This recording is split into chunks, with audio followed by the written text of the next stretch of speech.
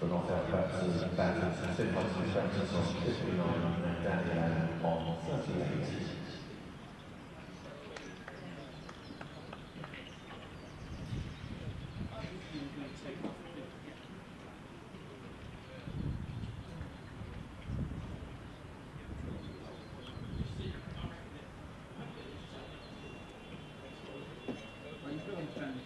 Uh, number four, four, Wimbledon, City Championship. Do you want, have you got tea and coffee? Sure, I'll get you one. What would you like? Coffee? Bit of cake? Right, I'll find out what cake Well, you've got. so we've got some cake pies. We've got there's a pina colada cake. Gluten free. Yeah. There's cherry and almond. There's a chocolate sponge cake and a Victoria sponge. Cherry and almond. Very good morning. Welcome to Hove for the final day of this county championship match between Sussex and Northamptonshire. I'm uh, Adrian Harms, and a very good morning to our co-commentator um, from BBC Radio Northampton, uh, Andrew Radd. Morning, Adrian. Morning, everybody. And, uh, well, so far so good weather-wise. I think the forecast for later is not massively promising, but uh, very pleasant at the moment. And there's still, I think, there's still a bit left in this game. You know. Well, we'll hear about that in a minute because um, I I certainly think you would. I don't know who you spoke to last night. I spoke to, to Tom Haines, who was very pleased with his start to the season and was talking a little bit about his trip out to India and uh, playing particularly against spin. We haven't got the biggest crowd here. I mean, two reasons for that. A, it's the final day. It looks like it's a draw. B, the weather forecast is not brilliant after lunch today. But C, there's also the rail strike. Yes. And so, um, that, I mean, that would have certainly affected. Certainly, a couple of people have been in touch already who live up towards Haywards Heath who said they won't be down. Um, we ought to do a quick check around the ground and just. Yes, we are going out. I think that might be Tim up there who's waving. Yes, it is. I don't know who's next to him. but he's definitely. it's not Julian, I know that. He's already said that he's not coming today. Uh, but Tim, thank you very much. Uh, lovely to see you sitting up there uh, in the stand. And we're about to get underway in Sussex with this very fine um, uh, partnership between uh, Finn Hudson Prentice and Danny Lamb. They came together when the score uh, was 200 and. Th- well, look at my notes here now. Uh, Andrew, you might Two go- yeah, for six. And they Sussex yesterday after tea. I think I worked it out. Did 176 in 31 overs. So they were they doubled the score basically Yeah, in, that, uh, in that session. uh, and actually, interestingly, last night Tom Haines said there was some chatter around Sussex of declaring and putting Northamptonshire in for a few overs last night. But then the light went, and it went quickly, and um, so they didn't do it.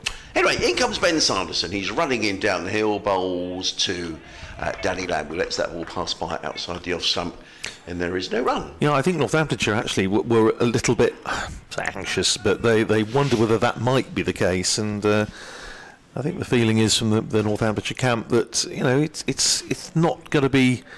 There, there's still possibilities, if we got a full day's play, that um, Sussex might, you know, presumably press on, try and get at least a 400, get four points, um, get a nice little lead, and, and then put a little bit of pressure on maybe. But uh, you need a full day's play, and I'm not sure we're going to get one. I agree. Sanderson in bowls, and forward comes Lamb, plays into the covers, and there is no run. Actually, the weather forecast I heard this morning um, was that there was going to be some pretty heavy rain around the southeast, sort of, you know, this afternoon. Um, Yeah, that was uh, the the um, the weather app sort of suggesting maybe a bit at lunchtime and then some more organised rain, if you like, later on in the day, sort of five o'clock onwards, just when I'm probably going to be driving home. yeah, absolutely.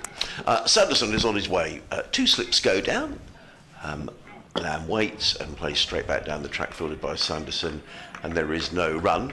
Um, they'll be hoping there, were, there isn't any rain in large parts of the United States today because there is a total eclipse of the sun. That's right. Yes. Yes. Um, and people are getting very excited. Four minutes, I think, of. And apparently, right in the west of the UK, um, early evening, you might see a bit of it, Yes. That's correct. So they're saying. Um, so there's a bit of useless information. But no, no eclipse of the sun here. We just want to see some sun. In comes Sanderson running in. Uh, in bowls, or takes a step down the track, does uh, Danny Lamb. Well, that was uh, extraordinary. I don't think that will please Ben Sanderson too much. Almost running down the track, and uh, uh, well, actually, they will know each other very well, and I can see Ben Sanderson just patting uh, Danny Lamb on the back. They'll know each other from uh, certainly from Danny Lamb's time up at Lancashire, and then Sanderson will know him from around the, the circuit.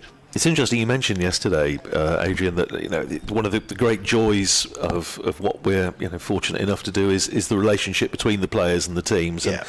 And was really nice when we were doing our uh, post match stuff to see a couple of the Northamptonshire players. Well, you were uh, just finished interviewing Tom Haines, uh, and I was having a chat with uh, with Lewis McManus and, and um, Luke Procter. And, you know, they all went over to Tom Haines and said, "Well played," and you know, where where he going for a pint afterwards and the rest of it. And that's just great. That's what you like to see. And the relationship between the players on the county circuit is. I wish our effects mic was working on the roof because then I could plug another another mic in and we could have Bruce Talbot oh. on commentary. But I haven't got another mic I can put I, I, because our, our, microphone on the roof isn't working. Well, here's Chris Tremain starting proceedings from the sea end. Bowls to Danny Lamb, who's trying to do the little scoop, the Dilshan, yeah. over the head of the aforementioned Lewis McManus. There are two slips in place. It's a fairly conventional field. Two slips in place. A man sweeping on the cover boundary. Extra cover, mid off, mid on, mid wicket.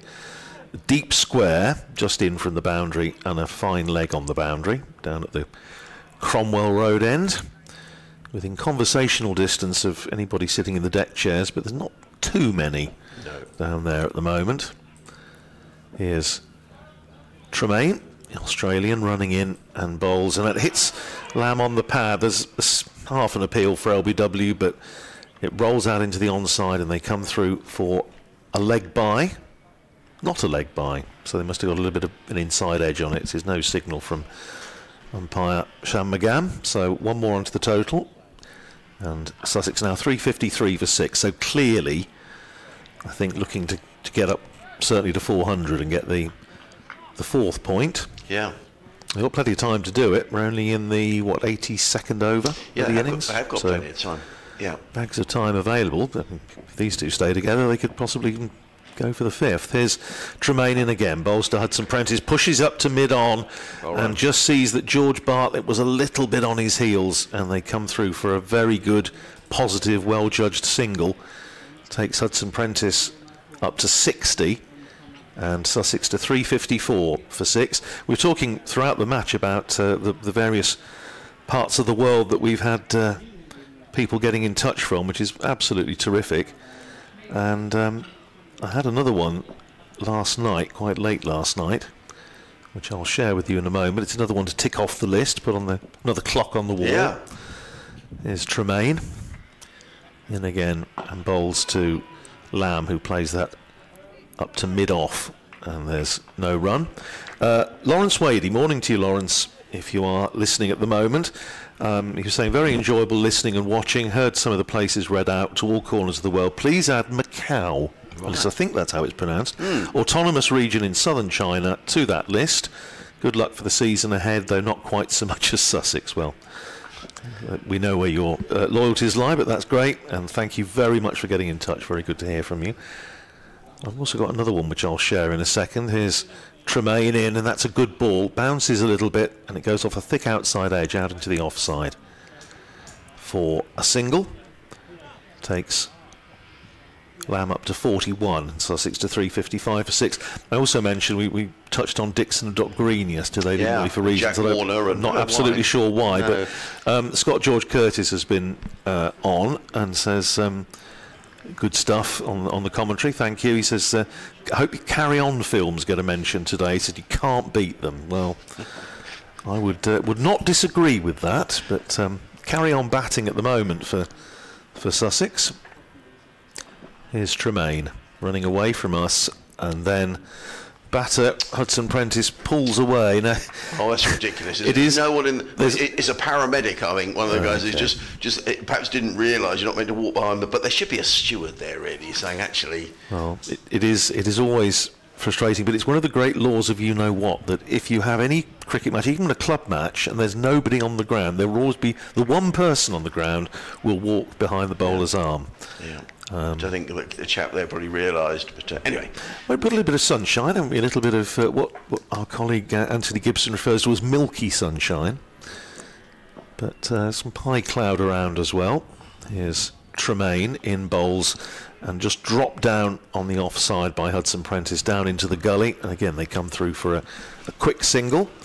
Hudson Prentice to 61, and that's the end of Chris Tremain's over. He's bowled 13 overs, one made, no wicket for 66. So, having taken 50 wickets in the Sheffield Shield season, he's finding life a little bit more difficult here. 356 for six, Sussex. Hudson Prentice is 61, Danny Lamb is 41, and these two have now put on 98 for the seventh wicket. And I noticed that the game has been abandoned at Derby Yes. where the ball bowled. Derbyshire against Gloucestershire. So that's not uh, that's not good news. I mean, to, Tim Drew, it's Tim who's sitting up there in the top of the Spen Cama with his listening to us um, chatting away. Thank you, Tim. Lovely to hear from you. Um, he says, great to be back for another season. Sorry we missed day two as we were at the Amex and yesterday due to the marathon, um, which um, had a nice day for the marathon actually. So, Tim, lovely to, to see you there up on the, the top deck. As in comes Sanderson Bowles, hammered away, and it's just going to be a single. I thought for a moment that was going all the way for a boundary, but it's one more to Hudson Prentice, who goes to 62, Sussex 357 for six. Good to see George Bartlett out there, Andrew, because that was a fair old clonk he got on the head yesterday. Yeah, it was. It, he, he came back on the field just before they came off again, actually for, for, for bad light. But yeah, it was it was very good. He was uh, was a little bit worrying, wasn't it, when you see that happen first Yeah. off? But uh, and as you say, thank goodness for helmets. Sanderson waits. There's a change in the field. The fine leg is just going a little finer, just away to our left-hand side. Sanderson in bowls and driven by uh, Lamb to mid-off, and there is no run. Danny Lamb on 41, Hudson Prentice 62. I guess, i i and we've said this, we've discussed it, you know, th- this week about how strong the second division is, and points are going to, you know, bonus points are going to be really important from a Sussex perspective. First of all, if they could come out of this with you know five batting points, two bowling, and eight for the draw, you know, 15's a you know a, a, a reasonable return, isn't it? If you can't win a game, and from Northants, um, just wait as Sanderson uh, runs in and bowls let go outside the off stump by Lamb. There is no run. They would have three batting. They could still get um, 14? They could still get th- the Yeah. third bowling point. So yeah, no, I think I think um, that would be. I think you know very very handy for both sides. Yeah. It's it's maybe as I say, Sussex have their eyes on maybe something a bit more than that if we get a full day. But I think that's that's going to be the problem. That's very frustrating. But hey, we've we're very much better off than uh, than some elsewhere. So let's let's be grateful for the cricket we've had. Sanderson comes into bowl to uh, Danny Lamb is in and Lamb drives and that's a very good bit of fielding. That just dropped a little short. I think that's uh, Saif Zaib in there and it just fell short of him. A good bit of fielding though and there is no run. Yeah, um, and actually Sussex missed out on maximum bowling points by one ball because it was after Ollie Robinson took a wicket with the in the 111th over um, right at the start of that over. So had it been one ball earlier, Sussex would have uh, picked up all three bowling bonus points. Sanderson in bowls and hammered away uh, by Lamb. And has he been caught? He has. That is a fantastic catch at mid wicket because Danny Lamb absolutely leathered that, and he's been caught. At uh, mid wicket, I think that's Chris Tremain. is in Tremain, yes. That is a brilliant catch because he that came right out the middle from Danny Lamb, and we were just I was just thinking, oh, there's the hundred partnership, but not to be. And Lamb is on his way for 41, Sussex 357 for seven. That is, I was just watching it on the uh, on the replay. He, as you say, he hit that very, very hard to the extent that it pretty much knocked Chris Tremain off his feet. Uh, sort of knocked him over backwards when he held it, but it was it went low and it was taken very, very well by the big Aussie. Got down to it well. If his uncle Mark's listening, as he has been, I know, out in Sydney for some of this game, then uh, the, the boy done good there, Mark. But uh, good catch by Tremain. It's uh, just going to halt the Sussex momentum a little bit. They're still what 14 runs behind, but a cracking partnership, 99 between those two, and as we say, had an awful lot to do with the fact that Sussex were able to double the score in a in a truncated final session last night, because of course we lost overs to the light, but. Uh, he goes for 41. Jack Carson coming in. Now, Tim, uh, I didn't read out the final um, sentence in his uh, uh, original email because he said because I said who's sitting next to you, Tim, and he said to answer your question, it's Gail sitting next to me, but don't tell the wife. He said exclamation mark, and I thought, oh dear. Anyway, he says, don't worry, Gail is the wife, so you can name her. So there you go, Tim and Gail sitting up there. Uh, so Jack Carson, uh, why have they got Lamb still on the board? There he is. Okay, Jack Carson. Um, and the final two will be Ollie Robinson, who's got a Test half century to his name now. That one Test he did play um, in the winter.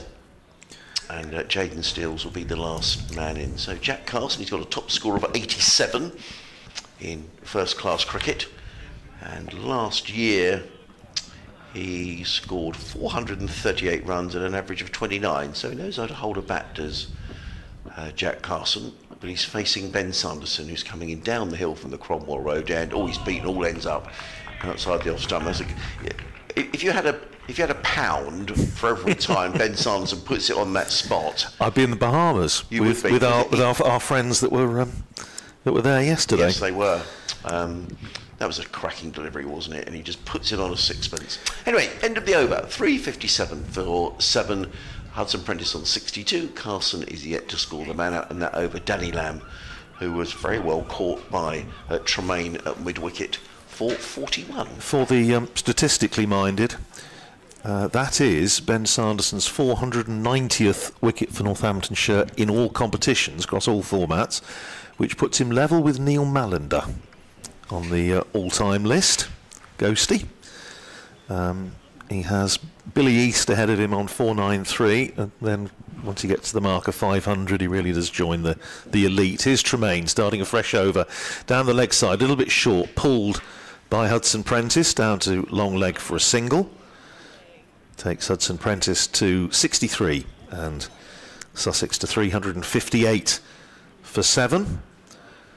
Yes, when you, you get past 500, then every one of those bowlers is, a, is an absolute top liner. You've got the likes of Frank Tyson in there and David Larter, another England bowler. David Steele. John Dye. Remember Wow, John yeah, Dye I, from do- I do remember John Dye. Moved Left armour? Left armour, that's right. Moved Yeah. from Kent up to Northamptonshire and helped Northamptonshire win the Gillette Cup in 1976.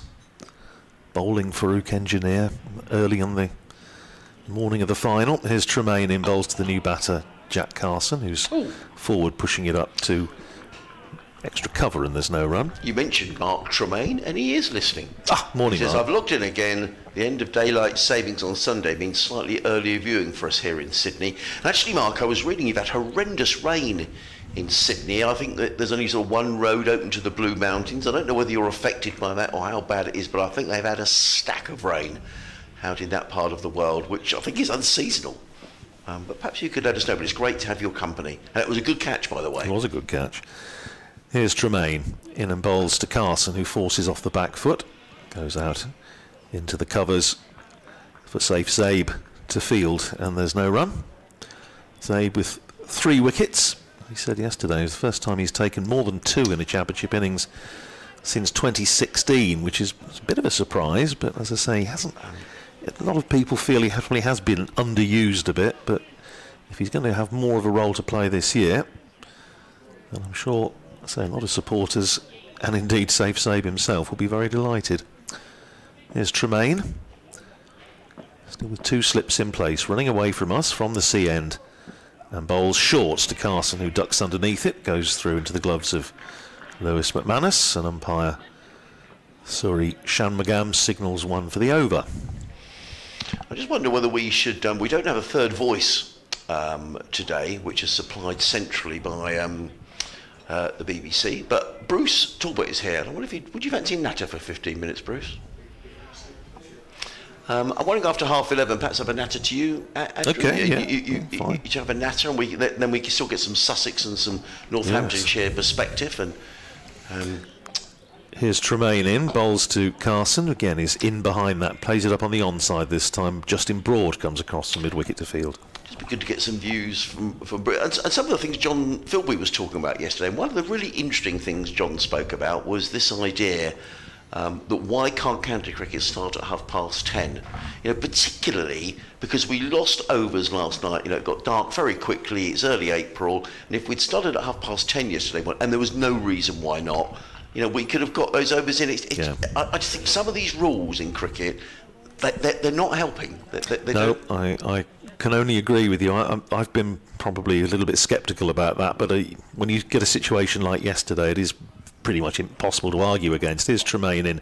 Bowls to Jack Carson, who just gets a thickish outside edge down to deep backward point, and uh, he's off the mark with a single, and he's pinched the bowling as well. So Carson is one, Hudson Prentice is 63 at the end of the over. 3.59 for seven. Sussex, if you're just tuning in a little bit late, lost the wicket this morning of Danny Lamb, very well caught at mid wicket by Chris Tremain off Ben Sanderson for 41. That made it 3.57 for seven. Bright enough at the moment here on the Sussex coast, but some high cloud around. Not a great deal of breeze. Forecast into this afternoon is a little dubious, but um, well, as I say, we'll enjoy it while it's uh, while the cricket's with us, and in view of the fact, I say Derbyshire match abandoned. First game at Derby abandoned without a ball bowled, I think, since 2010. I was reading. In comes uh, Ben Sanderson, bowls to Carson, and again beats him outside the off stump with an identical delivery to which he beat Carson in the previous over.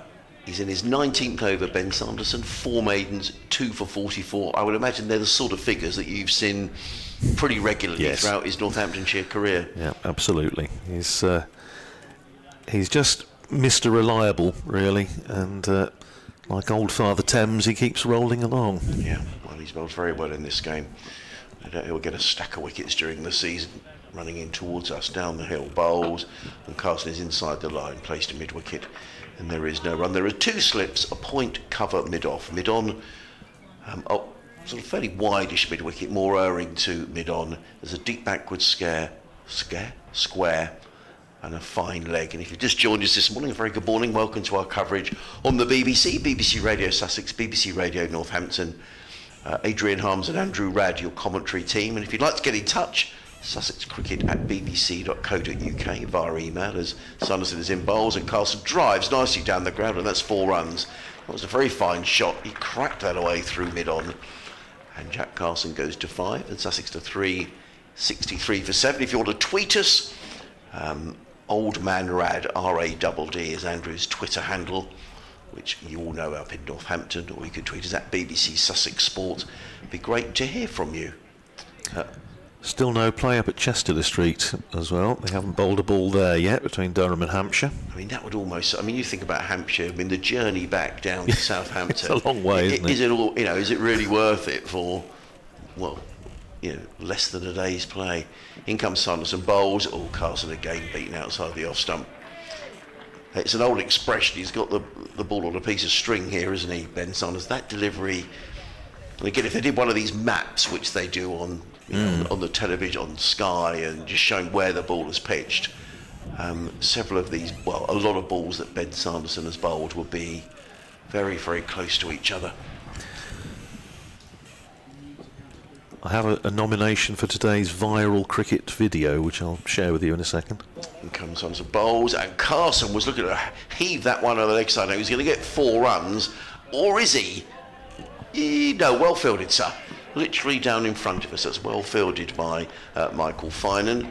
Um, but three runs to Jack Carson. He was looking to hoik that away. It was a rather ugly shot over mid wicket. He got a big outside edge, and the ball ended up down at uh, third man. Uh, but three more to Carson. He goes to eight. The total to 366 for seven. Yes, our good friend David Griffin at, uh, at Derby has, uh, has put a 20 second video up of three gentlemen in Wellington boots um, walking on a very, very muddy outfield at Derby, just showing how wet it is. And uh, gosh, there's absolutely no way they could have done anything there. Sanderson in bowls and cracked away by Hudson Prentice to uh, mid off. And there's a misfield at mid off, and that allows Hudson Prentice to go through. Now, was the fielder there hurt himself? If? No, he hasn't. He's okay. End of the over. Hudson Prentice goes to 64, 367 for 7. A couple of emails. Um, hello to Adrian and Andrew. I'm enjoying listening to Sussex back from here in Brentwood in Essex. Adrian may remember me from my long time ago working at the ECB and also bumping into each other at Albion games. This is from Julian Good. He says, I'm unfortunately long term unwell, so listening bedbound at the moment. Being back at home and watching in person at some point is on my wish list after recovery. Keep up the good work. I'm really sorry to hear that, uh, Julian. I remember, I can remember Julian as well with ECB. So yeah, please. And there's a good wishes there from Andrew Radd, Julian, and Bruce Talbot, who's going to come have a natter twist in about 10 minutes' time as well. So uh, we wish you all the best, and sorry to hear that you're uh, you're unwell at the moment. Tremain starting a fresh over with a field very well scattered. Seven men on the boundary as he comes in and bowls to Hudson Prentice, who opens the face, drives it down to backward point, deep backward point for a single, and then the field suddenly converges on Jack Carson. So they're quite prepared to give Hudson Prentice the single. He's 65 and Sussex 368 for seven. George Bartlett was fielding down here at long on, immediately in front of our commentary position. Very good view that we have down here under the, the south stand here at Hove. And there were seven, as I say, seven on the boundary, but they've now moved in. Now Tremain's having a chat with um, Lewis McManus, who has walked all the way down for a natter about something. Helmet. He's going to stand up, I think, to Chris Tremain, which is an interesting move. He was just having a word with Luke Procter, the captain, who's at mid-off. Lewis McManus is vice-captain of the uh, Red Bull side for Northamptonshire, and they just signalled to the dressing room for a helmet. And all the while, I don't wish to be a harbinger of doom, but it's just getting No, it a is. little bit darker, isn't it? No, it is. Um, No, it definitely is. Um, uh, these delays for helmets are ridiculous. Actually, Mark Tremain's been back in touch and he says, uh, yes, Sydney received a huge amount of rain last Friday, probably not unseasonal, as we often receive good rainfall in autumn, but the amount was substantial. I live close to the river that separates Sydney from the Blue Mountains, but not close enough to be affected by the flooding. The only bright side was that the original forecast was for the same amount of rain on the Saturday, uh, but it never arrived. So there we are. Weather Right. update. Well, I got that wrong because it's not the keeper that's going to get the helmet. It's they're putting forward short leg in. Not George Bartlett, I hope. Not George Bartlett. No, Justin Broad is going in there. I must admit, I'm not quite sure how Chris Tremain would react having the keeper standing up. I say Ben Sanderson. It happens quite frequently, but um, well, now they're the field is running everywhere. They've got first slip. Karun Nair is now coming out of first slip going into mid wicket. So there's just the one slip, Emilio Gay, and a forward short leg, and then a ring of five saving one as Tremain comes in and bowls short, and Carson ducks underneath it, goes through to Lewis McManus, and again the umpire signals one for the over, and Paul Baldwin, who's just finding his view obscured by, I should think, the right leg of Justin Broad in there at forward short leg under the lid, is moved across to point, which means he can have a cosy chat with the fielder down there. And here's Tremain turning from this sea end. Running in again to bowl to Jack Carson, who plays that well. It just bounced on him a little bit around the rib cage and he turns it down to fine leg for single. Takes Carson to nine and Sussex to 369 for seven. So two runs behind. In the old days, of course, first innings points would have been would have been worth having. Yeah, Don't do that anymore. Yeah, actually, that was a question that came in yesterday for me to pose to John on another occasion about um, points. And I said, if I can find the email, it came in from William Knight yesterday. Well, now they've got this spread field far and wide. Two, me- there's four men on the onside, all of them on the boundary or just in from the boundary. As Tremain comes in and bowls to Hudson Prentice, who cracks that away out to deep extra. and it's only going to be a single. Takes him to 66 and Sussex to 370 for seven, but 66 mark you off just 47, 48 balls now. It really has been a terrific effort from Finn Hudson Prentice. A 6 and 11 fours. I mean, he's had license just to play a Yeah, shot, hasn't he? absolutely. You know, Sussex clearly looking for quick runs. I was saying yesterday to have somebody like that coming in at this stage of the innings is just absolutely priceless. Here's Tremain in bowls to Carson, short and wide. Carson just lets it go through to Lewis McManus. As I say, it's the sort of role that Adam Rossington played for Northamptonshire when he was uh, with the club. I remember a couple of innings of his going in at sort of number six generally and, and launching a counter attack, not least a very important game against Durham in 2019 when Northamptonshire were in some uh, disarray and a match that they really needed to win to keep themselves in the promotion challenge. Here's Tremain in again, bowls and turned away by Carson out to deep mid wicket Karun Nair fields one more to Carson. Takes him into double figures, 10 to him, and the score's level, 371 for 7 at the end of the over, so Carson's nicked the bowling. 371 for 7, 66 to Hudson Prentice, 10 to Carson. And uh, they were playing over the Clark Road side of uh, Wantage Road, and he hit, I think, off the top of my head, six, seven sixes, um, targeting the short boundary, and suddenly brought Northamptonshire back into the game, which they finished up winning and securing promotion not long thereafter, and also down at Bristol. And the game we mentioned actually on the first day, because I think that the lights were on pretty much for the entire four days. And um, again, he, he was really one of the very few batters to come to terms with what were very difficult batting conditions, certainly over the first three days. In comes Ben Sanderson down the hill from the Cromwell Road and bowls to Jack Carson with a flick of the wrist, plays that through mid wicket, and he's going to pick up a boundary. Is uh, Jack Carson? He goes to is that going to go to 14? No, it's, he's already gone up. He's gone to 10. 370. No, there we go. He goes to 14. 375 uh, for 7. Sussex in front. Yes, indeed, by four runs after Northamptonshire yesterday made 371. If you've just joined us this morning, a very good morning. Welcome to our coverage here at Hove, BBC Radio Sussex, BBC Radio Northampton, Adrian Harms and Andrew Radd on commentary duties this morning as in comes Sanderson running in down the hill bowls. And Carson's at it again, and that could have gone all the way for the maximum.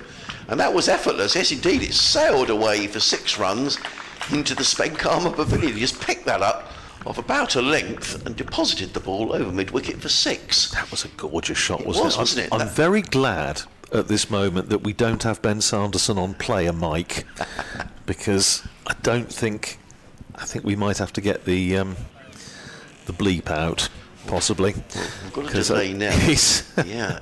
he's not going to be massively um, enjoying this.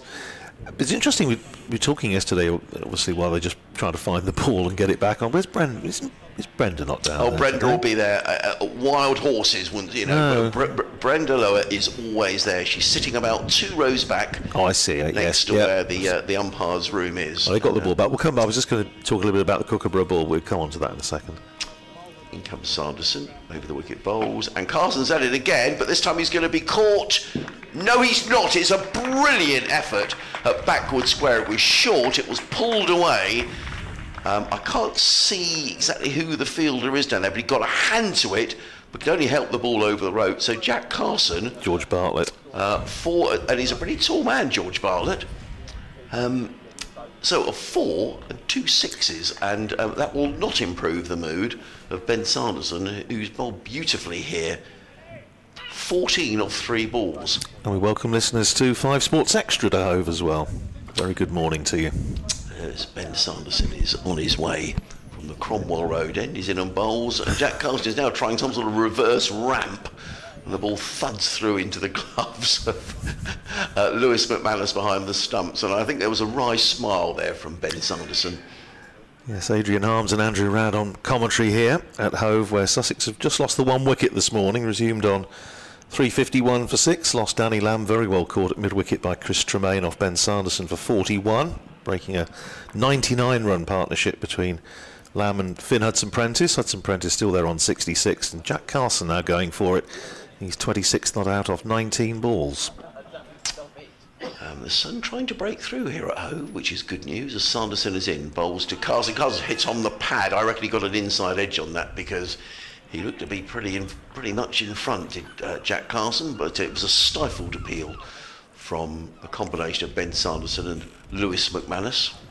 And as far as where we're going in the game, I I suspect, I mean, we're talking about possibly Sussex were thinking about getting Northamptonshire in last night, but the light didn't really allow that. So I, I would assume they're going to certainly pick up at least one more batting point. They've got still the, the capability to, to get uh, all five with still plenty of overs left. Sanderson is in again short and Carson plays that firmly up to middle and picks up a single. He will retain the strike. It is the end of the over. 388 for 7. Hudson Prentice is on 66.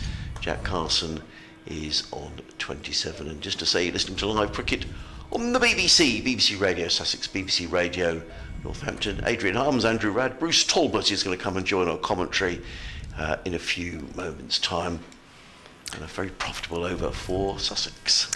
So Sussex now leading by 17. It, I suppose it boils down to whether Paul Farbrace and John Simpson feel that there is any mileage in possibly trying to put Northamptonshire under a bit of pressure with the bat, get themselves a little lead. The momentum has obviously shifted very much in the direction of Sussex, the, the partnership between Hudson Prentice and, and Lamb adding 99, including, as we were saying earlier, basically doubling the score from 175 for 176 for three to 100 to 351 for six at the close last night. So doubling the score in that session has really put Sussex in a quite a strong position. But whether on this pitch there's enough help available with the Kookaburra ball as well for Sussex to put Northamptonshire under any pressure with the bat in the second innings remains to be seen. Nevertheless, Sussex will be looking to get this fourth batting point. and the field with Jack Carson on strike is fairly conventional. Five saving one and a slip in as Tremain runs in from the CN. Bowl short, pulled by Jack Carson, and it goes straight to mid wicket where Saif Zaib fields. And there's no run. Chris Tremain and Ben Sanderson opening up for Northamptonshire this morning, still with a fairly newish ball. We're only in the 88th over of the innings though, so there's plenty of time. Another 22 overs after this for Sussex to try and get up to 450. If these two stay together, there's every chance they could do it. No, absolutely. Here's Tremain running in again. Bowls that short of a length and Carson just riding the bounce, runs it down through backward point. They've taken one, thought about a second, but decide against it. So Jack Carson goes up to 28 of just 23 balls, and Sussex to 389 for seven. Keep an eye on what's happening elsewhere in the matches that are actually being played. We've been very lucky here, although we've lost some time, obviously, to the weather and to bad light last night. We have had some some interesting cricket, some entertaining cricket over the last three days. And now with Finn Hudson Prentice on strike, the field scatters. Northamptonshire have one, two, three, four, five men on the boundary on the onside, three on the boundary on the offside. And that's short from Tremain. Attempted pull by Hudson Prentice, hits him somewhere on the body and rolls down for wicketkeeper Lewis McManus, who's got nobody to talk to, really. I suppose Gully's just about within conversational distance, Emilio Gay. I think Hudson Prentice thought there there was a single as the ball ran through to Lewis McManus, but Jack Carson wasn't too keen, was he, from the non-striker's end? Well, they're having a, com- a little bit of a conference are. at the moment, so that that may be the the gist of it. A little bit of rather watery sunshine breaking through at the moment. Clouds pretty high. As Tremain with the south stand behind him runs in and bowls very full and chopped down hard into the ground by Hudson Prentice. It bounces up for Emilio Gay to retrieve it. Gay, the only close fielder.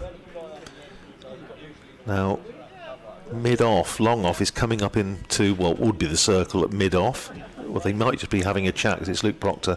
Might just be having a chat with his bowler. George Bartlett on his Northamptonshire debut, having made the move from Somerset, is fielding on the boundary immediately in front of our commentary position at long on. And Procter now retreats back to his position at long off as Tremain comes in and bowls and very full again, trying to whip that one away, Hudson Prentice, but it just hits him on the pad. And there's no run, 389 for 7. And now you've got an update to do, Hadrian. Yes, as Tremain just wanders back to his mark. Yes, hello Sarah. Yes, a bit of milky sunshine across Hove this morning. The forecast isn't great for later in the day, so we're going to make the most of it uh, whilst we can. Sussex are pressing on here this morning. They're 389 for 7. Finn Hudson Prentice 66 not out. That's come off of just 51 balls. And Jack Carson on 28 or just 23 balls. He's already hit two uh, big sixes as Sussex look to close in on maximum batting bonus points. But it does look, Sarah, if this game is heading for a draw. Maybe not so down at Canterbury, uh, where Somerset bowled out this morning for 403. Uh, three wickets there for Nathan Gilchrist. Somerset leading by 119. And I'm afraid um, more bad weather up in Manchester. Surrey 15 without loss. They haven't started today. They only had 21 balls uh, yesterday because of the rain. That game is certainly destined for a draw. So, um, at the end of the over, there's a bit of a council going on in the middle uh, between some of the Northamptonshire players. 390 for 7, 67 to Hudson Prentice, 28 to uh, Jack Carson. Uh, I'm going to vacate the uh, commentary um, for 20 minutes or so. I'm going to leave you with uh, Andrew Radd, and we're going to bring in Bruce Talbot, who um, is someone who's uh, written for the local paper here, the Argus, for many, many years, written many books. Um, of uh, Sussex players as well. It'd be great to have Bruce on for 20 minutes or so to have a have a natter away to Andrew. Yeah, look forward to that as uh, Bruce comes into the seat on my left. And it is going to be Ben Sanderson to continue. He's into his 21st over, two for 69. If you're with us at the start, mention that the second wicket of the innings that Sanderson took this morning takes him up to 490 for Northamptonshire in all formats, uh, puts him level with Neil Mallender on the all-time list, the Ghost, and closing in on 500, which really would be a, a remarkable milestone. Now, the, the, field spread far and wide as Sanderson comes in and bowls to Hudson Prentice, who drives pleasantly up to long off. They thought about taking on the arm for two, but decide against it. Rob Keogh fielding out there in front of the deck chairs at the Cromwell Road end.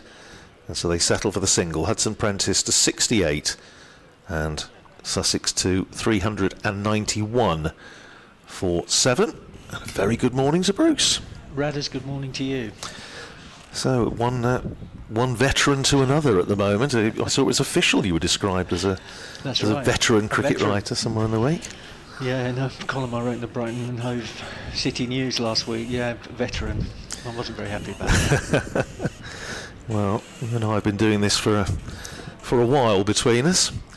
Here's Sanderson from the Cromwell Road end, runs in and bowls, and that's just nudged away on the onside by Jack Carson. Doesn't manage to beat the man in at mid wicket, as I say, with Carson on strike. Is a much more conventional field with a, a ring saving one, four on the offside, two on the onside. They've got long leg on the boundary and a deep square just in front on the boundary.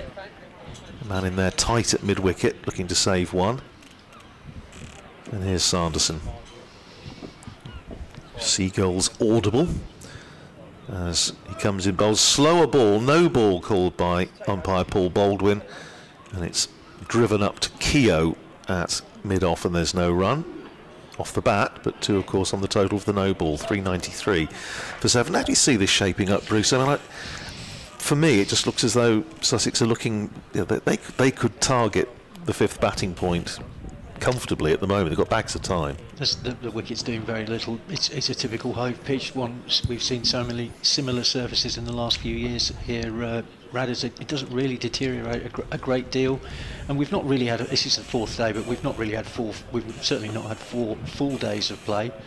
Um, Here's Sanderson in again, bowls to Carson, who drops it out on the offside. Thinks about a single, but it's not there. Two fielders converge on it. Justin Broad gets there first and so there's no run.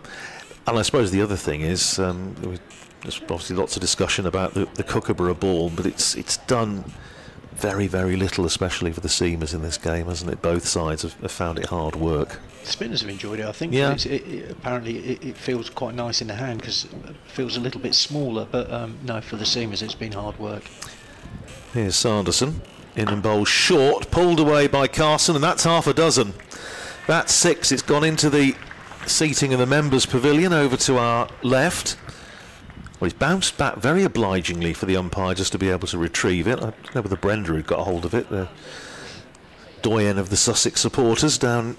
Bit, bit too Brenda's, bit too far to Yes, Brenda's right for even her to scurry across and get it. I think it just bounced back off the seating maybe, but it's six to Carson. He goes to 34, and Sussex to 399 for seven. So just one run away from picking up this fourth batting bonus point. Field.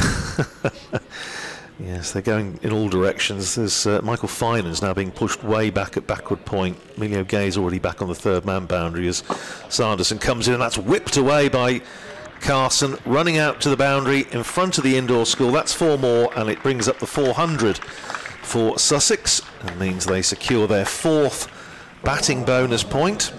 Takes Carson up to 38 off just 28 balls, and to think when he f- first came in, Bruce, Northamptonshire were quite happy just to get him on strike. He's a And, uh, dangerous, a dangerous bit like Hudson Prentice. He's a, a very, very good batsman, uh, Jack Carson, more than capable of getting runs and scoring quickly. Um, he's obviously got a license to play shots a little bit in this situation, but um, yeah, another dangerous, a dangerous uh, player down the lower order. And Hudson Prentice, I mean, got nine fifties last year. Didn't convert any of them into hundreds, which was a disappointment for him. And uh, this is an opportunity for him to do that, I think. Certainly bat deep Sussex as Sanderson comes in, bowls short, and that's swatted away by uh, Carson, who is dropped. It was in the air for a long time. It looked as though it was going to be caught out there at long on, and it's gone down. Uh, I'm just looking to see it's the very furthest part of the ground who actually was the fielder responsible for that. Might have been Rob Key. uh, No, it wasn't. It wasn't Keogh. I think it might have been the captain actually. It was. It was, it was Luke Procter. But uh, it was in the air for a while. He had to move to try and get to it, and didn't manage to do so. I think in the end he thought it was coming. Not. I think he went a little bit further than he thought, and he finished bit, up? Yeah. having to run back towards the indoor school, and he didn't manage to get hands on it. And they pick up a couple of runs, so 40 to Carson, 405 for seven. When you think, Bruce, I mean, still got Ollie Robinson to come, who's, who's made useful runs in, in Test cricket as well. And then Seals, who I don't know what his batting pedigree's like, but I'd imagine he can. He's got a few shots as well. So, yeah, I mean, you know, Sussex get to 450, 475, lead of 100, just puts North Northants under a little bit of pressure. But I, I, I, can't believe that this game's going to finish in any other uh, way except a draw. Here's Tremain starting afresh over to Hudson Prentice, turns that away out through mid wicket. Certainly one. Are they going to think about two? No, they're not. Michael Finan is quickly to the ball. Michael Finan, who's, who's had a bit of a walk on part, I think it's fair to say, in this game so far, making his debut for Northamptonshire. Short term deal from Leicestershire. He's only bowled five overs. Uh, naught for 44. Did have a catch dropped, albeit a difficult one yesterday which probably would have made all the difference, to be honest, Bruce, if that one had just stuck in the in Lewis McManus's glove. Uh, after he went for was it 26, I think, in his first three, brought him back and still didn't uh, didn't quite manage to stem the flow. Conversation between Luke Procter and Chris Tremain. Tremain running in again to bowl to Carson. Carson drives handsomely up to deep mid off where Procter fields, but they're able to come through for a single. Carson to 41 and Sussex to 407 for 7. Lots to talk about, obviously, at this point time of the, the season, Bruce. And one of the things that, that strikes me about this Sussex side, and we've just touched on it there, is, is the, the depth of batting. It really is a team with no tail. Pretty much. Um, you know, you've got Danny Lamb, Finn Hudson Prentice, Jack Carson, all more than capable, uh, six, seven, and eight. Here's Tremain in bowling to Hudson Prentice with everybody on the boundary. Apart from bowler and keeper, every Northamptonshire fielder on the fence. He pulls that for a single, takes Hudson Prentice up to 70 and Northamptonshire to 408 for 7.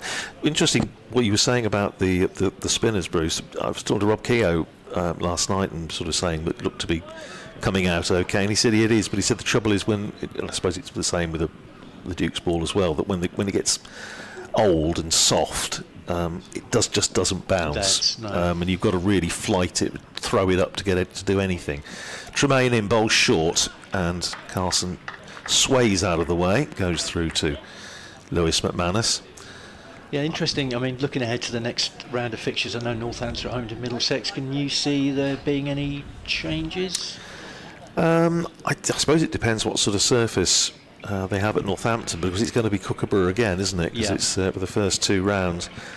I mean, they would Northamptonshire would dearly love to have Jack White, obviously, uh, back on parade. I'm, I'm not sure that word I heard was that he might not be around for, for the Middlesex game. That is a a serious blow to Northamptonshire not having him around. Is Tremain in bowls and a big swing from Jack Carson. It goes out off a sort of inner portion of the bat out to deep square for a single. Didn't get the whole meat of the bat on it, otherwise I think it would have gone in the um, hospitality area down to our left. Uh, 70 to Hudson Prentice, 42 to Carson, 409 for 7. So, I mean, that I suspect is probably not going to, to happen. The other one who would come back in if fit is probably Ricardo Vasconcelos who's got a bit of a shin problem. Uh, again, the word was that he was not too far away, so he might come in. But some, yeah, some interesting selection poses. Driven sweetly by Hudson Prentice out through extra cover, and it's Luke Procter who comes across to retrieve, and they come through for a single. So Hudson Prentice will have the bowling at the start of the next over. 71 to him, 42 to Carson, and Sussex are 410 for seven at the end of the 90th over. So still 20 overs in which to get another 40 runs. 40 runs, which should be an absolute doddle. At this rate, yeah, Carson's played a really good hand here, hasn't he? 42 off 32 balls. Hudson Prentice, I mean, he was smashing it everywhere last night, but this morning he's been fairly, um, you know, he's, he's allowed Carson to, to take the lead. And the sun's out, and it's lovely. It is. It's gorgeous now, isn't it? Yeah, we do have we do have some sunshine here on the south coast, and because I think um, Sussex are at Grace Road, isn't it? I think They are next next, uh, next, uh, round. next round on Friday. Talking about, I mean, I know you've been discussing the weather this morning with Adrian, the prospect of some rain later, but what I tend to, and I've just looked at the radar, it, you, you do find a lot of the time with the, rain here sometimes will skirt Hmm. over the downs, round. You could see it pouring down, you know, right in the far distance, you, um, but it, it, it can often skirt round there, and, and we'll miss it completely. And um, I've got a feeling that uh, you know, local, my local knowledge, Radders, tells me that's what's going to happen today. We're going to see more cricket than we think. we Well, I hope I, I very much hope you're right. Uh, it's a single off the first ball of the over for Hudson Prentice, driven up to long on. Sanderson continuing this spell from the Cromwell Road end, 411 for seven, and Hudson Prentice 72 in the sunshine. I mean, the thing is, Bruce, there's there's still a lot of cricket left in this game. There's still 86 overs after this one, so there's a a great deal of cricket still to be played as Adrian Harms performs his most useful service of the day of the by, week. by, by bringing him the lunch ticket. Thanks, Adrian, very much. Adrian will be back with us on commentary very shortly. Here's Sanderson bowls to Carson, who gives it the full flamboyant IVA Carson extra cover drive, and he gets a single. Goes out to man, one of the many men out on the boundary. Carson goes to 43 and Sussex to 413 for seven. There won't be many championship wickets here this season that are as near as to the pavilion as this one, to be fair. Um, that's inflates the scoring slightly. Here's Sanderson running in again to bowl to Hudson Prentice wide outside the off stump, just hanging it out there, trying to keep it out of Hudson Prentice's reach, he does successfully on this occasion. This might be Sanderson's last over. I think like so. He, He's, he's bowled for 50, 50 minutes. yes, I think he's probably uh, probably earned a little bit of a rest. 22nd over he's in, two for 86. His figures have just taken a little bit of a dent this morning. Here's Sanderson in again, bowls, and that's attempted sort of flat bat crack pass past the bowler by Carson. He doesn't really time it, and he just gets a single. It's half stopped by Sanderson. Takes Carson to uh, Hudson Prentice rather, beg your pardon, to 73, and Sussex to 413 for seven. Yes, it is over towards the uh, the pavilion side, isn't it, of the square here at Hove. Here's Sanderson in and bowls to Carson, who goes for a, a big swing, gets a bottom edge, just goes past the leg stump, retrieved by Lewis McManus behind the stumps. And there's no run. There's going to be a lot of interest, and you know, you and I were talking about this off air yesterday, Bruce. Uh, next week with the announcement of the uh, professional, eight professional women's sides, and I think pretty much every county has put their plate up and said we would like one. Perhaps talk about that in a second. Here's Sanderson in again, bowls to Carson, and that is wide. Sanderson, it's quite clear what he's trying to do. He's just trying to hang it wide, and it's, it's a fairly negative tactic. And on this occasion, Paul Baldwin has called wide outside the off stump. So one more onto the total, 4.14 for seven. In normal circumstances, you don't see Ben Sanderson bowl too many wides. He's, he's having a chat with Paul Baldwin. Are saying yesterday, Ben, who's, a, who's an absolutely fantastic chap, but he does have this sort of rather hangdog demeanour. He's almost got it into a, made it into an art form, and um, he's not massively enjoying himself out there. Probably it's fair to say at this precise moment. Here's Sanderson bowls to Carson, who smashes that straight back past the bowler. A despairing dive by the fielder coming across from long on, but Carson hit that very hard. And it's gone for four to finish Sanderson's over, possibly finish his spell. He's still having a word with Paul Baldwin, and I'm not entirely sure that's a great idea. I think um, uh, the umpires very rarely lose those arguments in the long term. Anyway, end of the over. 418 for seven. Carson is 47. Hudson Prentice is 73. Yes, so um, I mean, obviously Sussex have, have uh, put forward a, bid that I think, by common consent, has been a strong one. What do you think the chances are? Um, I'd like to think they're very good, but I've got a horrible feeling, Radders, that Sussex's geographical position is going to be held against them. You've got a strong women's setup already at the uh, Ageas Bowl, or whatever it's called now, um, with Hampshire and, and uh, the Southern Vipers. Kent have got ambitious plans at Beckenham. They already host the South East Stars there. You've got Surrey up the road, and that's not um, thinking about what might happen uh, with MCC and uh, Middlesex at Lords. So I think Sussex will put, have put together a really good bid. Paul Farbrace was involved. He went to the presentation. I think they were the only one of the 16 counties who, whose men's head coach was in attendance. They've got some ambitious plans here to turn some of the facilities, some of the hospitality facilities into women-only changing rooms, which again is is great, and hopefully that will happen regardless of whether they get the um, the go-ahead or not. But I, I I think we'll know a lot of di- uh, the direction of travel yeah. county cricket in the next few years. We'll know when we see who, which counties have got those uh, franchises. Yeah, couldn't agree more. Here's Tremain continuing his spell, driven up in the air, and that's caught by George Bartlett immediately below us at long on, just coming in a few steps, and that's the end of Hudson Prentice.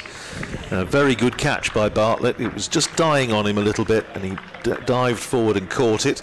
So Hudson Prentice goes for an excellent 73 off just 60 balls with a 6 and 11 fours. It's the first wicket of the innings, first wicket of the season for Chris Tremain. So if I were you, Uncle Mark, listening in Sydney, go and make yourself a cup of tea or whatever. And 419, 418 for 7, for 8 now it is, with applause and very well merited applause for Finn Hudson Prentice as he walks back to the pavilion, gets a pat on the back from Ollie Robinson who passes him on the way in. Yeah, it'd be disappointing because there was a 100 there. You know, we talked about his 950s last year, Finn Hudson Prentice. Was a 100 there for the taking. Just sort of checked the shot a little bit, and in the end, Bartlett made the catch look fairly comfortable. Tremain deserved that wicket. I think he's persevered and bowled pretty well. Um, not been he's obviously a far more used to bowling with a kookaburra ball than um, than uh, anyone else um, out there today. But um, it's hard work on this pitch. Very dry. There's not a lot of movement, sea movement. Um, there's nothing in the air really either for the bowlers. It's uh, been a bit of a slog in the last two or three sessions for Northants. But um, 418 for eight. So Sussex need another 32 to get the fifth batting point. two more wickets. Robson, Robinson and Seals a lot depends now on Carson. I think he's got to take the lead here. Robinson can hang around and, and he can hit shots, but he can also um, get out quite quickly. So Yeah. we'll see. Yeah, but I, I, just to go back, when we were talking about the uh, the the women's teams. I, I quite agree in that. I think, and we the word we were using, I think we were talking about it earlier in the match, was as a signal. It's going to be a very clear signal of what the thinking is at ECB. And, and John Filby, the Sussex chairman, who was kind enough to spend a good hour with us in the box yesterday, um, was saying that, you know, is it does it really make sense? to just basically say, well, okay, well, we're going to give these uh, these teams to those grounds, the test grounds that already have Test cricket, international cricket, the hundred, and, and so on and so forth, or are we actually going to try and spread it around a little bit? I mean, Northamptonshire have also put in a a bid, as we were talking about yesterday. Geographically, perhaps it's a, it's a Strong, a, a stronger, stronger case. Yeah, I think um, I think that is the case.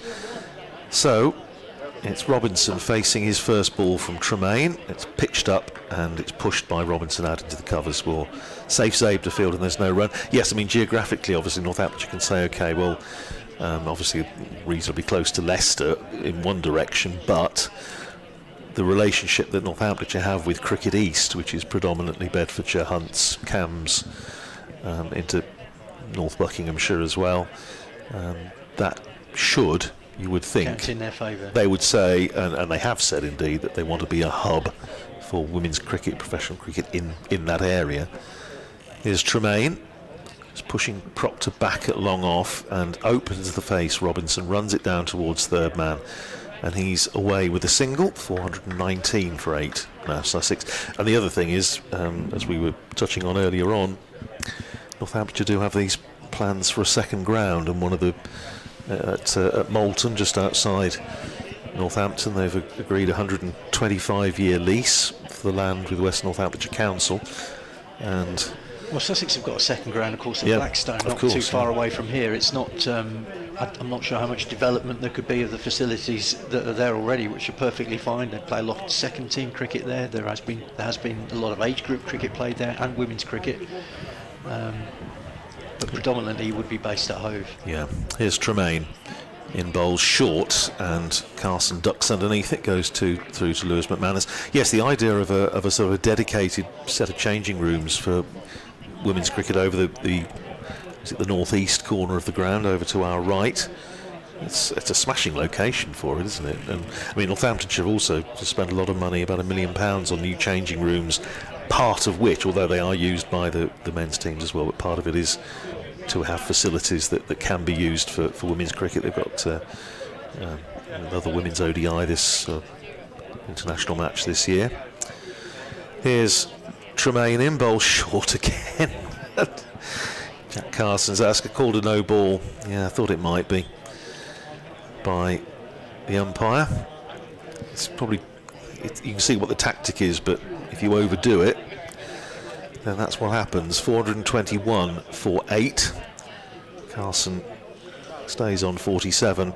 So yeah, it's going to be very interesting. The 18th, I think 18th. 18th, yeah, week on Thursday, I think is the is D-Day, which will be very, very interesting. And um, yes, some, somebody's going to be disappointed, aren't they? A few, quite a few people are going to be disappointed. Here's Tremain in, nudged away in the onside by Carson. Sensible bit of cricket, and they come through for a single. Tremain has to do the fielding himself, not least because there are no fielders within about 30, 40 yards of him. One more onto the total, 422 for eight. I wonder if there's any sort of appeals procedure if, for the counties Yes. who don't get There's uh, a chosen.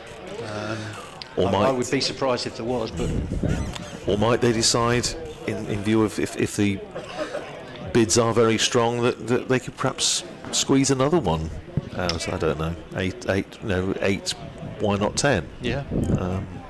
There's, I I mean, given the growth of, of women and girls cricket right across the country, and, and certainly I'm sure it's the same as in Sussex as it is in back home in Northamptonshire. And all, you know, the participation numbers are, are certainly very, very much higher.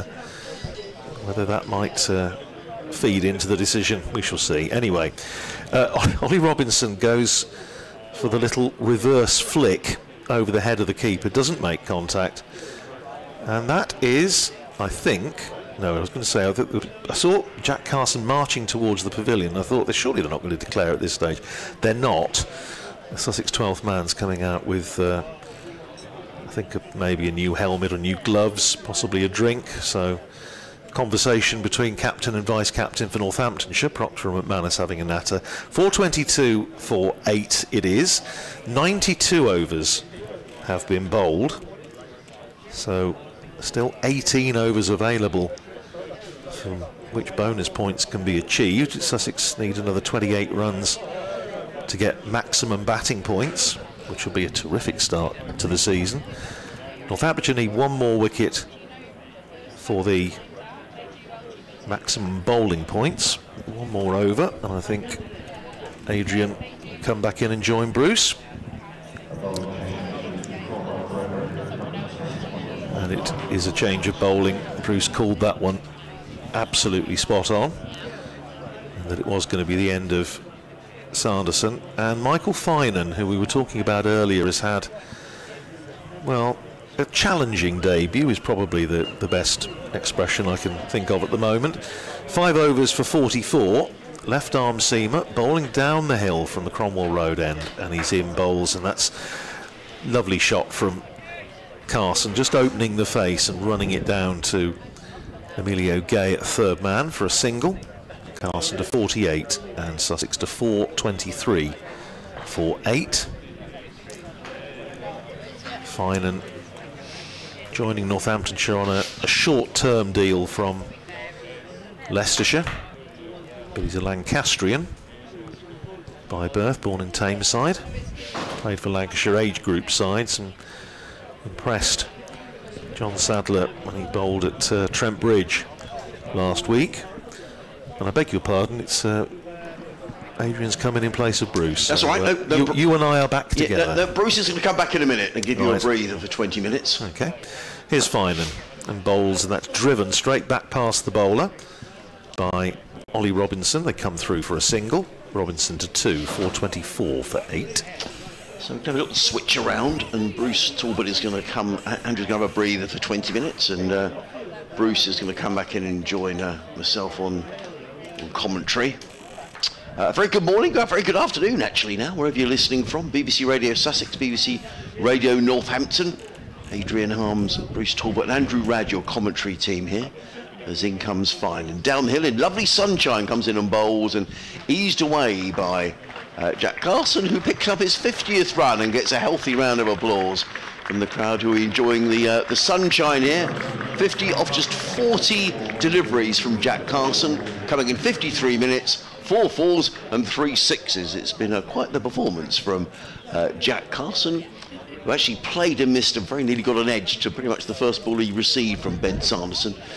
Um, but he's made the most of his um, of that. Well, it wasn't even a let off because he didn't get a nick on it. But uh, he's sort of hastened Sussex towards um, 450, and uh, hopefully, from a Sussex point of view, a fifth batting bonus point. Here comes Finan left arm over the wicket bowls to Robinson, who's forward and plays that down the ground. Picks up a single as Ollie Robinson. The throw comes into the uh, strike as then Jack Carson was running to the danger end and managed to get home before uh, quite comfortably uh, in the end. 426 for 8, Carson 50, Robinson 3. Uh, men out today, Danny Lamb for 41, Finn Hudson Prentice for 73. And when you think Sussex began the morning on 351 for 7, it means they've added 49 and 26, whatever that is, 75 um, in a little over an hour this morning. So it's been entertaining cricket as Finan races in. He's in and bowls, and Carson is back and just eases that uh, into the offside. Picks up one. They're going to think about two. That, well, there wasn't two there. A good bit of fielding in the end by uh, Justin Broad, who prevents that second run being taken. And Robinson goes to uh, three. Sussex 427 uh, for eight. Robinson and Carson have a little touch of the gloves. Uh, Bruce is back with us. It's been entertaining, this Bruce. I've enjoyed it this morning, It's been very, it's been very good. isn't it? Carson and I mean, he can bat Jack Carson. He's a handy man to come in at number nine. As in comes Finan running in down the hill, bowling the last ball of the over, and, Ollie Robinson flicks that nicely down to uh, fine leg, where it's followed by Saif Zaib. It's another single, so six singles uh, coming off of the over. Sussex 428 for eight. Robinson is on four. Carson is on 51. I was looking at Jack Carson's figures for last year.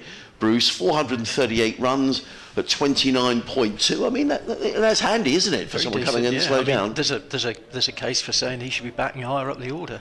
Um, he's in, obviously in the team to bowl, but predominantly. But um, you, he's capable of batting at six or seven. Absolutely.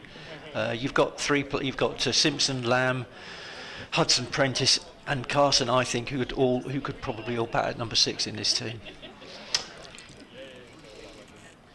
As I say, live cricket here on the BBC, BBC Radio Sussex, BBC Radio Northampton.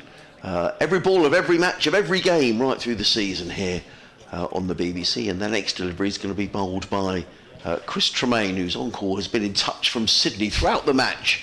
Uh, we were talking about the deluge out in that part of the world over the last couple of days, but thankfully seems to have relented. And uh, maybe Chris is pleased that he's he's here in England at the minute, here at Hove, where the sun is out, and Tremain makes his way up the hill. He's in and bowls, and Ollie Robinson, who's a tall man, ducks underneath a short delivery that didn't miss him by very much. And there is no run. You can contact us, sussexcricket at bbc.co.uk. You can tweet us at oldmanrad, R-A-D-D, or at BBC uh, Sussex Sport. And the objective here, unquestionably, Bruce, get these five batting bonus points. Get the five batting points, get the lead up to maybe you know 100, 120 if they can, and then um, have a dart at Northants this afternoon. Tremain is on his way. The field is widely spread. I'll give you that in a moment. Tremain is in bowls to Robinson, who plays it on the straight back down the track. Tremain feels off his own bowling. In there is no run. We know Ollie Robinson could bat. I mean, he had 100 on his debut for Sussex, and I, you know, I would say that he doesn't make the amount of runs he should do, really, Ollie Robinson. No, he's a bit skittish. He is. I think is the word. Great description. yeah, great description.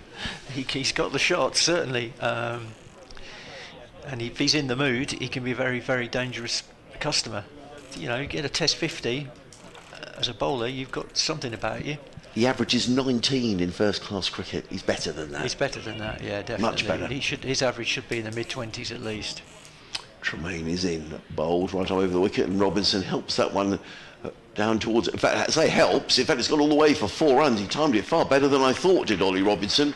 And they've all sped away backward of square on the leg side and picks up a boundary as if to illustrate the point. Robinson goes to eight, 432 for eight. That's a proper shot. You've got two fielders out there probably within 10 to 12 yards of each other, and he's dissected the pair of them. That was a really, really top shot by Ollie Robinson. He just rolled his wrists and uh, helped it on its way. Tremain's probably in his last over as well, I would say. He's, he's put in a good stint today. He's bowled for over an hour. Hard work up the hill, um, and he's got one wicket, so he's got some reward for his efforts, but uh, he looks to me like this might be his, um, his last over as well. Tall, strong Australian running in up the hill from the C end to bowl to Ollie Robinson. He's in and bowls, and Robinson ducks underneath a short delivery that goes through to uh, Lewis McManus, who doesn't take the ball cleanly. Just good to see Ollie Robinson out there, really, Bruce. And I thought when he bowled in this game, it, it, he seemed to be getting his rhythm more and more the more that he bowled. And he said that, and he needs to play cricket. He needs to play, and he needs to play next week at Leicester. Maybe then give him a rest for the Gloucester game. I think the idea is is, is for him to play five of the first seven Championship matches. Um, so yeah, there's no. I don't think there's any any point in him bowling and playing in this game and then not playing next week. I think you've, he's got to build the overs, get overs under his belt, and um, and just build up his, his fitness and his skill levels. Tremain is in, bowls, and Robinson steps to the leg side and clumps the ball to short extra cover, and there is no run. That was a slightly ungainly shot from Ollie Robinson. There is no run. But, but also, Bruce, he'll want to play because he's only got a year on this central contract. Um, and there are people snapping at his heels. We were saying earlier in the match, you know, Matty Potts, Gus Atkinson, Gus Atkinson, is that, um, Josh Tongue. Tongue, yeah. Now, all these guys are snapping at Robinson's heels, and if he doesn't take wickets or he doesn't bowl, that central contract is going to be in Well, he won't have it. Tremain in bowls. Ollie Robinson again steps away to the leg side and just eases that one down to um, a wideish third man and picks up a single. Does Ollie Robinson? He's going to pinch the strike. He goes to nine, 433 for eight. Carson on 51. Jayden Seales' is batting prowess. Do you know much about that? I don't know much about. I've not seen him bat. Let's look at his. Uh, see if we can find Jayden's numbers. Um, he averages 6.76 with the bat, so it doesn't sound as if he's great. Uh, he bowled very well, didn't he? He's in his rightful position in the order. It sounds like it. But I thought he bowled really well, and. I, I, think it's a good option for Sussex this season. Yeah, he did. He did bowl well, very skillfully. I thought. Um, again, I'm not sure how much experience of the Kookaburra ball he's got, but um, yeah, it was a good, a good first, uh, you know, good debut. I couldn't believe on when was it Friday or Saturday he was fielding in a short-sleeved He was. shirt. He was, yeah. Spoke to him after the first day, and uh, a, a very amiable fella he was. What, what, what do you make of this use of the Kookaburra ball, Bruce? Well, I think I think it's good to have some variety, uh, um, and, and and there's no point in doing it one week and then moving to the Duke. You've got to give it a couple of rounds of um, of, uh, of matches, and there'll be teams, obviously, because of all the bad weather we've had in this first round, who won't have picked up, won't have used it yet. So um, I think it's good to to. For it to be, you know, being used again next week, the players will have got a bit more used to it. Um, it's good for spinners, I think. They were talking about uh, Rob Keogh and um, James Coles were talking about how nice it feels in the hand. In comes Michael Finan running in down the hill, bowls to Robinson, who hammers that one away, uh, straight down the ground, over the head of mid-off. Four, is it going to run away for four runs? I think it's just literally been pulled up inside the ropes. That's a very good bit of fielding, way down in the distance at the Cromwell Road end. But Ollie Robinson opening his shoulders, drilling the ball down the ground. He goes to 11 and Sussex to 435 for eight. Radd is looking at the radar, the rain radar. I think it's all going to push to the west of us. I think we might get away with it. We might get our full allocation in today. Uh, we had an email in from David McDonald. Hello, David. Lovely to hear from you over in East Preston, um, which is on the outskirts of Brighton. As in comes Finan bowls, and that's wide of the off stump, and it will be signalled as such. Finan looks disappointed. Ollie Robinson sort of glares at Michael Finan. Very much on the outskirts of Brighton, East Preston. It's probably on. It's nearer Chichester than it is to Brighton, but He just says, um, wanted to thank you for the commentary. I'm confined to base, having had a full knee replacement on Thursday, the result of 45 seasons of playing hockey. And I'm enjoying watching the match on my iPad, listening to the commentary, and hoping Sussex make their way to 450. Full knee replacement. well, I mean, I saw you doing your knee strengthening exercises, Adrian. You might be next on the list. He comes Finan bowls to Robinson, who clubs that one away on the offside and picks up a single. He goes to 12. Yeah, 439 for 6. That's too much football, too much cricket, Bruce. Well, you you, um, you you moved into the little booth next to us, and uh, I was sitting in the press room, and uh, I saw these sort of movements of art. I thought you were doing some yoga initially. Yeah, a bit of Pilates, Bruce. Pilates, well, yeah. you know, when you get to our, you know our veteran stage of life, I know. You have to uh, look after yourself. No play at all at Durham. Uh, Radage is pointing out, so that's Oh. the second game that's been abandoned without a ball bowled. Finan is on his way. Lovely sunshine here at home. Over the wicket bowls, and Carson eases that one down to third man. It's fielded by Emilio Gay, but Carson picks up another run. He goes to 52.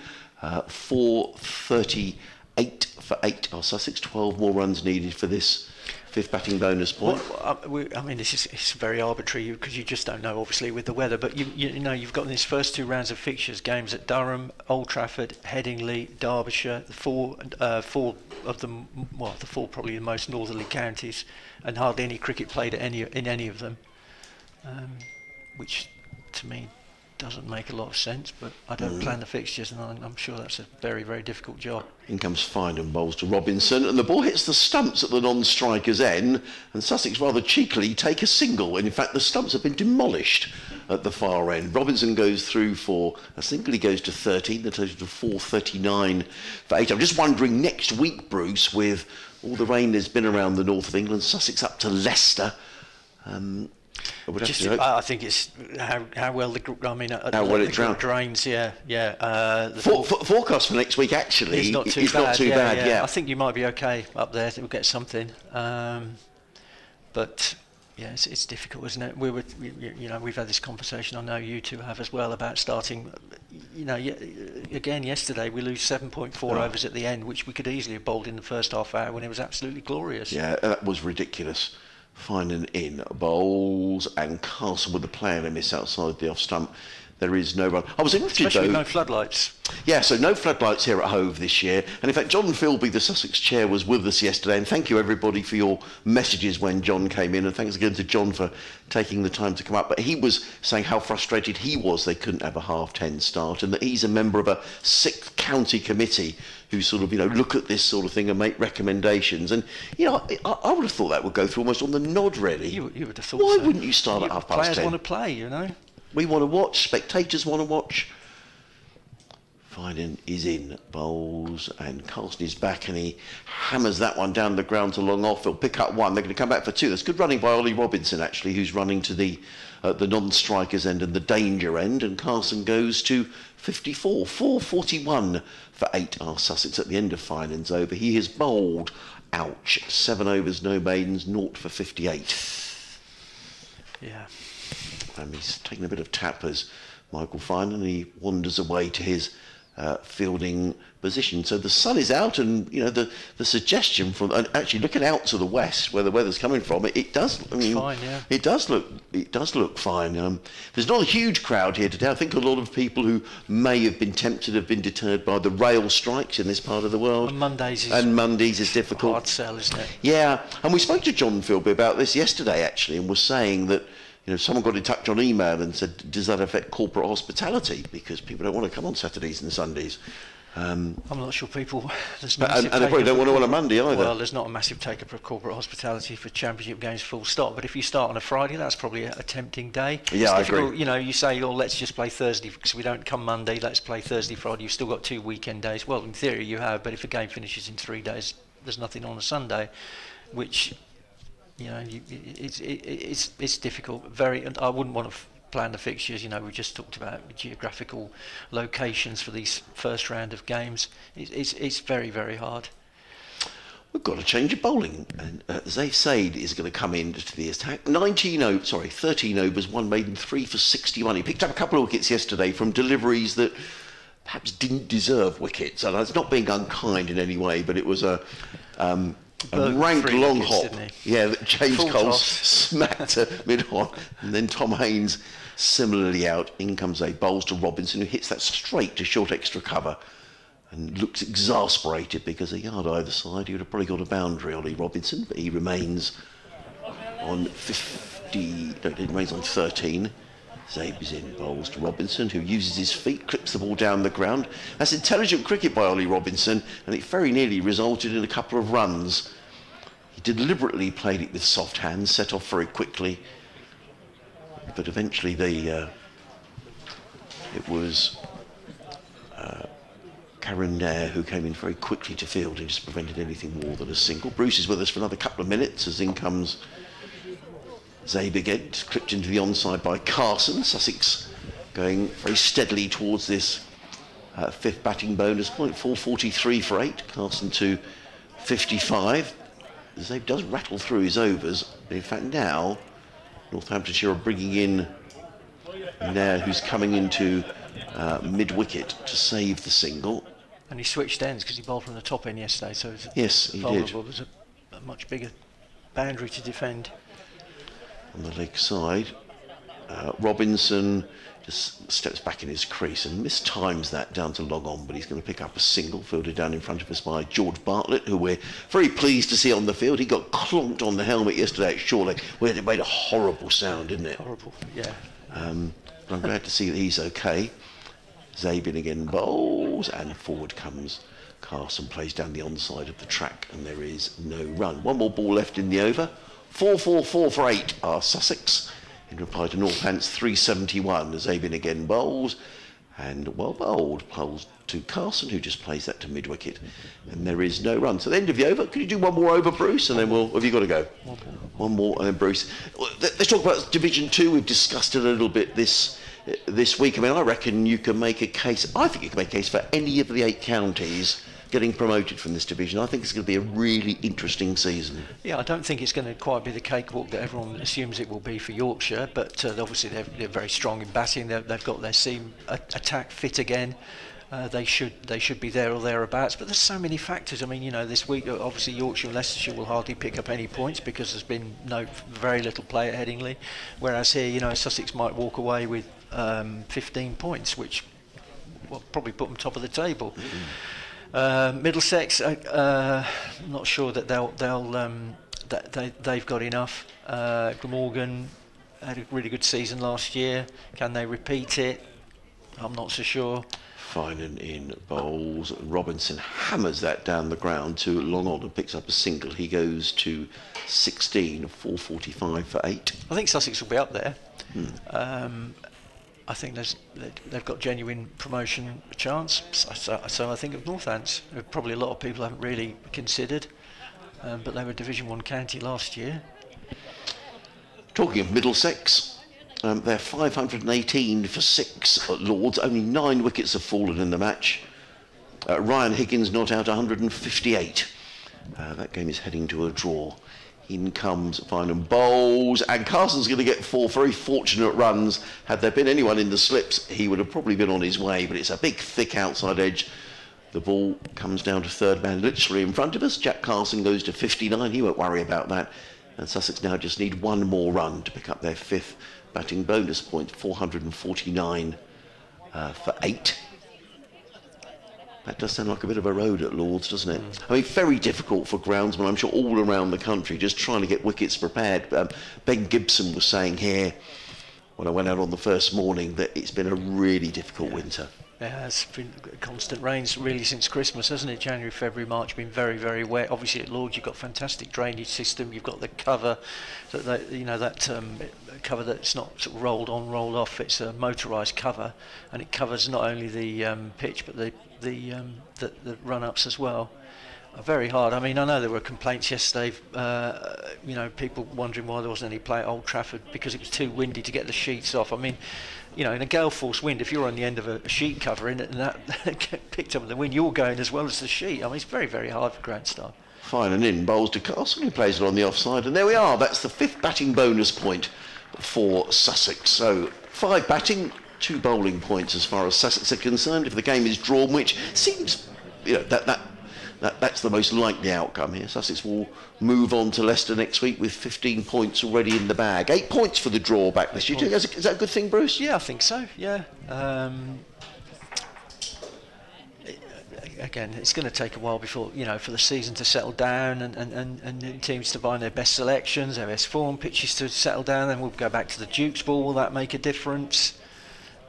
Finan in bowls to Robinson, who's sort of down almost on bended knee and plays that one down to deep backward point, picks up a single, he goes to 17 451 for eight.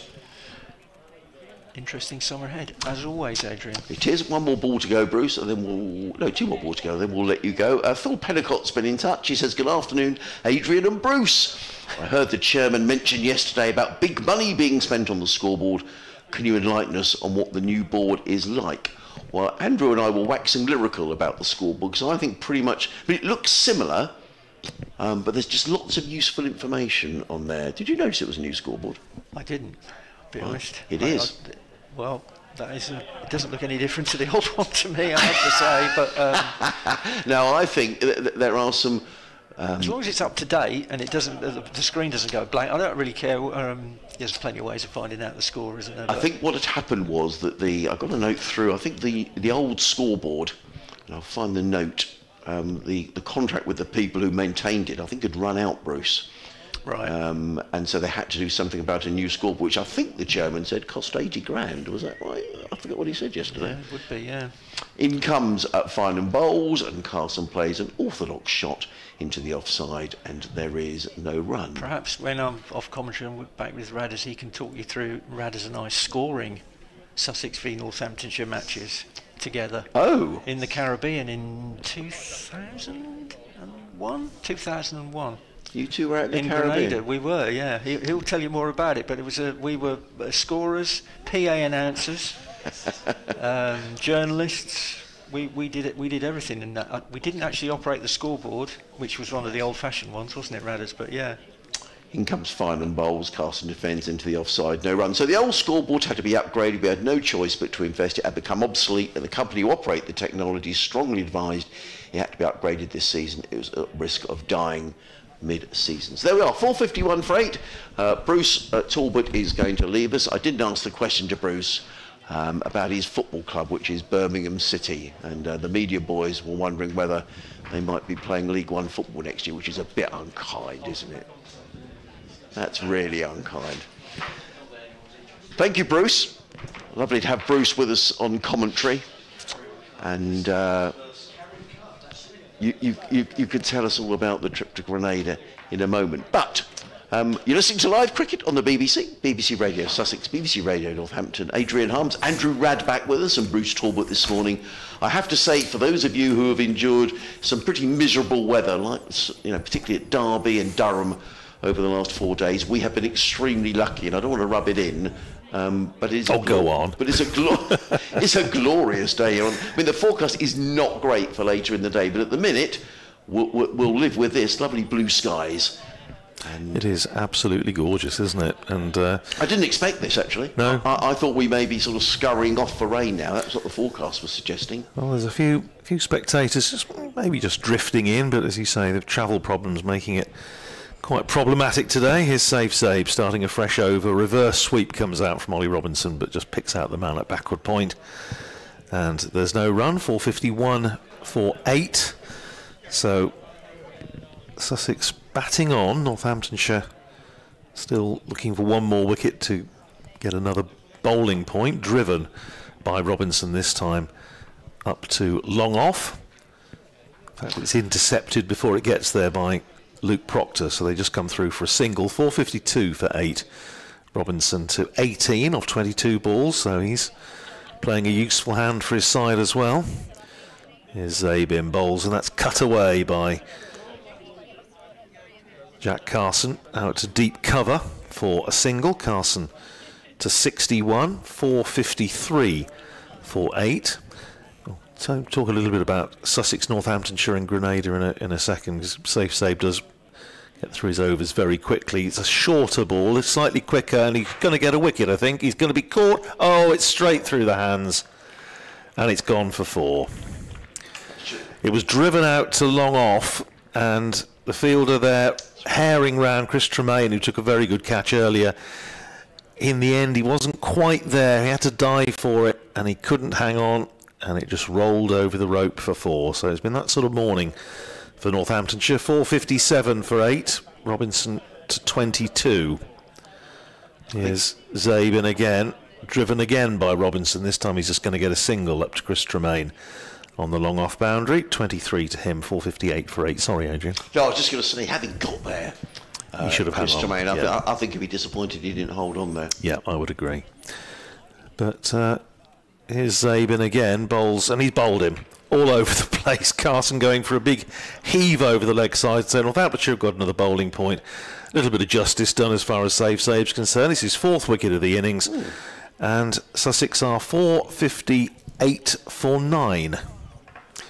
And Saif Zaib has got now 4 for 71 in 15 overs. That's the end of the over. I wondered if they might at this stage decide to pull out and give Northamptonshire a, potentially nasty little session before lunch, but um, no, Jayden Seales is going to come out and show us what he's got. Yeah.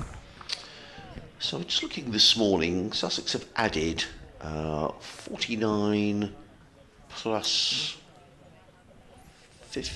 53. Is that right? They added 102 this I did morning. 107, 107 this runs this morning. Yeah, morning. which is so they've certainly stepped on the accelerator, largely due to Hudson Prentice, who made 73, and Jack Carson, as you're saying, 61 in just 55 uh, balls. So, you know, we very much look like we're heading for a draw here, but uh, you know, Sussex, if they get They're not out of. No, I said there's still there's still some cricket, and I know talking, you know, to Northamptonshire camp last night, they're just, you know, slightly, I think, worried, but they were just conscious of the fact that Yeah. they might have to bat facing a deficit if if Sussex have a good morning, which they have had pretty much. And you know, there's still a bit of work to do, especially if we, as I say, if we do get a full day's play, which. Well, if, if Bruce says it's it's going to going to get a full day's play, then I wouldn't uh, I wouldn't no, dream of arguing with uh, No, I with, agree. with Bruce. Uh, that was the end of the over. Yes, Northamptonshire and Sussex both found themselves in Grenada in 2001 pre-season. I was out there with Northamptonshire. Bruce was out there with Sussex, but they had no scorers, um, and they played a number of matches against teams from Grenada and so on, including this pre-season? including yes, including the Prime Minister's eleven. Keith Mitchell was Prime Minister of Grenada for a, a number of years. He, he had his team. He actually played himself, um, and so we finished up um, being roped in as scorers, and we were trying to sort of hype it up a little bit, and the drink out there being Carib beer. So we coined it the Carib Cup. This time it's personal. um, and Nick Cook finished up having to go out and umpire. So it was all done sort of in house, but it was good fun. It was a good trip. Here comes Michael Finan running him down the hill from the Cromwell Road in bowls to Ollie Robinson, who clubs that down the ground to deep mid wicket or sort of wideish mid on and picks up another single. He goes to 25, 460 for nine. I've been to Grenada, but not, I, I did go to the cricket ground, but there was no cricket on it, and it's pretty much on the on the front though. That, that's yes, it was. that's right. Yes, yes, it was. Oh no, I'd, I'd never been before. In fact, it's the only time I've been to the Caribbean. But it was uh, it was an enjoyable trip. Um, Alan Lamb was out there for for a, a little while, and uh, a good time was had. Some, some useful cricket as well. We actually managed to. I don't think we lost any cricket at all. We played five or six games. Finan is in and bowls, and Jayden Seales, who's a left-hander when he bats, a right-arm bowler, and he gets his first run in Sussex colours. So well done, Jayden. And takes the score to 460 for nine. One of my abiding memories of that trip was uh, Lesroy Weekes, who was on Northamptonshire staff then, former Yorkshire bowler, uh, from Montserrat, and there was a problem with his passport, um, and he was due to go on the tour. Um, Bob Carter was then um, director of cricket, had got him down to go on the, the trip, but but um, he couldn't go, unfortunately. Finan in, bowls to Robinson, who drives firmly down the ground, picks up a single to long off. The field is widely spread. In fact, there isn't anybody, or there isn't anyone for Robinson saving a single. 461 for nine. Um, and so they had to look for a, a replacement, and um, we finished off, finished up pulling off the M1 on in the uh, in the bus heading down to the airport um, at Luton to pick up one Monty Panesar, Oh, right, who then hadn't played first class cricket for Northamptonshire, and came on the tour, and the rest, as they say. Finan in the bowls to Seales, who hammers that one away. Nothing wrong with that from Jayden Seales. That's going to go for four runs. Drove right through the line of the ball. The ball disappears over mid-on, who had come up to save the single. And Seales goes to five. Sussex to 465 for nine. I'm getting the blame for costing the club 80 grand. Go on then. because last season I kept on saying I couldn't see the scoreboard clearly enough. And Gary Knight has been in touch. He says, Good afternoon, Adrian. On the subject of the new scoreboard, having been at the ground on Saturday, I don't actually think many changes have been made to the content on display. I think the main change is that the figures are easier to read when the sun shines directly on it. I understand a specific request for the improvement was made by Mr. A. Harms, so I hope he thinks the 80 grand was fully justified. In comes Finan Bowles, and Seales is looking to club that one away in the same direction. He doesn't make contact, the ball goes through to McManus, and there is no run. Thank you, Gary. Yeah, um, 80 grand, that's a lot of money for a scoreboard, isn't it? I mean, the numbers are more, I mean, a few times last year I thought I was going slightly mad and my eyesight was going because it was difficult to make out the numbers. But th- this year, um, they do seem to be clearer. I think it just proves the uh, the power that you uh, that you wield in these these parts, Adrian. It's uh, clearly whatever Harms says goes. Well, well, thank you, Sussex. In comes Finan and bowls and Seales places firmly into the offside. There is no run. It's worth mentioning the lead here at this stage, which is uh, approaching 100. What are we? 94. Yeah, 465 for nine at the end of the over from Michael Finan. Nine overs, no maidens, naught for 72. Hasn't been his match. Um, but in fairness to him, the Sussex have really looked to get after the bowling, really, since about tea time yesterday.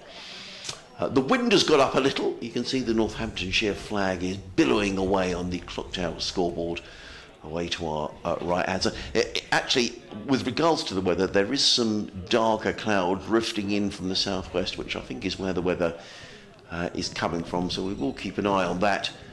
Um, but uh, I think we have been very lucky here, as you say, considering elsewhere has uh, been far less fortunate than us. Saif Zaib starting another over, looking for a, a five wicket haul. Reverse sweep for four by Ollie Robinson.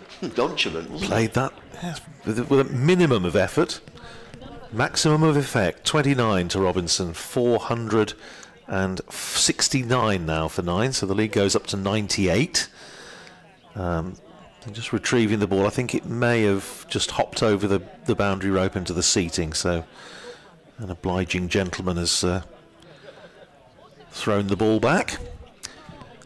Still a very defensive field, understandably, from Northamptonshire. Five men out.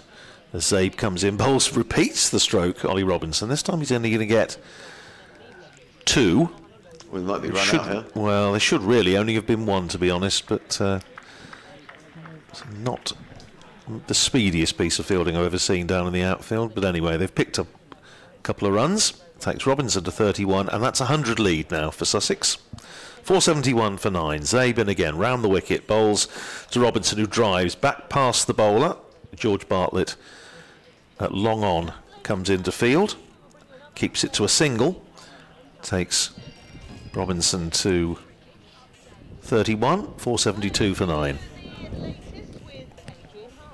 Yes, thank you, Sarah. It's been a good morning for Sussex and an entertaining one at that. They're 471 for nine, which means they lead by exactly 100 runs. Ollie Robinson is on 31, Jayden Seales is on five. Earlier, Jack Carson made 61 and Finn Hudson Prentice 73 as Sussex look to press home their advantage. It looks like we're heading for a draw in this game, but Sussex have certainly made it entertaining today as Jayden Seales hits a huge six over the pavilion, so he's getting in on the act as well. Sussex now 478 for nine. Meanwhile, down at Canterbury, uh, Kent have lost a couple of early wickets. Both Moyet and Compton are out. Kent 42 for two in their second innings, still trailing Somerset by 77. And I'm afraid no play so far today up at Old Trafford. Surrey 15 without loss if they do get underway. And in fact, I can report that it looks like Sussex have declared on 478 for nine. That's a lead of 107. And we'll get a resumption here and see how things go this afternoon. Yep, indeed, it is the declaration. 478 for nine. So Sussex have a lead of 107. My goodness, that was a big hit from Jayden Seales. That went a long way. It did, didn't it? So 478 for nine. They've declared in the hundredth over, and that is a very, very good morning for, or part of the morning so far for Sussex, who've added 127 runs this morning uh, for the loss of just the three wickets. Ollie Robinson finishing 32 not out off 29 balls with uh, three fours, and Jayden Seales, with the aid of that enormous blow over the pavilion, not out 11 from five balls. Sussex 478 for nine declared, and as I say, the declaration coming in the 100th over, 99.4 to be precise. For those who like to keep their scorecards up to date, there were 26 extras comprising two leg byes, six wides, and 18 no balls. So nine no balls bowled by Northamptonshire, which is not great. The principal culprit being Chris Tremain, who bowled five, two each for Sanderson and Finan. So the bowling figures Ben Sanderson, 22 overs, four maidens, two for 92. Michael Finan, nine overs, no maidens, naught for 72. Bit of a chastening start to his Northamptonshire career. Chris Tremain, 19 overs, one maiden, one for 88. Then the spinners, Rob Keogh, 26 overs, one maiden, two for 95. We didn't see Rob Keogh bowled this morning. Saif Zaib, 15 overs and four balls, one maiden, four for 84, his best championship figures for eight years. Luke Procter, six overs, one maiden, no wicket for 25. And last but not least, Justin Broad bowled a couple of overs last night, two overs for 20. So, 478 for nine declared. Sussex, they have a lead of 107. There are, I just want to work out how many overs left in the day, and of course the relevant information has now disappeared off the scoreboard. Which is irritating. Well, we have some uh, some adverts, but that's fine. Um, we'll work it out for you later. It would be around about 80 overs, probably 82 overs, something like that, in the day. But we'll confirm that obviously. The heavy roller is going up and down at the moment, and yeah, the clouds just filling in a little bit. I wouldn't say it's it's particularly threatening. The the light may be an issue later, as we've seen that on all the days play so far. I'll just quickly canter through, uh, and you'll have heard it obviously with Adrian doing his update there for uh, his listeners in this part of the world. But just to update you uh, with what's happening right across the county championship in Division One at Chester-le-Street, abandoned without a ball bowled. Durham against Hampshire. Did notice, incidentally, Adrian, that. Um, uh, Rob White, uh, old chum of ours from Northamptonshire. Uh, he's uh, he was up there for four days as one of the umpires, and uh, with nothing doing. So um, I'm sure how Rob would have amused himself anyway. Uh, Kent against Somerset at Canterbury, uh, as Adrian mentioned. Kent 42 for two. So. Still 77 behind, and Somerset will be thinking if they could get a full day in that that, that game's not uh, not dead and buried yet. And certainly where that is geographically east of here, I think that's Yeah. probably got most chance of keep, uh, Absolutely, uh, yeah. uh, of not being under by the weather. Uh, at Trent Bridge, this is interesting. We said this could be a really interesting last day. Um, Essex declared at 374 for nine. That left Nottinghamshire needing 335 to win, and they are 35 for three. Oh, that's interesting. Uh, Sam Cook has picked up two wickets. Jamie Porter's got the other. Hameed, Duckett, and Slater all out. Joe Clarke, who made 100 in the first innings, is unbeaten on 15, but there's a bit left in that one. Again, if they can get a full day. Uh, still no play today at Old Trafford between Lancashire and Surrey, or at Edgbaston between Warwickshire and Worcestershire. In Division 2, as we mentioned earlier, Derbyshire against Gloucestershire, abandoned without a ball bowled. Middlesex now 530 for 7 against Glamorgan at Lords. Ryan Higgins 161 not out. Uh, Middlesex, of course, will be Northamptonshire's opponents at Wantage Road starting on Friday, so they're still 90 runs behind. And uh, no play so far at Headingley today between Yorkshire and Leicestershire. Yorkshire still 72 for 2, replying to Leicestershire's 354 all out. So that's where we are across the country. Uh, lunch today will be back at normal time today, aren't we? At one o'clock, I think. Yes, so, we are on the last day. Yeah. So I think Northamptonshire are going to have about a quarter of an hour, so three, four overs maybe, unless.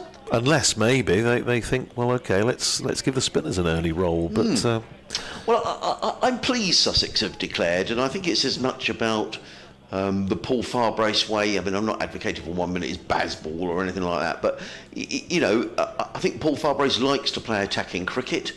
Um, the feeling in Division Two this year is if he can get promoted, that, that draws aren't going to be enough, and he's going to have to win some games. And I think, you know, Farbrace is probably thinking, well, the bowlers could do some overs in their legs. We, we don't over bowl them, but let's just see. There's an opportunity, and you know, it's very likely Northamptonshire will bat out here, and we'll we'll shake hands at five o'clock if we get that far. For a draw, but you never know with this no, game. absolutely you not. Never There's know. All, with- all things possible. Um, we've uh, just had a few more messages in this morning. One of which I, I, I ought to mention. Um, our friend William C at Fourth Slip um, has been on to me and saying how many catches have gone down now in the north in the, in the field for Northamptonshire. Painful memories of last season. Well, yes, I mean Northamptonshire dropped a, a ridiculous number of catches last year across all formats. It was one of the um, the, the big issues last season in, in red ball and white ball. I think they worked out that something like 50 catches had gone down even before the end of May across all, all competitions. So it wasn't good. Uh, yeah, few went down in this innings. One or two very hard ones. One or two, yeah, I've got four. yeah, rather less so. But um, anyway, disappointing. Uh, Finbar also has been on. Uh, Finbar Carroll, who's a great supporter of, uh, of cricket in and around uh, Northamptonshire, and, and he was said much the same thing. Really, thank you for comments about the commentary. Um, glad you're enjoying it. But uh, yes, he made the point that. Uh, Northamptonshire, especially the bowling without Jack White, he was saying, does look a, a little bit thin. I was saying when I was on with Bruce that Northamptonshire would dearly love to have Jack White back on the park. Obviously finished with 50 wickets last season, um, taking his 50th wicket with the last ball, the last wicket of the season, which was uh, in that Essex match when Northamptonshire won in three days up at Wantage Road. But he's not fit at the moment. I, the last I heard was that they were thinking it unlikely he would be fit for the Middlesex game, but um, fingers crossed. Hopefully, he might be. Ricardo Vasconcelos, of course, the opening batter, is another one who's on the injured list at the moment. So, uh, shin problem, I, I, gather. Oh dear. So, uh, yeah, we'll see what uh, happens later in the week. I mean, other than that, in terms of seam bowling, Northamptonshire haven't got too many other uh, things really to uh, any other options uh, unless they look at one or two of the very young bowlers on the staff, the likes of uh, Rafi Weatherall and uh, George Gowler. Gather George Weldon's not, sadly, not fit at the moment. Um, so there's not too many other options, which are presumably is why they've gone for, for Michael Finan at this stage. But um, yeah, we'll see what happens later in the week because Northamptonshire at home to Middlesex, and uh, you've got the delights of Grace Road. We have looking forward to looking forward to the lunches. Well, uh, um, lunch in the meat. Yes. Um, Kaz Wadley has been in touch, and she says, "I'm in the so legal area to your right with my husband Jay and friend Ian. Jay and I have become members this year, and really looking forward to a wonderful summer of cricket. Fingers crossed. Would it be possible for Ian and I to wander up and say hello? Well, if you want, if you're listening." Kaz, and you want to wander up uh, when the players go off for lunch at one o'clock, I'm, I'm very happy to uh, say hello. So if you're listening and you'd like to do that, then um, yes, very be delighted to, to say hello. Um, so, um, and I'm sorry I didn't read your email out earlier. I've only just got round to reading it. So thank you for getting in touch. The Sussex lads are coming out onto the field.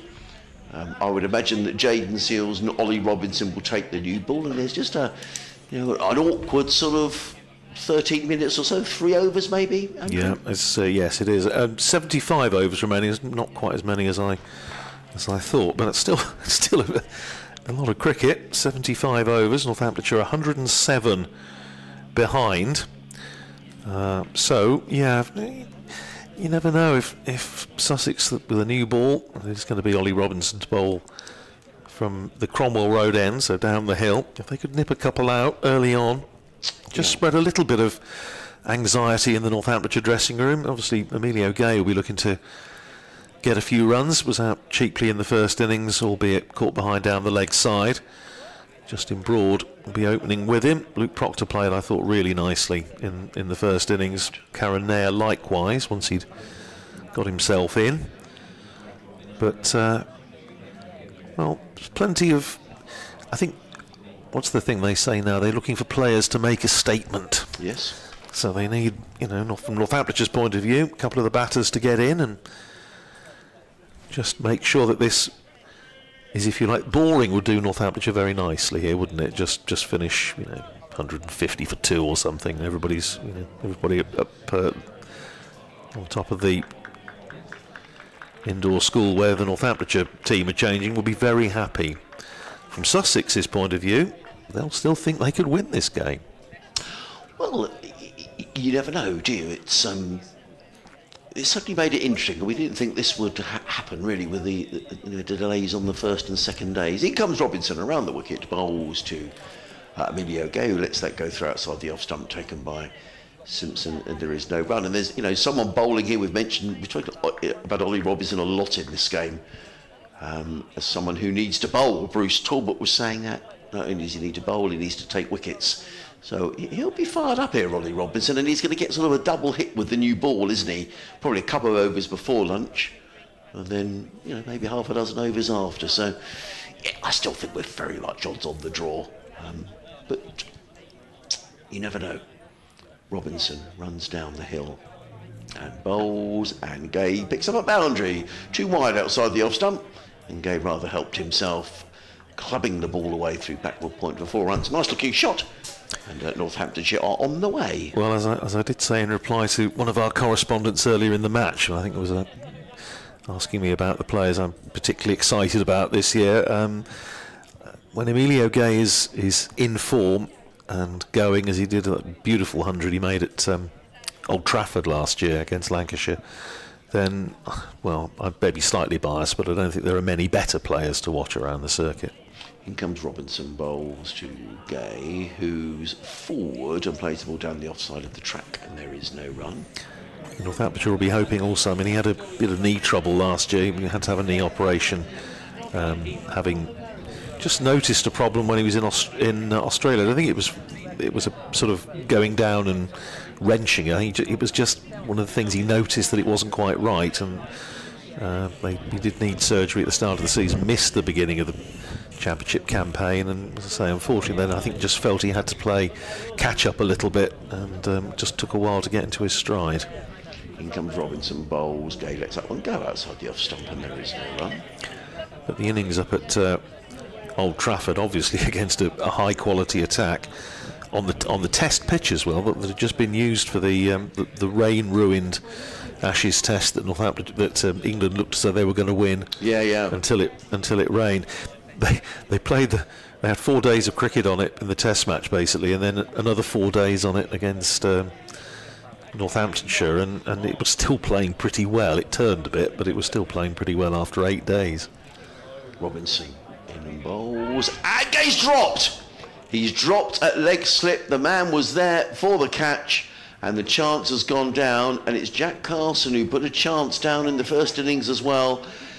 Well, it, it, was difficult, it was low to his left, but he got his hands to it, and I think he'll be very disappointed he didn't cling on. Well, and particularly because they just put the man there yeah. for that purpose, yeah. and they saw the way Emilio Gay got out in the first innings, caught behind down the leg side, just going across a little bit and looking to glance the ball. He did exactly the same then, and Carson diving to his left couldn't hang on.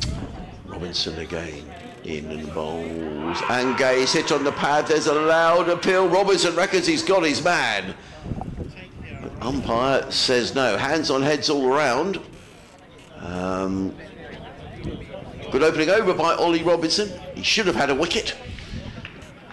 And just been one or two little butterflies in the Northants dressing room. But, uh, but Emilio Gay has survived Northamptonshire four without loss. Very testing start. I'm just looking at that. It was round the wicket. Yeah, hit him, I should think, around about middle and leg. Possibly the umpire just thinking it may have may have been sliding down given the angle, but certainly worth a shout. Was, uh, We've had an LBW in the match so far. Uh, well, Justin Broad uh, was our Good LBW, spot. wasn't he? Yeah, that's the Um, only one, I think. And Clark. Oh, and Clark was so we've LBW too. Yeah, sorry. To So- Keogh, so, so- so we've had two. out We haven't had many. Uh, his Seales, Jayden Seales, is going to proceed to uh, begin proceedings from this Sea end. Flushed with success with the bat earlier on this morning, huge six in his brief innings, and he's bowling to Broad. First ball finds Broad just pushing forward out into the onside, and there's no run. But uh, as you would expect, given the match situation, an attacking field in there, four slips in, and Sussex really looking to make inroads here. They could nip. They'd dearly love to get a wicket before lunch. They've just got about six, seven minutes by by my watch. The uh, clock on the pavilion showing 12.54, so six minutes to go. Here's Seales in, bowls to Broad outside the off stump. Broad leaves well alone, goes through to John Simpson. You can see, and probably here on the effects mic as well, the, the breeze is just ruffling the, the players' trousers. Very noticeable out there at the moment, and the flags over on the clock tower scoreboard to our right are fluttering in the breeze. But hopefully, if there's a bit of breeze, it might keep the rain away. There's nothing imminent as far as I can see on the uh, on the radar that I was just having a little look at, so I think we're okay certainly for a bit. Here's Seales in bowls to Broad, who plays that solidly enough into the ground. It bounces up for Carson to field at fourth slip, and there's no run. I'm going to say, considering what's been happening elsewhere around the country and some of the awful weather. I have to say, this morning I was um, sitting having my breakfast in, in my hotel, Adrian, and the bus stop. There's a bus stop directly outside the uh, the hotel. I think it's a coastliner bus that goes along the uh, the goes coast along the coast. I Yep. suppose, not, not surprisingly. Clues in the in the name. Edged and caught. James Coles. That was Coles at second slip and Justin Broad fending at that one. It was full. It was wasn't. I wouldn't say it was a drive. It was more a push away from his body. Took an outside edge. Fairly regulation chance to the slip cordon. It's been accepted. And having just said Sussex would dearly love a wicket before lunch, they've got one. Broad goes for naught, and Northamptonshire are four for one. Well, it's just what Sussex would have hoped for, having taken the, having declared. Uh, uh, um, whilst they'll be glad to have got that wicket, I mean they'll be ruining the fact that it could have been two um, before lunch. Emilio Gay leaning on his back, put down by Jack Carson. That went very quickly to James Coles, who's got a good pair of hands, and um, it always looked like it was going to be taken. So Justin Broad, who battled away uh, in the first innings for 27, the second time in the match that Jayden Seales has got him out. Yeah, and I think I said second slip. It was third slip, in fact, but it was it was well taken. But yeah, it was just a little bit of a, a tentative push from from Justin Broad. To be, to be fair, say this is his the first time he's opened the batting in a in a championship match, uh, and did well in the first innings, but has gone cheaply in the second. And now the captain. Luke Procter comes out to the middle. Again, played really well in the first innings for 92 which is his highest score as Northamptonshire's captain. Had a, an unbeaten 87 last year, but uh, still like looking for his first hundred as captain. Dearly love to to do it here, and they need Northamptonshire a, a Procter-esque innings here just to hang on in there, make sure that it doesn't get too nervy later in the day. Four for one. Northamptonshire still 103 behind. And there are still 73 overs left after the one in progress. Weather fine at the moment. Sunshine as Seales comes in, bowls the first ball to Procter. Outside the off stump to the left-hander who leaves it alone. There are four slips in place.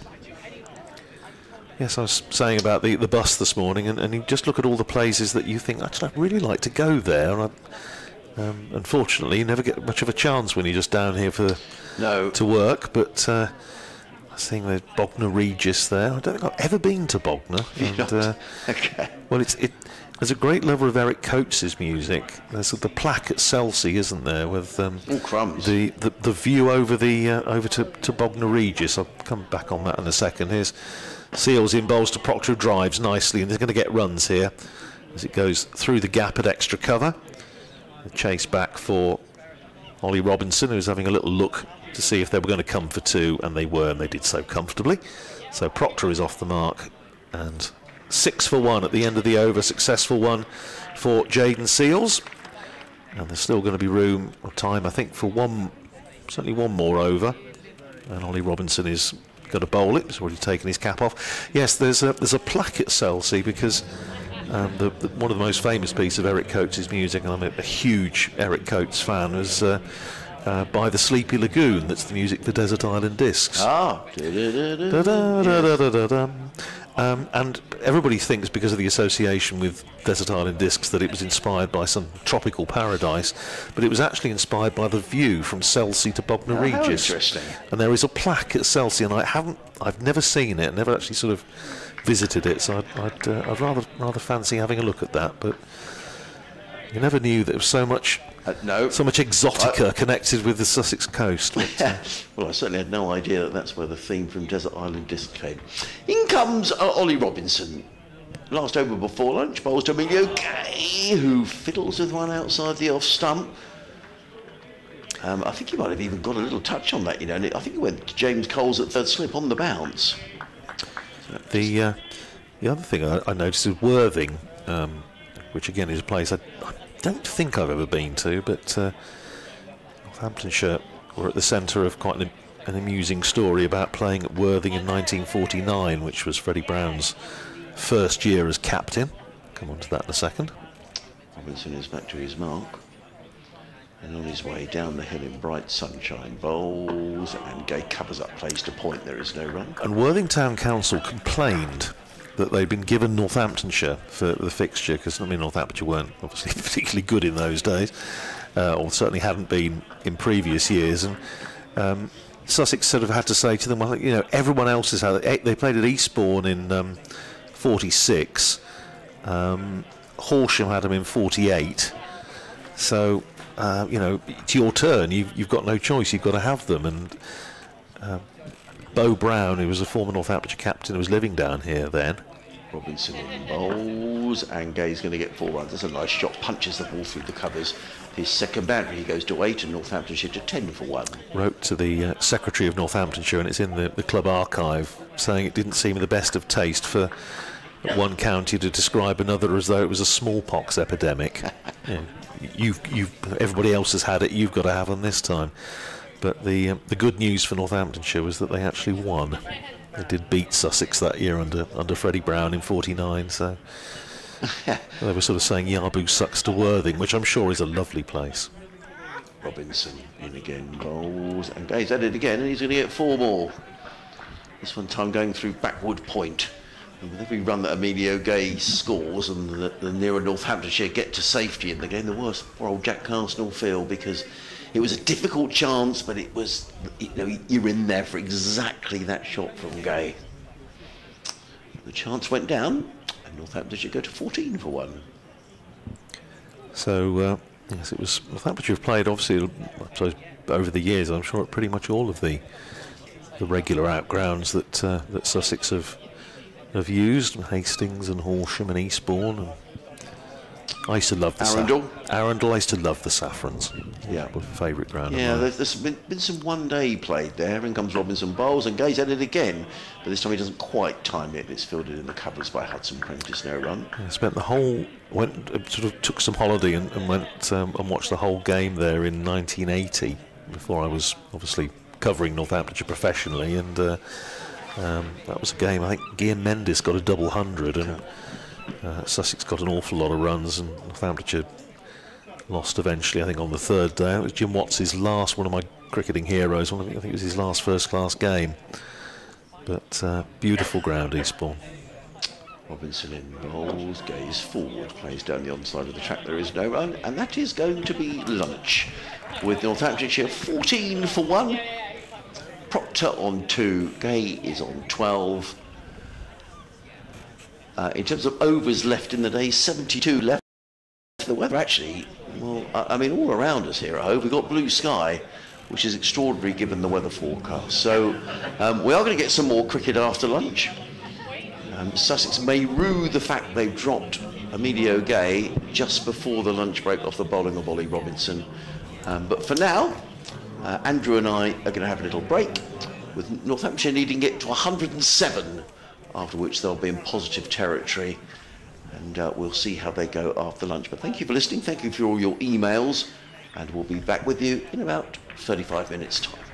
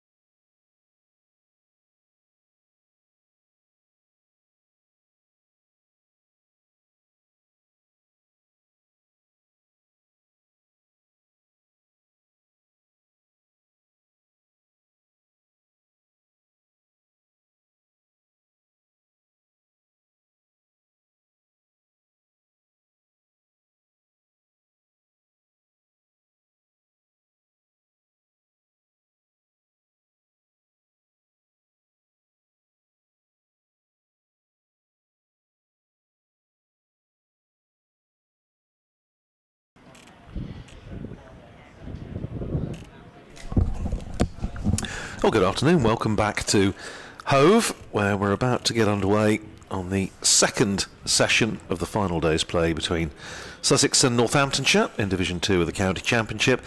Um, Northamptonshire resuming on 14 for 1 in their second innings, having lost the wicket of Justin Broad in that awkward little session before the break, caught at third slip off Jayden Seales for naught. Emilio Gay is on 12. Luke Procter is 2. So Northamptonshire still trail by 93 runs after Sussex declared earlier on 478 for 9.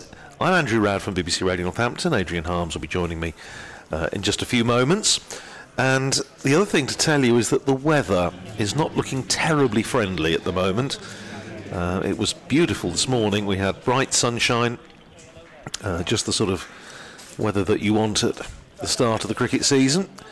Now I'm afraid it's rather a rather more familiar picture, which is cloudy and possibility of some rain coming in in the not too distant future. The ground staff already hovering close to the covers down in front of us here, but hopefully it may miss us. It may skirt round the downs, as uh, Bruce Talbot was saying a little bit earlier. So we'll carry on for uh, as long as we have cricket, of course. It's going to be Jayden Seales to continue. Decent figures so far. One over, one for two. He's going to be bowling from the Sea end, so up the hill to Luke Procter, the Northamptonshire captain, who's on two. Played really well in the first innings for 92. And just needs to steady the ship here after the early loss of Justin Broad. Three slips and a gully in place and a leg gully as Seales comes in. First ball of the afternoon, bowls down the leg side to Procter, who shapes to try and tickle it down to fine leg, doesn't make contact. And it's taken by John Simpson down the leg side. Breeze is getting up a little bit as well, which may or may not be good news. You can see the flags over to our right. On the clock tower scoreboard, the Northamptonshire Tudor Rose and the Sussex Martlets fluttering away on top of the scoreboard. The lights already starting to be seen visibly in the members pavilion over to our left as well. So it's getting just a little bit gloomy. Here's Seales in, bowls outside the off stump to Procter once again. Left alone, but as we've been saying throughout the morning, whatever the weather has in store for us today, we've at least seen some some good cricket over the last three and a bit days which is more than can be said at Durham and also at Derby. In both cases, matches those matches abandoned without a ball bowl. Durham against Hampshire in Division One, and Derbyshire against Gloucestershire in Division Two. We'll keep you up to date, of course, with what's happening in the other matches where there is some cricket. Also, please keep the messages coming in. Very good to hear from you as Seales comes in, bowls to Procter full length, and Procter is forward, pushing it out into the covers and there's no run. Um, afternoon to Phil Hayes, who I hope is still with us. We were talking earlier about the various exotic locations that we've had people listening in on the match so far. Cambodia, the Bahamas, Macau, Florida, all points west really. But um, Phil says it can't, can't match the exotic locations of those listeners, but he has enjoyed tuning in from Dane Jimmy's End in Northampton. So very good to have you with us wherever you are.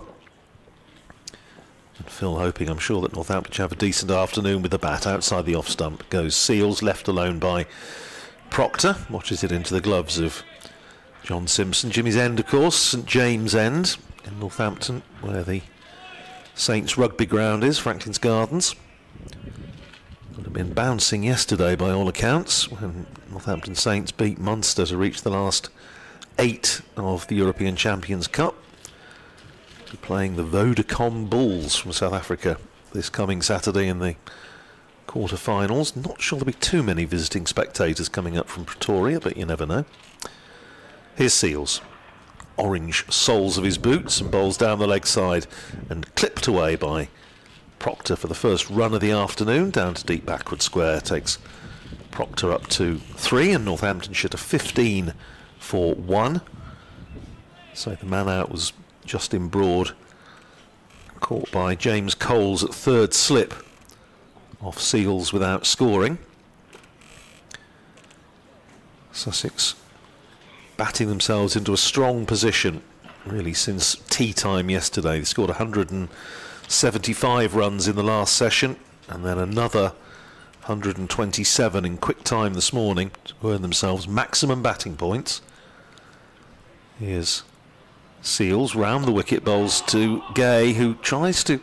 I think he was aiming for square leg, and it finished up going up to Robinson at mid on. They didn't quite time it, and that's the end of the over. 15 for one at the end of it. Gay is 12, Procter is 3, and Northamptonshire still trailing by 92 with 71 overs remaining in the day's play. So assuming we get through, get them all in. So there is still time for Sussex to win this match, but they would need to get amongst the wickets, and we would need, I think, pretty much a full day. And as we've been saying in the last sort of little bit before lunch and afterwards, the forecast is not particularly encouraging for this afternoon. It's not. Uh, Ollie Robinson is going to come in though down the hill from the Cromwell Road end to bowl to Luke Procter, and Procter plays a nice looking shot through the offside. It eludes the clutches of Jayden Seales, who dives at uh, mid wicket but can't stop the ball, and Ollie Carter does the rest of filling. The, the light has suddenly got not very good at all, as Andrew was saying. Um, I went out at lunchtime and the breeze has really picked up. It's actually quite chilly outside now. Um, I think Andrew was saying it was it's raining on the coast in Portsmouth. Um, I, I, don't think it's forecast to be a deluge, but no. um, I, I, think steadily getting worse throughout the afternoon. And the fact the ground staff are just perched down below us suggests that um, maybe rain is not far away. However, for the time being, it's Robinson down the hill bowls and Procter defends down the onside of the track, and there is no run. According to my um, radar that I've got on here, it's just about starting to spit in Littlehampton. Right, okay. Which isn't that far along the coast. If anything, at this stage, it looks as if the light might be the problem. Mm, I, that's true. I, I, can see a light on the, the our involuntary light, which is on the garage at the far end of the island. I can see it, and a couple of lights in the pavilion I can see are, are on as well. So the light is marginal at the moment. Three slips and a leg slip go down. Robinson bowls to Procter. He's stuck on the pad. That wasn't as. Um, what's the word I'm looking for, Andrew? Concerted. Yes. Appeal as the one before lunch mm. when Robinson thought he had gay LBW. Uh, that really was an appeal where everybody was up. That was kind of um, not as vociferous. Robinson is still getting in the groove here. He's, he's well, well in this match, and we keep on saying, he's going to have to bowl a lot of overs. It's not a bad shout, just having watched the replay. Robinson again. In and bowls, and Procter drives, not quite timing it too short, extra cover footed by Haines, and there is no run. Yes, the blue sky is uh, is now over to our Right, so that's what the northeast. Yeah, trying to work out me. Yeah, it is. Compass yeah. point. Yeah, that's yeah. where that's where the, the weather's going to. Yes. Rather than where, yes. where it's coming from is just starting to clouds started to go a bit lower, isn't it? Yes, over it, it is in the um, southwest. Yeah, we're sort of right on the edge of this sort of front, I think, which is coming in. Robinson, Procter up on his toes and just steers that into the covers. And there is no runs. Uh, yeah, the, the, the likelihood, I think we've you know, if, if, Sussex could get the full 70 overs in, you never know what might happen, but certainly the odds are very much on a draw here. But Sussex will take, um, if it does finish in a draw, we worked out 15 points. I think Northants will take 13. 13 yeah, yes. so that, that seems a decent, a decent haul, considering we lost a day's cricket pretty much. Um, over a combination of days one and two. I think both sides would have settled for that before a ball was bowled. Definitely. Robinson in bowls. Procter glances that one to mid wicket. There is no run footed there by Ollie Carter. And it is the end of Ollie Robinson's over. Three overs, no maidens, 0 for 14. Northamptonshire are 17 for 1. Gay is on 12. Procter is on 5. You're listening to live cricket on BBC Radio Sussex, BBC Radio Northampton. Um, thanks for all your messages throughout the match. Please carry on sending them in. Sussex Cricket at bbc.co.uk. It's great to have your uh, company uh, over the last few days. And, um, well, who knows? We- We spend an awful lot of time talking about the weather. Who knows, this might blow through and we might still have an interesting afternoon.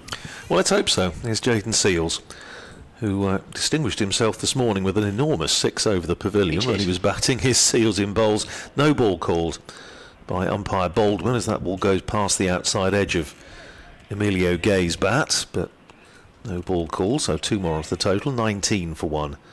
Northamptonshire now, first extras of the innings. The ground staff certainly alert to the possibility. They, they're down here now and um, just getting ready. Uh, Dave Allen says, who's our sort of Hampshire correspondent. Hello, Dave. He says, I'm afraid that if my observation about the direction of travel of the weather two days ago was correct, it has started raining in Portsmouth. Hope it misses you. Oh, let's hope so. Here's Seales in again. Bowls to Gay, who's nicely in behind that. Plays it up to mid on, and there's no run. Yes, I.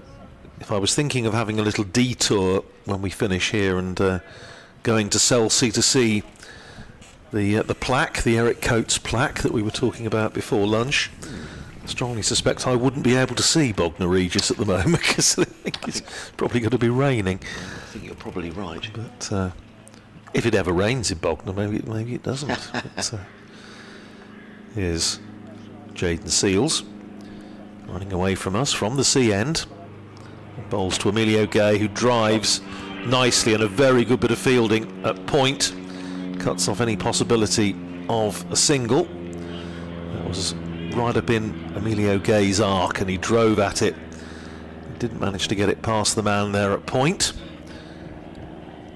So a dot ball goes in the book. 19 for one it is. Aeroplane flies overhead, which I must admit I didn't see. Which oh, there it is, over to our left, heading out towards the west. Here's Seales. Bowls to Emilio Gay, tall figure, left-hander outside the off stump, and Gay lets it go through. I was looking this morning at um, when Sussex were absolutely powering on with um, Finn Hudson Prentice and Jack Carson. I was looking at um, highest Sussex totals against Northamptonshire on this ground. Um, and uh, I realised at once that they had quite a long way to go because Sussex record against Northamptonshire at Hove 670 for nine. Way back in 1921, Ted Bowley made a double hundred, Maurice Tate made a double hundred. Here's Seales in, bowls to Gay, plays that out into the covers, and there's no run. And um, James Coles fielding there, and yes, it's um, it wasn't a very close game. Sussex made 563 for 8 on the first day. Uh, went on and got 670 for 9. Bowled Northamptonshire out twice, despite uh, Bob Haywood carrying his bat for 131 out of 251. And uh, following on all out for 128. Wow. Here's Seales, and again, ball short. Quick ball. That was a quick ball. I like Seales. He's yes. He, I think Sussex have done a good bit of business there. He does. He really does look the Looks the part, look the doesn't he? part, doesn't he? Yeah. And Gay just twitching his head out of the way, but that was a quick delivery. Yes, Sussex, Sussex won that match by an innings and 291 runs. Around about lunchtime on day three. So That's um, a comprehensive win, isn't well, it? Well, it is. So, as I always say, there's always there's always something worse that could happen. Here's Seales in again, bowls to Gay on his hip, and he turns that out through square leg for four. Times that beautifully. He did. And that is, I say about Emilio Gay, he is so easy on the eye when he's playing well. And he just leant on that, timed it beautifully away, really thro- rather through mid wicket than square leg. And it raced to the boundary in front of the pavilion. Nice way for him to end the over. 23 for 1. 16 to Gay, 5 to Procter. A couple of emails have come in on Sussex Cricket at bbc.co.uk. Joe has been in touch. Joe Maskell. Hello, Joe. He says, great to have cricket back on the stream, making the working day that little easier. He says, as for rain, my non-expertise is saying a 15 minutes pour, then clear until 5.30. He says a Sussex wind, no doubts. Actually, it's got a little lighter, Joe, to be honest. It has. Yes, it has. Um, and the cloud, which was pretty forbidding, it's just got a little lighter away to the southwest as Robinson is in, bowls to Procter, who defends. Back to Robinson, there is no run. And Jonathan, who got in touch yesterday, um, and he's going to have a personal tour of the museum with uh, John Filby. Uh, they've arranged their tour. And he says, when will we be getting the new CEO in, or have I missed it? No, I haven't spoken to the new CEO yet. Um, but I'm um, we'll get that sorted out. So we'll get the new CEO on the mic, hopefully in the in the next home game, so people can find a little bit up uh, about him. Here comes Robinson. Four slips go down. He's in and bowls, and Procter, uh, or rather feeling missed out there. Nick was down the leg side, and he rehearses the shot. Take by Simpson, moving smartly to his right, and there is no run. At Canterbury, Kent 74 for 3 in their second innings against Somerset, so they're still 45 runs behind. Yes. And at Trent Bridge, uh, Nottinghamshire needing 335 to win against Essex, a 50 for 5. Wow. So we could have a result in Division 1. good side, Essex. You know, con- consistently a good side. Robinson. Bowls, Potter lets that go outside the off stump, taken by Simpson. There is no run. Danny Lamb is going through a. Oh, he's, well, that's nice. Danny Lamb has run across the outfield to sign a young lad's shirt, Brilliant. Good lad. which is uh, very nice to see. Um, nice to welcome Ian and Kaz to the uh, commentary box um, over the lunch break. Uh, huddled up, I think, against the cold down there on the boundary edge. There was a little wave. Um,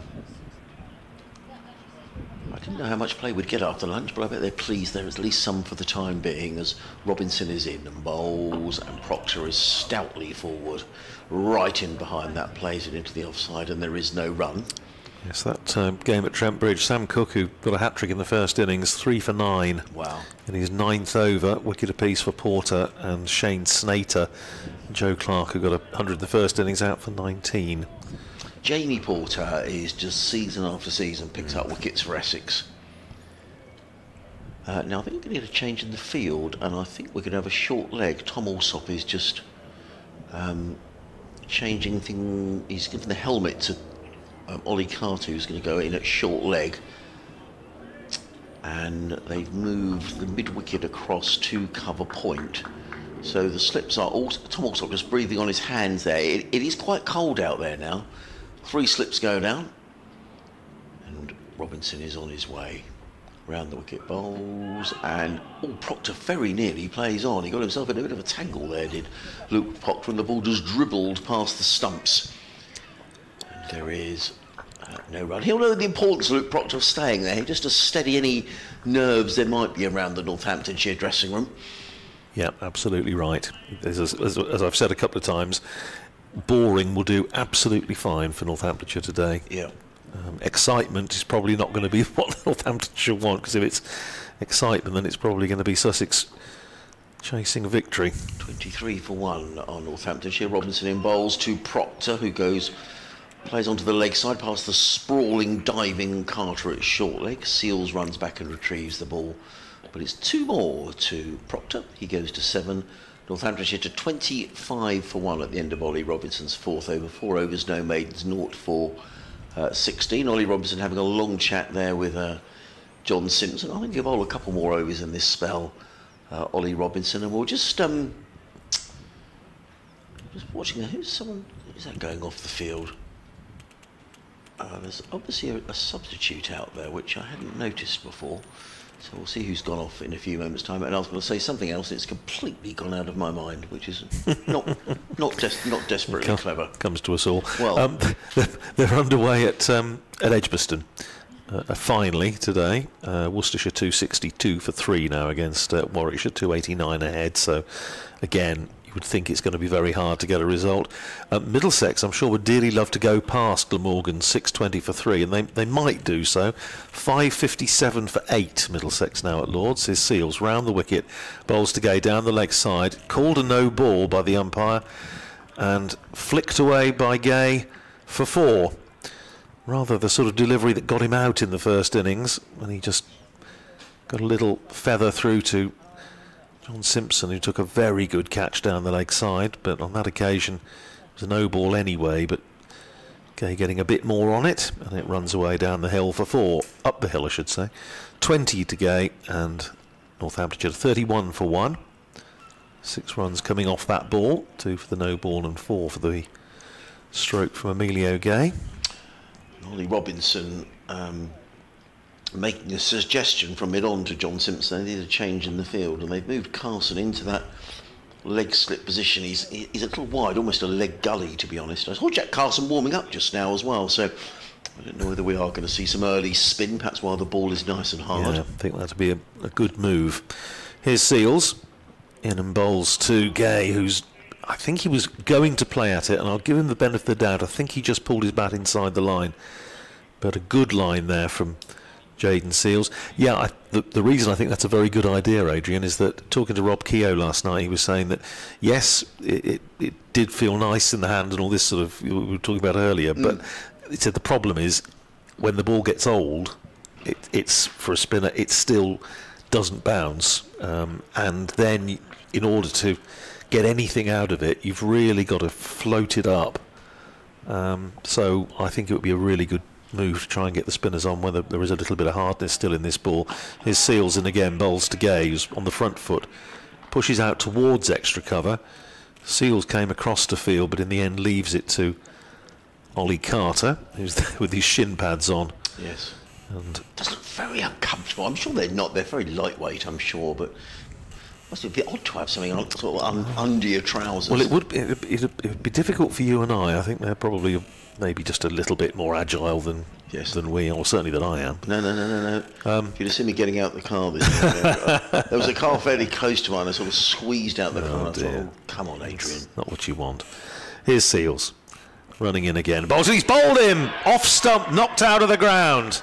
Seales strikes. Emilio Gay trying to drive. Whether he may have got a little inside edge on that, I'm not sure. But Stump's gone for a walk.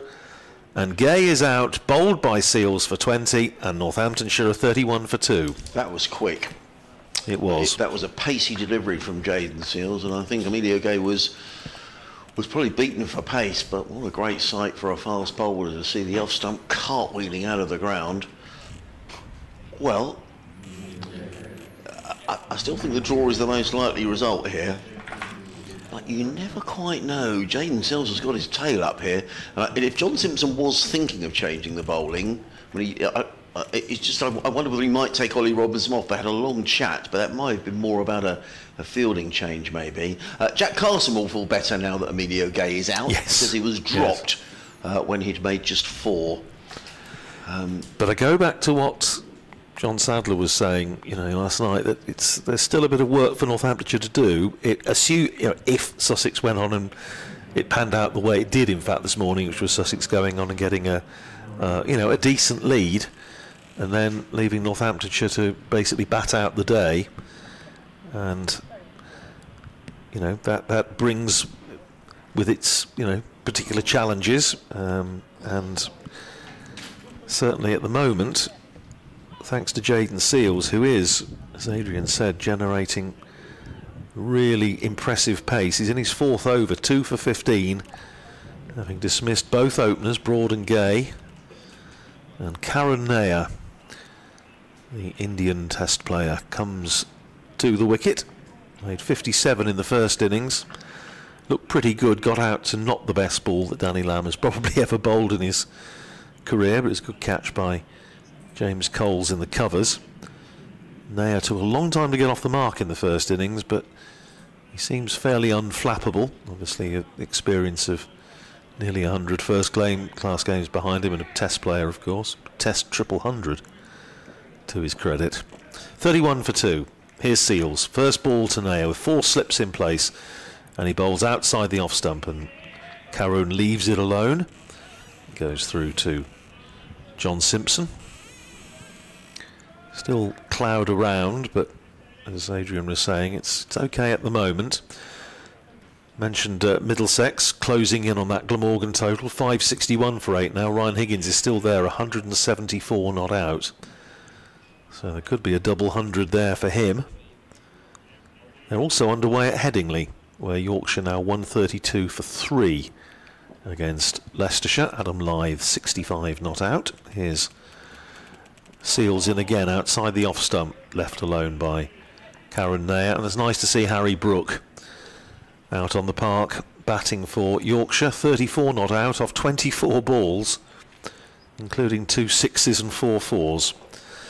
So he's getting a wee bit of a move on. Hmm, that's a, I, I was thinking actually, I mean, Middlesex is massive score, but it's coming 185 overs. That must be a tough watch, that match over four. I mean, they, Yes. they played, well, pretty much through the whole four days, but that's that's three and over for 185 overs. That's Not, Notts have lost another wicket as well, which I'll tell you about in a second. Here's Seales in, bowls to Karun, who just comes onto the front foot and pushes it out to the man sweeping on the cover boundary, and he's off the mark with a single, rather quicker than he was in the first innings. Kept the bowling as well. End of the over, and applause for Jayden Seales. Four overs, two for 16, and Northamptonshire, with eight overs gone in the innings, are 32 for two. Yeah, 50, sorry, I was going to mention that was like 57 for 6 now Nottinghamshire. And was going to see who's got the wicket because Cook had got uh, 3 Porter, Jamie Porter has bowled There you go. Jack Haynes is making his Nottinghamshire debut. Have made the move from Worcestershire. He's gone for 7 LBW 57 for 6 Notts. Uh, further inspection at 2.15 at Old Trafford, the game between Lancashire and Surrey, but that game is uh, is destined for a draw. Four slips in place. Ollie Robinson is going to carry on bowling. There was a conversation between him and John Simpson. I did see Jack Carson warming up, but maybe that wicket Took has just convinced Simpson to carry on with Ollie Robinson, who bowls to Karun Nair. Now, do you, do you, do you call him Karun in Karoon. commentary? Yes, In uh, I, I did. I did um, check this last season, and uh, it is uh, Karoon. Right. Um, who plays it onto the leg side? There is no run. John Simpson is just discussing there with the slip cord and maybe another change in the field. But currently there are four slips who look a little chilly. Tom Alsop hands in pockets at first slips. Robinson comes running in down the hill to bowl to Karun. He's in and bowls and lets that one go. That wasn't that far away. You've got to say good judgment by Karun who let that one pass through to John Simpson and there is no run.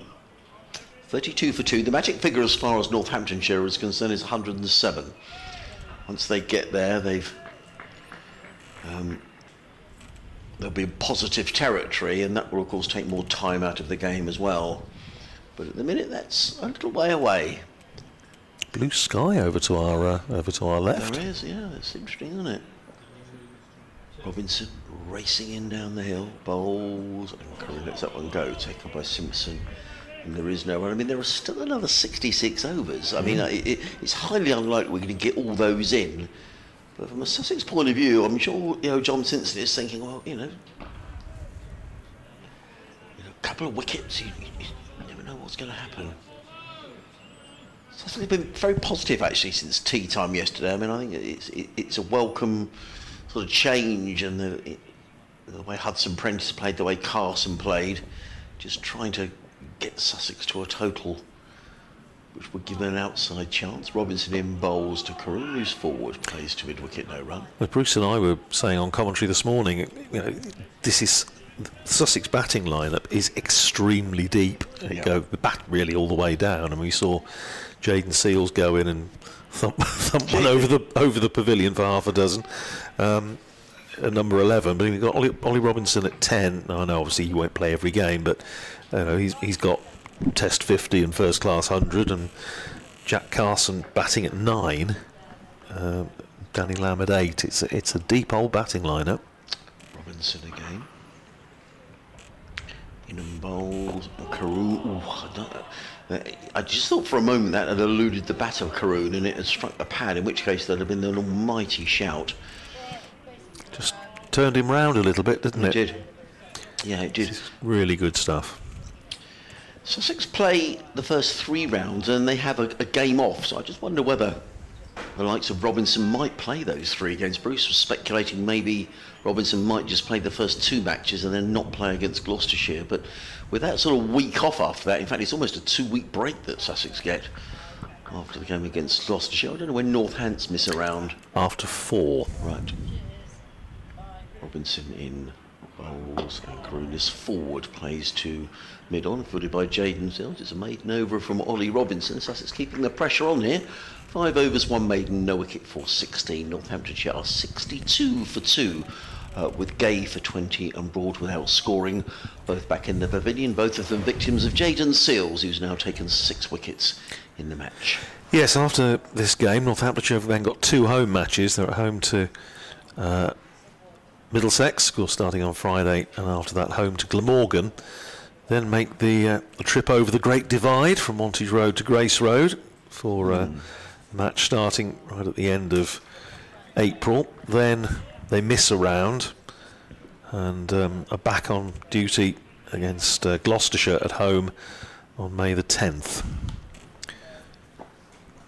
So here's Jayden Seales, two wickets already under his belt, bowls to the left-handed Procter, who's solidly forward, pushing it out into the offside, and there's no run.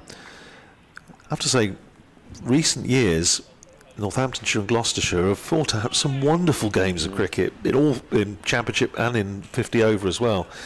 Um, it seems whenever Ed Seaborn and I are on together, it's almost guaranteed to be a close finish or one that goes, you know, right to the distance. So um, yeah, did, did I hope that's the case. Yeah, was I listening to you guys down at Cheltenham yes. a couple of years ago? Yes. Yeah.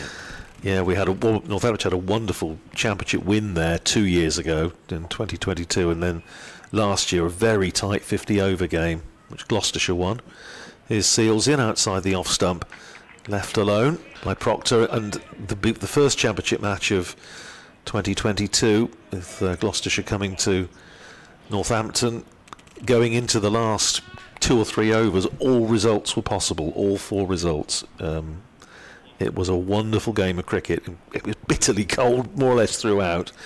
But James Bracey made a super hundred for Gloucestershire. Rob Keogh responded with an equally good one for Northamptonshire. And then Ryan Higgins, playing the way Ryan Higgins does when Gloucestershire were in a lot of trouble, gave them a, a good chance of victory. Here's Seales in again, and oh my goodness, how did that miss the stumps? That was quick. It was full, it was quick. Procter went to drive, missed, and I strongly suspect it didn't miss the off stump by very much. This is top class fast bowling from Jayden Seales. It is. Who, well, John Filby was singing his praises yesterday when he was up with us in the box and saying they th thought they got a good one. Well, I think he probably is absolutely right. Oh my goodness, I've just seen that on the replay. That shaved the off stump. Here's Seales. Running in again, away from us bowls to Procter. This time drives handsomely. Well, that's a good response from Luke Procter. It's running up towards the boundary. It's a long chase for Ollie Carter, but he's not going to cut it off. And it crosses the boundary rope just to our right. So good, re good reply from yes. Luke Procter. 11 to him, 36 for two. Good tussle this. And one thing you say about Luke Procter is he very rarely gives his wicket away. You usually have to earn it. Yeah. And say play well in the first innings and got a chance to set out his stall and make another substantial contribution here. 36 for 2, Northamptonshire still 71 behind. And weather at the moment is set fair. It's quite a lot of blue sky around, which is very good to see. Here's Seales in bowls. Again, full. He's, it's lovely to see him pitching it up as well. And yeah, it is. Just relying on, on pace, really. I think, I think you're right. I think that's what did for Emilio Gay. and Procter on this occasion just driving it back to the bowler. I suspect once there is a change in bowling, I, I think Simpson will probably turn to the spinners um, just to see if there is anything out there for them. You're right about the, the, the weather. I mean, it's a lot lighter than it was, and there's a lot more blue sky around. So maybe Bruce was right after all. We shouldn't doubt Bruce, the meteorologist, should we? Bruce Talbot, who was with us earlier. The weather sage. Knows them sage in many respects is. Se- Seales outside the off stump. His radar just um, lost it a little bit there, and it was very wide outside the off stump, and Procter able to leave with impunity. End of the over, 36 for two. Procter is 11, and Carolina is one. We didn't have to worry about this, you see, when Bruce and I were uh, were sharing scoring PA and every other duty you can imagine in Grenada because I think we had I think it rained for about 30 seconds on that trip if I remember. Literally it, it, we had a little sprinkle one morning that just left everything glistening and beautiful and then it stopped. I think it was we were there for the best part of two weeks and I think it rained for 30 seconds. Oh, that sounds like tough work over in Grenada. Oh, lovely. Um, Johnson just went and had a word with Ollie Robinson. I mean, he's done that on a couple of occasions. Maybe it's a field placing, maybe it's, you know, maybe it's your last one, Ollie. Never, never, never quite sure. Um, but three slips go down, and Robinson is on his way, racing in and bowls to Karunu. Lets that one go. He's Robinson and Seales look a, a, a pretty potent opening partnership. they do don't they Um, but will they have enough time? And indeed, Luke Procter, as you say, he's not going to give his wicket away. And Karun Nair's a fine player. Jayden Seales is rehearsing his action at mid-on. It looks pretty cold out there, you know. Hudson Prentice has got his hands in his pockets at backward point. And Robinson is on his way. Bowls, and that's wide of the off stump, taken by Simpson. Harun having absolutely nothing to do with that at all. And a dot goes into the scorers. Um, score. I don't know whether they. I don't know whether they still have sort of manual score score books. I think they always used to be the case that you'd have one doing the computer um, and one doing a paper. So sort of back copy in case the system goes down, which Yeah. things do occasionally. Whether that's still the case, I'm, I'm not absolutely sure, but I suspect it is. I have to ask Graham Irwin, the Sussex scorer, when I see him. In comes Robinson bowls. Harun lets that one go, and bat gloves high out of the way through to Simpson, no run. Yeah, Terry Owen, the Northamptonshire scorer, popped up to the box this morning and just came to say hello and uh, Hmm. see where we were located and what the view was like, and so, you know, which is well, he couldn't really be much better than we are here. It's a magnificent view, this great huge picture window that we've got, Yes, and we're, uh, we're very lucky. yeah. But I have to say, we, we always miss, and will miss for a while, of course, uh, dear Tony Kingston, who was our scorer for many years, who we sadly lost last year.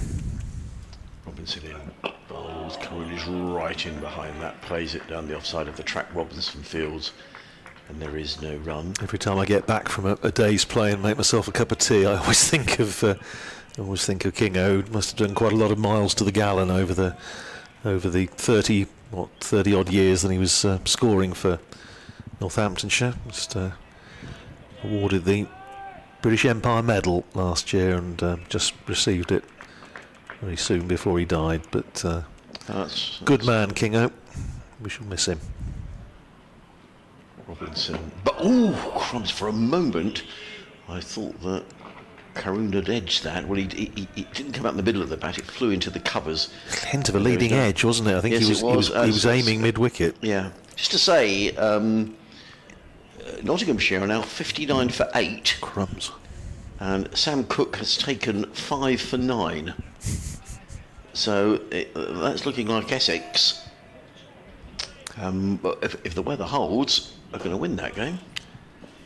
Indeed, they are. Crikey, yeah. He's in his 11th over, 5 for 9. Robinson in bowls to Kareem, who's back defending, plays into the offside. There is no run. So another maiden over from Ollie Robinson, who's stacking up the maidens. Six overs, two maidens, no wicket for 16. Northamptonshire are 36 for two. Proctor 11. Karun is on one. And Jayden Seales is going to carry on from this, the um, Sea end of the ground. I mean, uh, that's a, a pretty strong Northamptonshire, sorry, Nottinghamshire side. It is. Well, just looking at the weather, I mean, there's there's some fairly foul stuff in the area around Nottingham. So I mean, look at that. I mean, that not. Mr. Bracegirdle will be there blowing hard to try and blow the clouds away. I mean, you know, Haseeb, Duckett, Slater, Clarke, Montgomery, Haynes, Lyndon James, Calvin Harrison, Hutton, Pennington, and Paterson. I mean, batting wise, that's a pretty strong lineup. Well, they've uh, recruited again, haven't they? So we shall see. Here's Seales in, starting a fresh over, over the wicket to Procter. It goes by outside the off stump. And no run, it's Dylan Pennington and um, Jack Haynes both making the winter move from uh, Worcestershire. and Making their debuts for, for Yeah. Notts in this game. And actually, I, I didn't realise until you mentioned it, I, it was a signing that I'd missed. Jordan Cox moving to Essex as well. Um, I'm a bit surprised at that. you know, I'm sure Canterbury supporters will be very disappointed uh, about that. But again, very, very talented cricketer. Here's Jayden Seales, who's also a very talented cricketer. Balls to Procter and turns him round, beats the outside edge into the gloves of John Simpson. This is a really testing spell from Seales, and I suppose the question is, you know, how long is John Simpson going to want to keep him going? He's into his he's only into his sixth over, but he's giving this everything. And well, for an you know an overseas, you want them to to. We talked earlier on, didn't we, about making a statement, and Seales is making a very eloquent statement here to his new teammates. The sun's coming out. It is. The sun has got his hat on. Here's Seales in again and bowls to Procter, who drives through mid off, running out towards the boundary. Not sure if it's quite going to get there. Yes, it is. Just rolls over the rope down to our left, quite close to the ground staff. Tom Haines putting in the chase, but couldn't reel it in. Four more to Procter. He goes to 15 and Northamptonshire to 40 for 2 as, as Adrian Harms said, we're starting to see a few shadows which we haven't seen since much earlier on in the day. Quite pleasant now. At a time when, according to the radar, it should actually be raining here. So, oh dear, game's, game's gone mad. Here's Seales. Bowls again outside the off stump to Procter, who leaves alone, goes through to Simpson. Talk of Simpson, here's a lovely email from Jack Simpson, who is John Simpson's father. Thank you, Jack. He says, Good afternoon from glorious Spain. yeah, thanks. Uh, the two captains in this match are both Lancastrian by birth and lifelong friends who played together in the Lancashire age groups from under 11 through to under 19 before embarking on professional careers with Lancashire and Middlesex. That's great, Isn't it? Nice to, nice to really hear. good. Thank you so much, uh, Jack, from glorious Spain. Seales runs in again and bowls outside the off stump, wide outside the off stump this time, and Procter doesn't need to do anything other than watch it go past. We're seeing Jack Carson starting to swing his arms in a way that suggests he may be into the attack in the not too distant future. Certainly think it's I'm with you entirely. I certainly think it's worth giving the spinners a go while there's still a little bit of hardness in this Kookaburra ball, yes. but I'm sure John Simpson will have his own thoughts and ideas. Here is Seales in again, bowl short, quick bouncer, and Procter ducks underneath it, slaps into Simpson's gloves, and that's the end of the over. 40 for 2. Procter is 15. Karun has made a single. Say uh, Jayden Seales now six overs, two for 24. And Northamptonshire still 67 runs behind. We have a result at Old Trafford where they haven't managed to get on again, and that's match drawn. Uh, Lancashire 202 all out, Surrey 15 for no wicket. But that has been a thoroughly miserable experience by the sound of it for most of the last four days Yeah. up at Old Trafford. Although it's always an, an enjoyable place to go and enjoyable place to work. It is. Um, yeah, just looking John Simpson, born in Bury. Here comes Robinson in bowls to Karun, who plays into the offside. There is no run. Uh, James Trollope has been in touch. Hello, James. He's enjoying the commentary. Thank you for your kind words. Uh, he says, "How does Seales' pace compare to Robinson's?"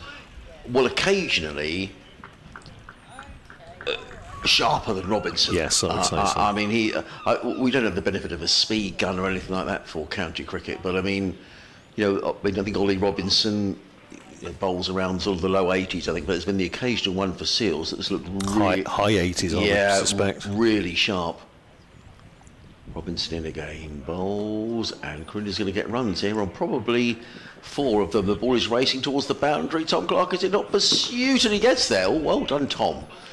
Lovely bit of fielding, and he actually has prevented a run because there's just a couple of runs taken. So Tom Clark diving away. He's left a bit of a scratch mark on the outfield, which will have to be repaired by Ben Gibson and his merry men at the close of play. Please replace all divots. Yes. And Karun goes to three. Northamptonshire 42 for two. Um, yes, so John Simpson born in Bury, 13th of July 1988. In comes Robinson bowls, Karun covers up, plays out into the offside. And there is no run. And um,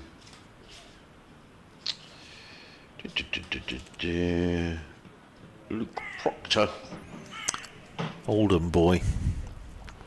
Yeah, you're quite right. 24th of June 1988. So it's really good to hear from you, Jack. Thank you for getting in touch from Spain. As a glimmer of sunshine makes its way across Hove, we were not expecting this today. Robinson in. Bowls. Uh, John, what a catch! What a catch! That'll be one of the catches of the season. James Coles, that was absolutely magnificent. It's 399 wickets for Ollie Robinson in first class cricket. That was tremendous. It was low to James Coles' left and he grabbed it and held on. That was terrific. Karun is on his way, and Northants are 42 for three. Top quality stuff from James Coles, and didn't we have a good view of it here as well? Because we were absolutely dead behind uh, James Coles there as he hung on. Karun, who had to work hard in the first innings, similarly in the second, three off 19 balls for the Indian Test player. But that was a good ball from Robinson. It just held its line, maybe bounced a touch. Karun committed to play at it, found the edge, it flew to third slip, and as you described, a wonderful catch from James Coles. And it's these sort of things you look at the, the comparing the two sides, the performances of the two sides so far. One thing you can say is that Sussex, by and large, have caught the catches very well, and Northamptonshire, shall we say, less so. Hmm. Well, that was tremendous. That's a big uh, wicket. Uh, yeah, and it went very, very quickly as well. Um, a really, really fine catch by James Coles. Well, I think, you know, the old adage, isn't it? You know, catches win matches. Um, well, you know, there may not be enough time to win this match, but Sussex are giving themselves every chance. I mean, we, I mean, if the weather holds, there's still 62 overs left in the day. And Northamptonshire are still 65 behind, so there's still a bit left in this, as we were saying at lunchtime, if the weather held. And so far, it is. Yes. Well, If, if, if, if Dave Bracegirdle was um, is trying to blow the rain away from Trent Bridge, I might have to go out the back if Northamptonshire lose any more wickets and start blowing the rain in. Um, George Bartlett is the new man. Four slips and a short leg. Um, and Robinson, whose tail is up, is in and bowled. And Bartlett's back and defending to Robinson, who feels of his own bowling as well. And once again, you can't keep James Coles out of the game. No, no. He's seems to be. I mean, he's. You look at the, his, this match. He's he scored 78 lovely runs with the bat. I mean, there was 100 there for him, and he got out to not one of Saif Zaib's finest deliveries. Bowled beautifully, picked up three wickets, and um, he's held now. That's his third catch of the match, and that was the fourth catch of the match rather, and that was an absolute perler. Yeah, it was. Getting ready again as Robinson steams in, bowls to Bartlett, lets that go outside the off stump. Good lead by George Bartlett. It's the end of another Robinson over. Just two runs coming off it, but the important wicket of Karun now. And Northamptonshire are 42 for three. Robinson seven overs, two maidens, one for 18. Jeff has been in touch uh, from Ohio, and he says, "So excited! The county championship season is underway. Thanks for keeping us company this morning before the solar eclipse will be passing overhead here."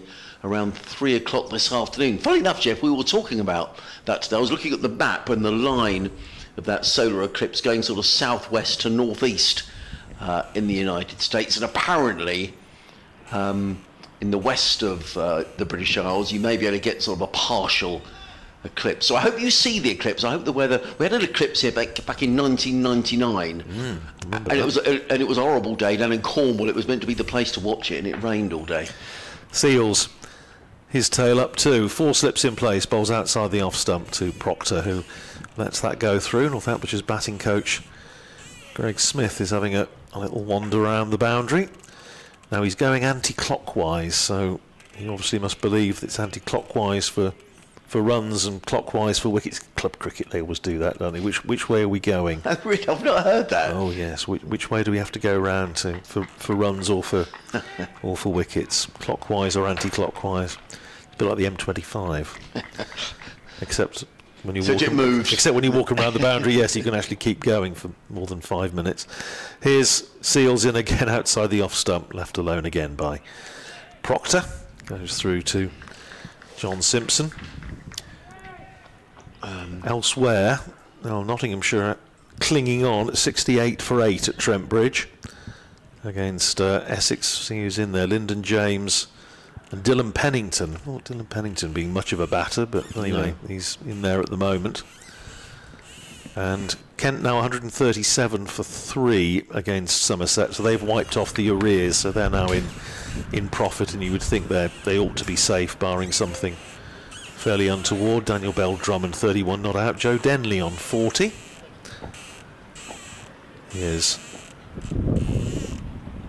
Seales in again, and once more that's outside the off stump, quite wide outside the off stump, and left alone by Luke Procter. Something's creaking, and it's not. It's not. For once, it's not my back. So apologies if that's a little distracting, but um, not quite sure what it is.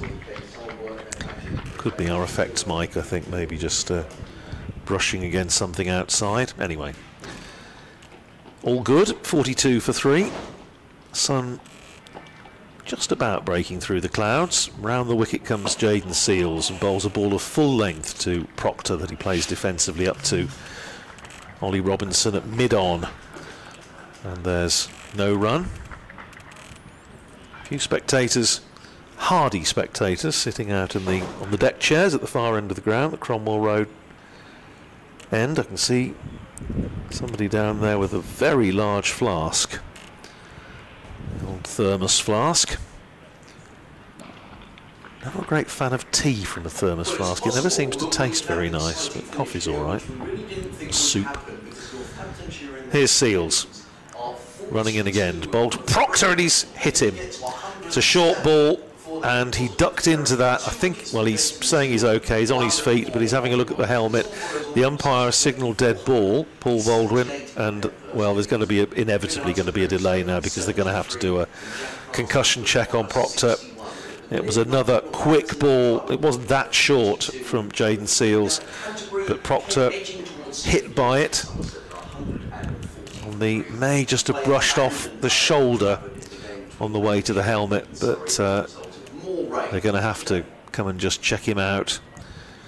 So the Northamptonshire physio Nick Allen is out on the on the park going through the concussion protocol. They're just having a look at the helmet. Gus Miller is coming out of the pavilion with a drink for the captain. I think Nick Allen is just having a look to see if it's broken the skin at all. It's Where did it hit him? it hit him on the head. Well, as I say, it, it's a question of whether it just brushed off his shoulder, but it certainly hit him on the head. Um, and he's just having the physios out there now having a, a smile with him. If you're watching the, the stream, you can see Nick Allen in conversation with Luke Procter. They're just looking over his uh, right eye to see if there's any cut there and whether he might need further attention.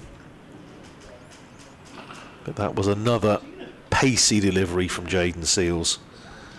Sun is now out brightly, but the umpire's just having a little chat with a couple of the Sussex players, and they just, well, they'll take as much time as it needs, I think, from just to make sure that Luke Procter is okay. He's having a drink, and they just See Nick Allen there just examining the helmet just to make sure there's nothing cracked, making sure that the grill is properly attached.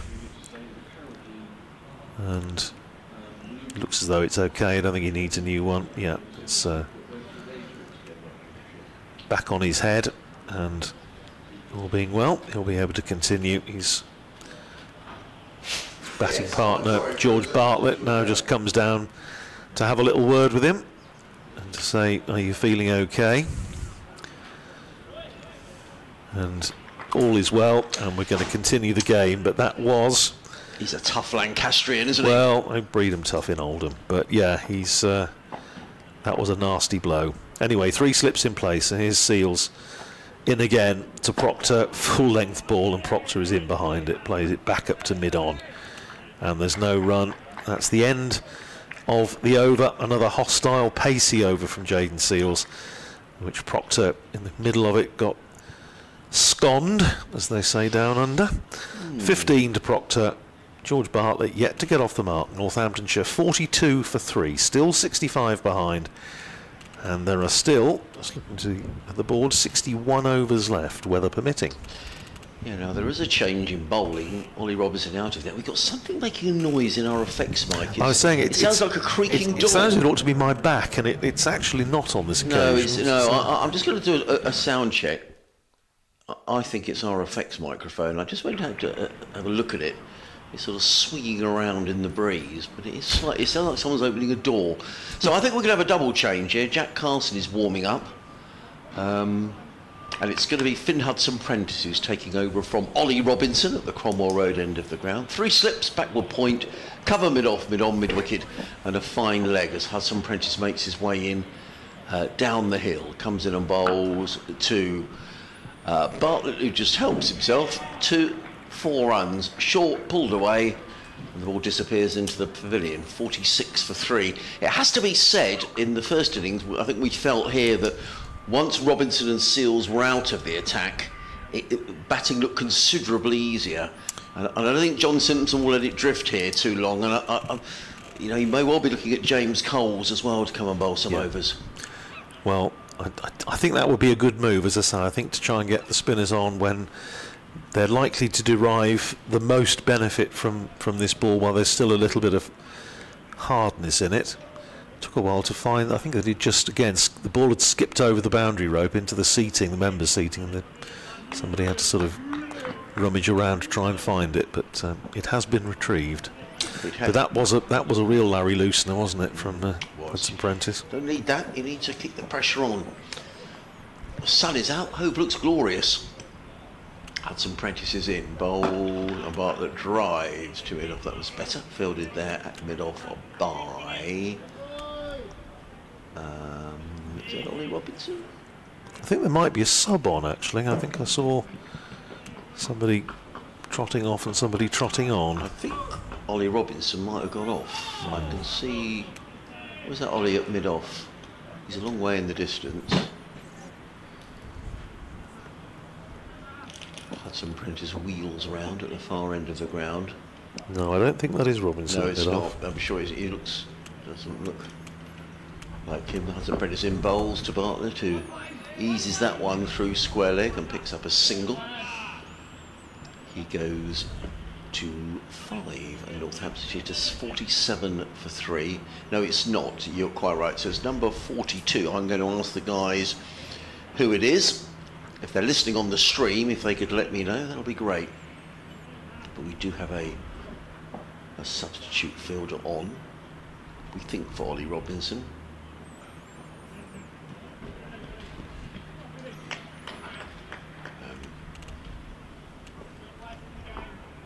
Um, Hudson Prentice has switched to around the wicket.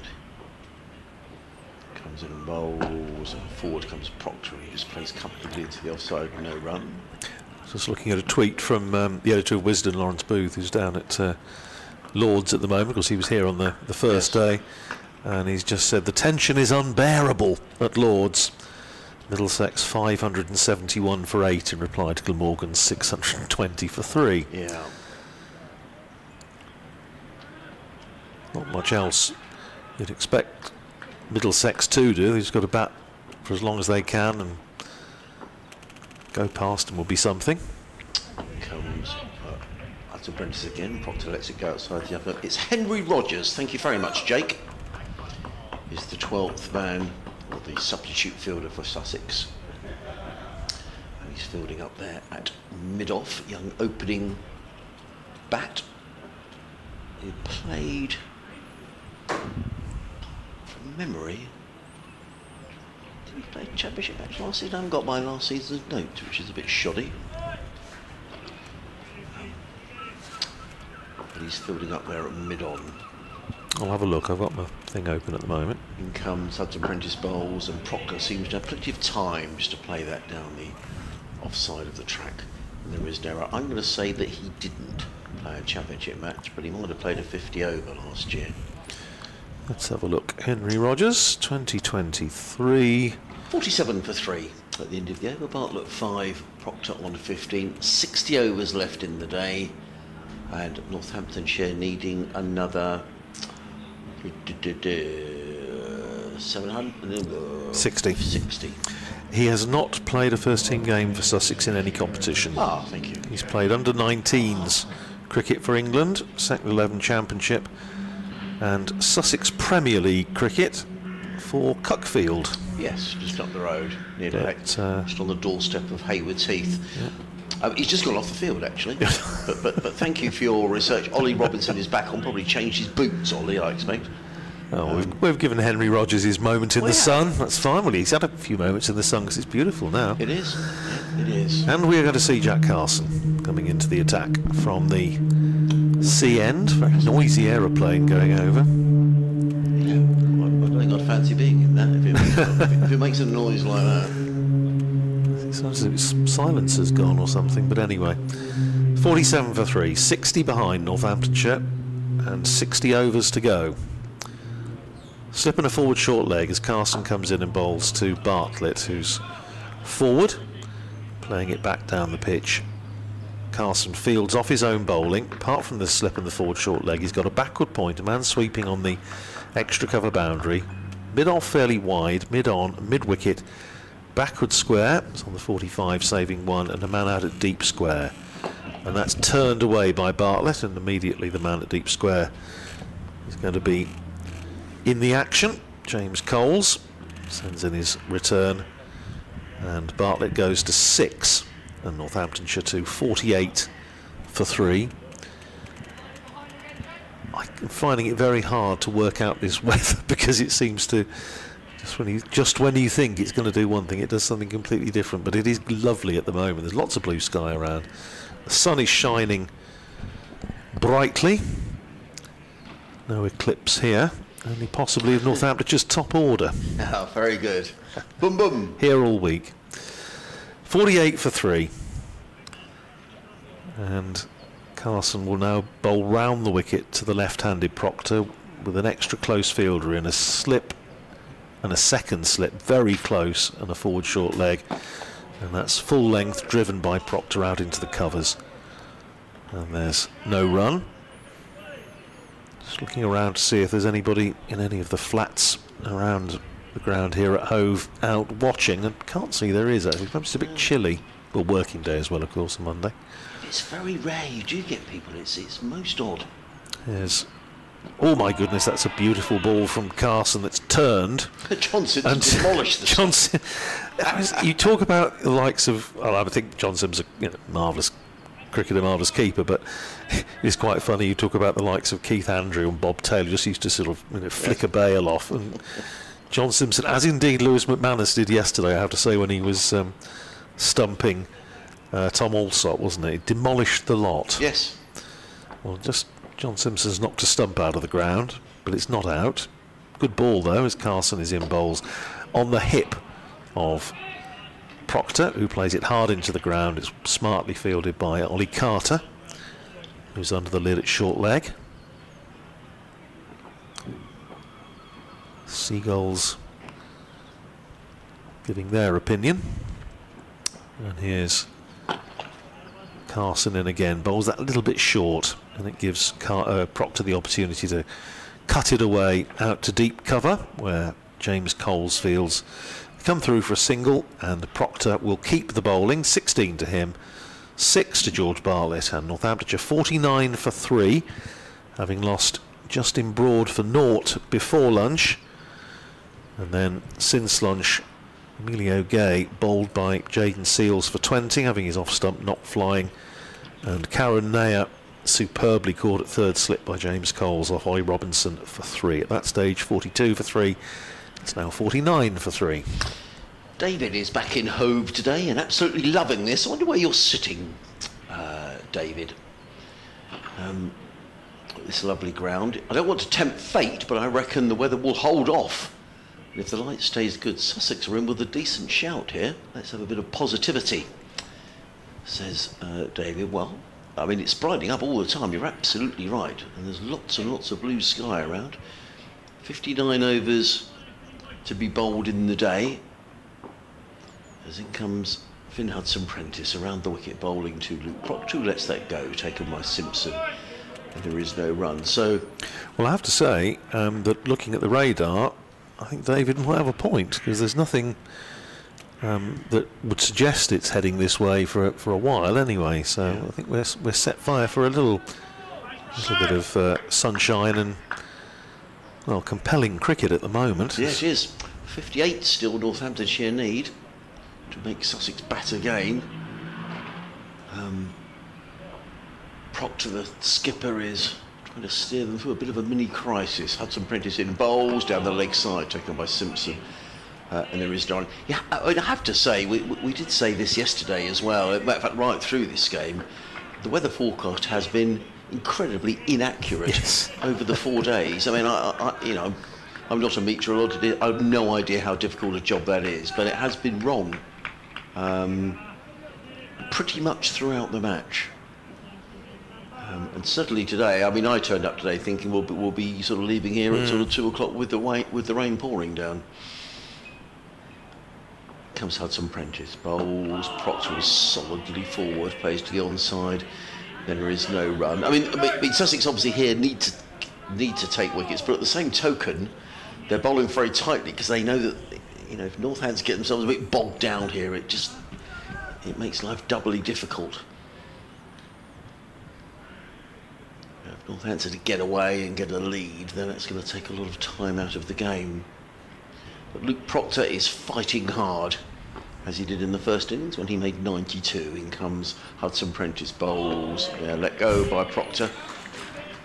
We're talking about the uh, the, the tweet from Lawrence Booth um, saying about the unbearable tension at Lords. He's just sent an extraordinary photograph over, which has um, the the field that Glamorgan are now employing. They have eight fielders all in a in a, a ring like the sort of the Carmody field, but instead of being behind the wicket, they're all in front of the wicket. So they've got four in front of square on the onside, four in front of square on the offside.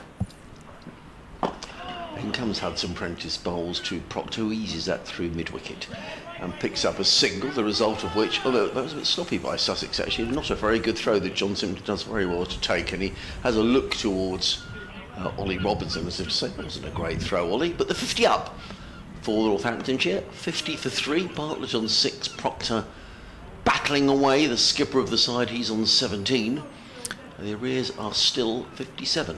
And Nottinghamshire now nine down, six wickets for Sam Cook, Wow. and Pennington, the last one to go, caught by Dean Elgar for seven. So Lyndon James and Dane Paterson standing between Essex and victory. Three slips in place here.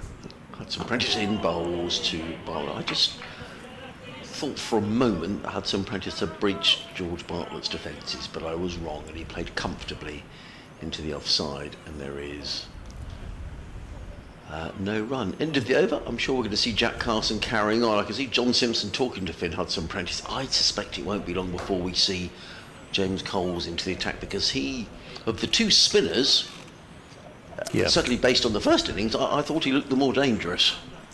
Yes, I would uh, not disagree with that.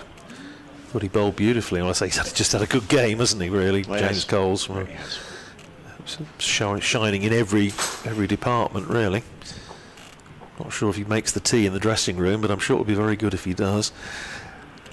Two slips and a forward short leg. Carson round the wicket bowls to Procter, who, let's remember, is, I'm sure, just slightly still feeling the effects of that clonk on the head from Jayden Seales, but on this occasion he plays the ball hard into the ground to the right hand of Ollie Carter at forward short leg.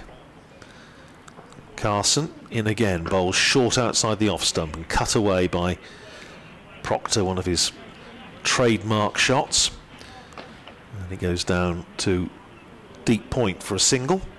Procter to 18, Northamptonshire to 51 for three. Still 56 runs behind. We have 57 overs remaining after this one. Just looking to see how Harry Brook was getting on because he was starting to tee off at Headingley. Carson in again, bowls to Bartlett, who's smashed that straight back over the bowler's head, and you probably heard it landed with a, a clatter over to our left. I don't if he's aiming for us. Well, it, but it bounced back well- and almost hit a member of the ground staff. Yeah, well, the, the, the, lads, the ground staff here, are, are clowning around. now. Six to Bartlett, he goes to 12, 57 for three. And then now, of course, they're having to have a look at the ball because it's they have got scuffed, but it's okay. well, it's good from Bartlett, isn't he? Well, he's yeah, he's uh, he's just going to try and be as positive as he can. Here's Carson in and bowls to Bartlett, plays that past the left hand this time of Ollie Carter at forward short leg, runs out to mid wicket, and there's no run. Yeah, I mentioned Harry Brook earlier. He's 75 not out off 51 balls well, that's entertaining. at Headingley. Two sixes, 11 fours. Carson flights that one right up to Bartlett, who's caught it slip, is he? He's Yes, out. he. He's gone. Carson has done the trick. Flighted that one up, inviting the drive. Bartlett did drive. It took the outside edge. He's caught at slip. I think that's Tom Clark who took the catch very nonchalantly. And Sussex have a fourth wicket. And, well, we said about getting the spinners on while there's maybe a little bit of hardness in the ball. John Simpson, the moment, everything he's touching is turning to gold. Bartlett goes for 12. Caught Clark, it was Tom Clark in there. Bowled Jack Carson, 12 off 11 balls. Northamptonshire 57 for 4. And they are still 50 runs behind. Well, it looked as if George Bartlett was determined to come in and be positive, and in this situation, that's that's not a bad thing to try and, and, and take the game to Sussex. But um, he's been done there by Jack Carson, and a good catch by Tom Clark. And you've made the point a couple of times, Andrew. Uh, Sussex have caught well in this match. In fact, here's another good sign for Sussex because the ground staff have clearly decided there's no rain imminent for the time being, and they're now wandering away back up to the far end of the ground, which is their normal perch to. Um, the covers are at this end of the ground. I should explain to our. Do you know why I think they're doing that? Because I think their lunch has just arrived. You Oh, see, they've- right, they've got, okay. you see, they've got the boxes. Yes, they have. But in any case, yeah, but no, you're absolutely right. I mean, I- there's no there's no rain imminent uh, of that. I'm I'm quite sure. But well, this has been really good stuff from from Sussex. They've set the game up by the way that they batted in the last session last night and first thing this morning, and they've now got themselves in a very very strong position to possibly force a win. Who knows? Northamptonshire needs somebody to dig in with the captain who is, well, as Luke Procter is routinely entrenched, 18 not out of 51 balls. Rob Keogh, senior pro, comes to the crease. Made nine in the first innings before he was caught at slip off Ollie Robinson. And he's now about to face his first ball with a slip, a leg slip, and a forward short leg. Carson over the wicket. First ball to Keogh, who sweeps. Doesn't really get hold of it. It goes out just in front of square on the leg side. And they come through for a single. James Coles flicks the ball towards the stumps, doesn't hit them, and it's a single to take Keogh off the mark. 58 for four. That's the end of the over. And applause for Jack Carson, who's struck straight away after being brought into the attack. Two overs, one for ten for Carson, and Northamptonshire 58 for four. Yeah. Um, at the end of the next over, I'm going to go down to my effects micro because something is making a door sound like a door that's o- opening. It's very irritating. Um, so we'll see if we can get that sorted out. And Essex have beaten Nottinghamshire by 254 runs. Nottinghamshire all out for 80. Six for Sam Cook, three for Jamie Porter, one for Shane Snater. Well, that will not please those at Trent Bridge. That's a pretty comprehensive beating, isn't it? Hudson Prentice is on his way down the hill in bright sunshine, bowls to Keogh, who's forward. Um, you would feel here from, I mean, there's still batting to come. Saif Zaib, of course, and Lewis McManus have had a very good 50 in the first innings, but these two are the experienced campaigners here for Northampton. You'd, you'd feel that that one of these two is going to have to bat through and Yeah, a substantial amount of overs here. Absolutely important partnership, this. Uh, Sussex have just called a fourth slip in. So Alsop at first, Clark second, Coles third, Carson at fourth. Hudson Prentice back to his mark at the Cromwell Road end and is on his way, racing in down the hill, bowls and Kerry's back and flicks this one down towards fine leg. He's run the first one very, very quickly. Uh, Danny Lamb gets the throw in from fine leg, preventing more than run. He's looked very positive, Rob Keogh. The minute he's walked in, he's he's looked positive. Um, and I suppose in some ways, Andrew, you should say there's not a lot of point just blocking here. It's a long time to block, isn't it? Yes, it is. Yeah. And so, you know, Northamptonshire, I think, will be keen to pick up the runs where they can. Yeah, they'll also be keen, as you as you made the point earlier, Adrian, just to make sure that they, you know, clear these arrears and make it so that they're taking a bit more time out of the game. Hudson Prentice in bowls to Procter. To uh, mid-on by prop Procter. The howl from the Sussex lads is because they, A, they're getting very excited, but B, I think that was right on the money from Hudson Prentice. You see, I was just watching the um, the clouds moving. There's a sort of you know very high fair weather cloud, and it looks to be moving from the east, from the southeast. If you look just up uh, ahead of us, which is not where it was supposed to be No. coming from. But anyway, baffling. Ran- Randy Baldwin's been in touch. Hi, Randy. As in comes Hudson Prentice bowls to Procter. Plays to mid on, there is no run. He says it's a forecast. It changes constantly, especially here as we're in Ireland. Thought the forecast for the first three days was pretty accurate. Well, yes and no, Randy. I mean, certainly on the. What day was it they were predicting it was going to be a bit of a hoolie and 50 mile an hour winds? That's right. It well, was. that didn't um, happen. It was. Well, it was. A, it was basically 24 hours out because that was forecast for Saturday, and it's what we got on Sunday. Yeah, it was. yeah, so I don't think. It, yeah, All the right notes, but not necessarily in the right order. In comes uh, Hudson Prentice and bowls. Procter lets that go outside the off stump. There is no run. Um, so yeah, don't, don't mean to be overly critical, but it's, but certainly today the weather forecast I heard, um, which was actually on Radio Four this morning, driving down, was that you know showers into the southeast, early afternoon, some heavy showers, potential flooding. It was a bit Armageddon, to be honest. Well, maybe it is in other parts of the southeast, but not here. On the south coast, and Finn Hudson Prentice is going to come in again to bowl to Luke Procter. He's in on bowls, and Procter uh, stabs that one onto the leg side. They've taken one, they'll look for two, but Jack Carson is very quickly in. Every run is being fought over here. And it is the end of another over. 60 for 4 on Northamptonshire. Keogh is on 2, Procter is on 19. I'm just going to spend a couple of minutes seeing if I can see why our effects microphone is making a sound like a creaky door. And I'll be back. Adrian Harms, our resident boffin, is going to go and try and sort out uh, the mystery of the squeak.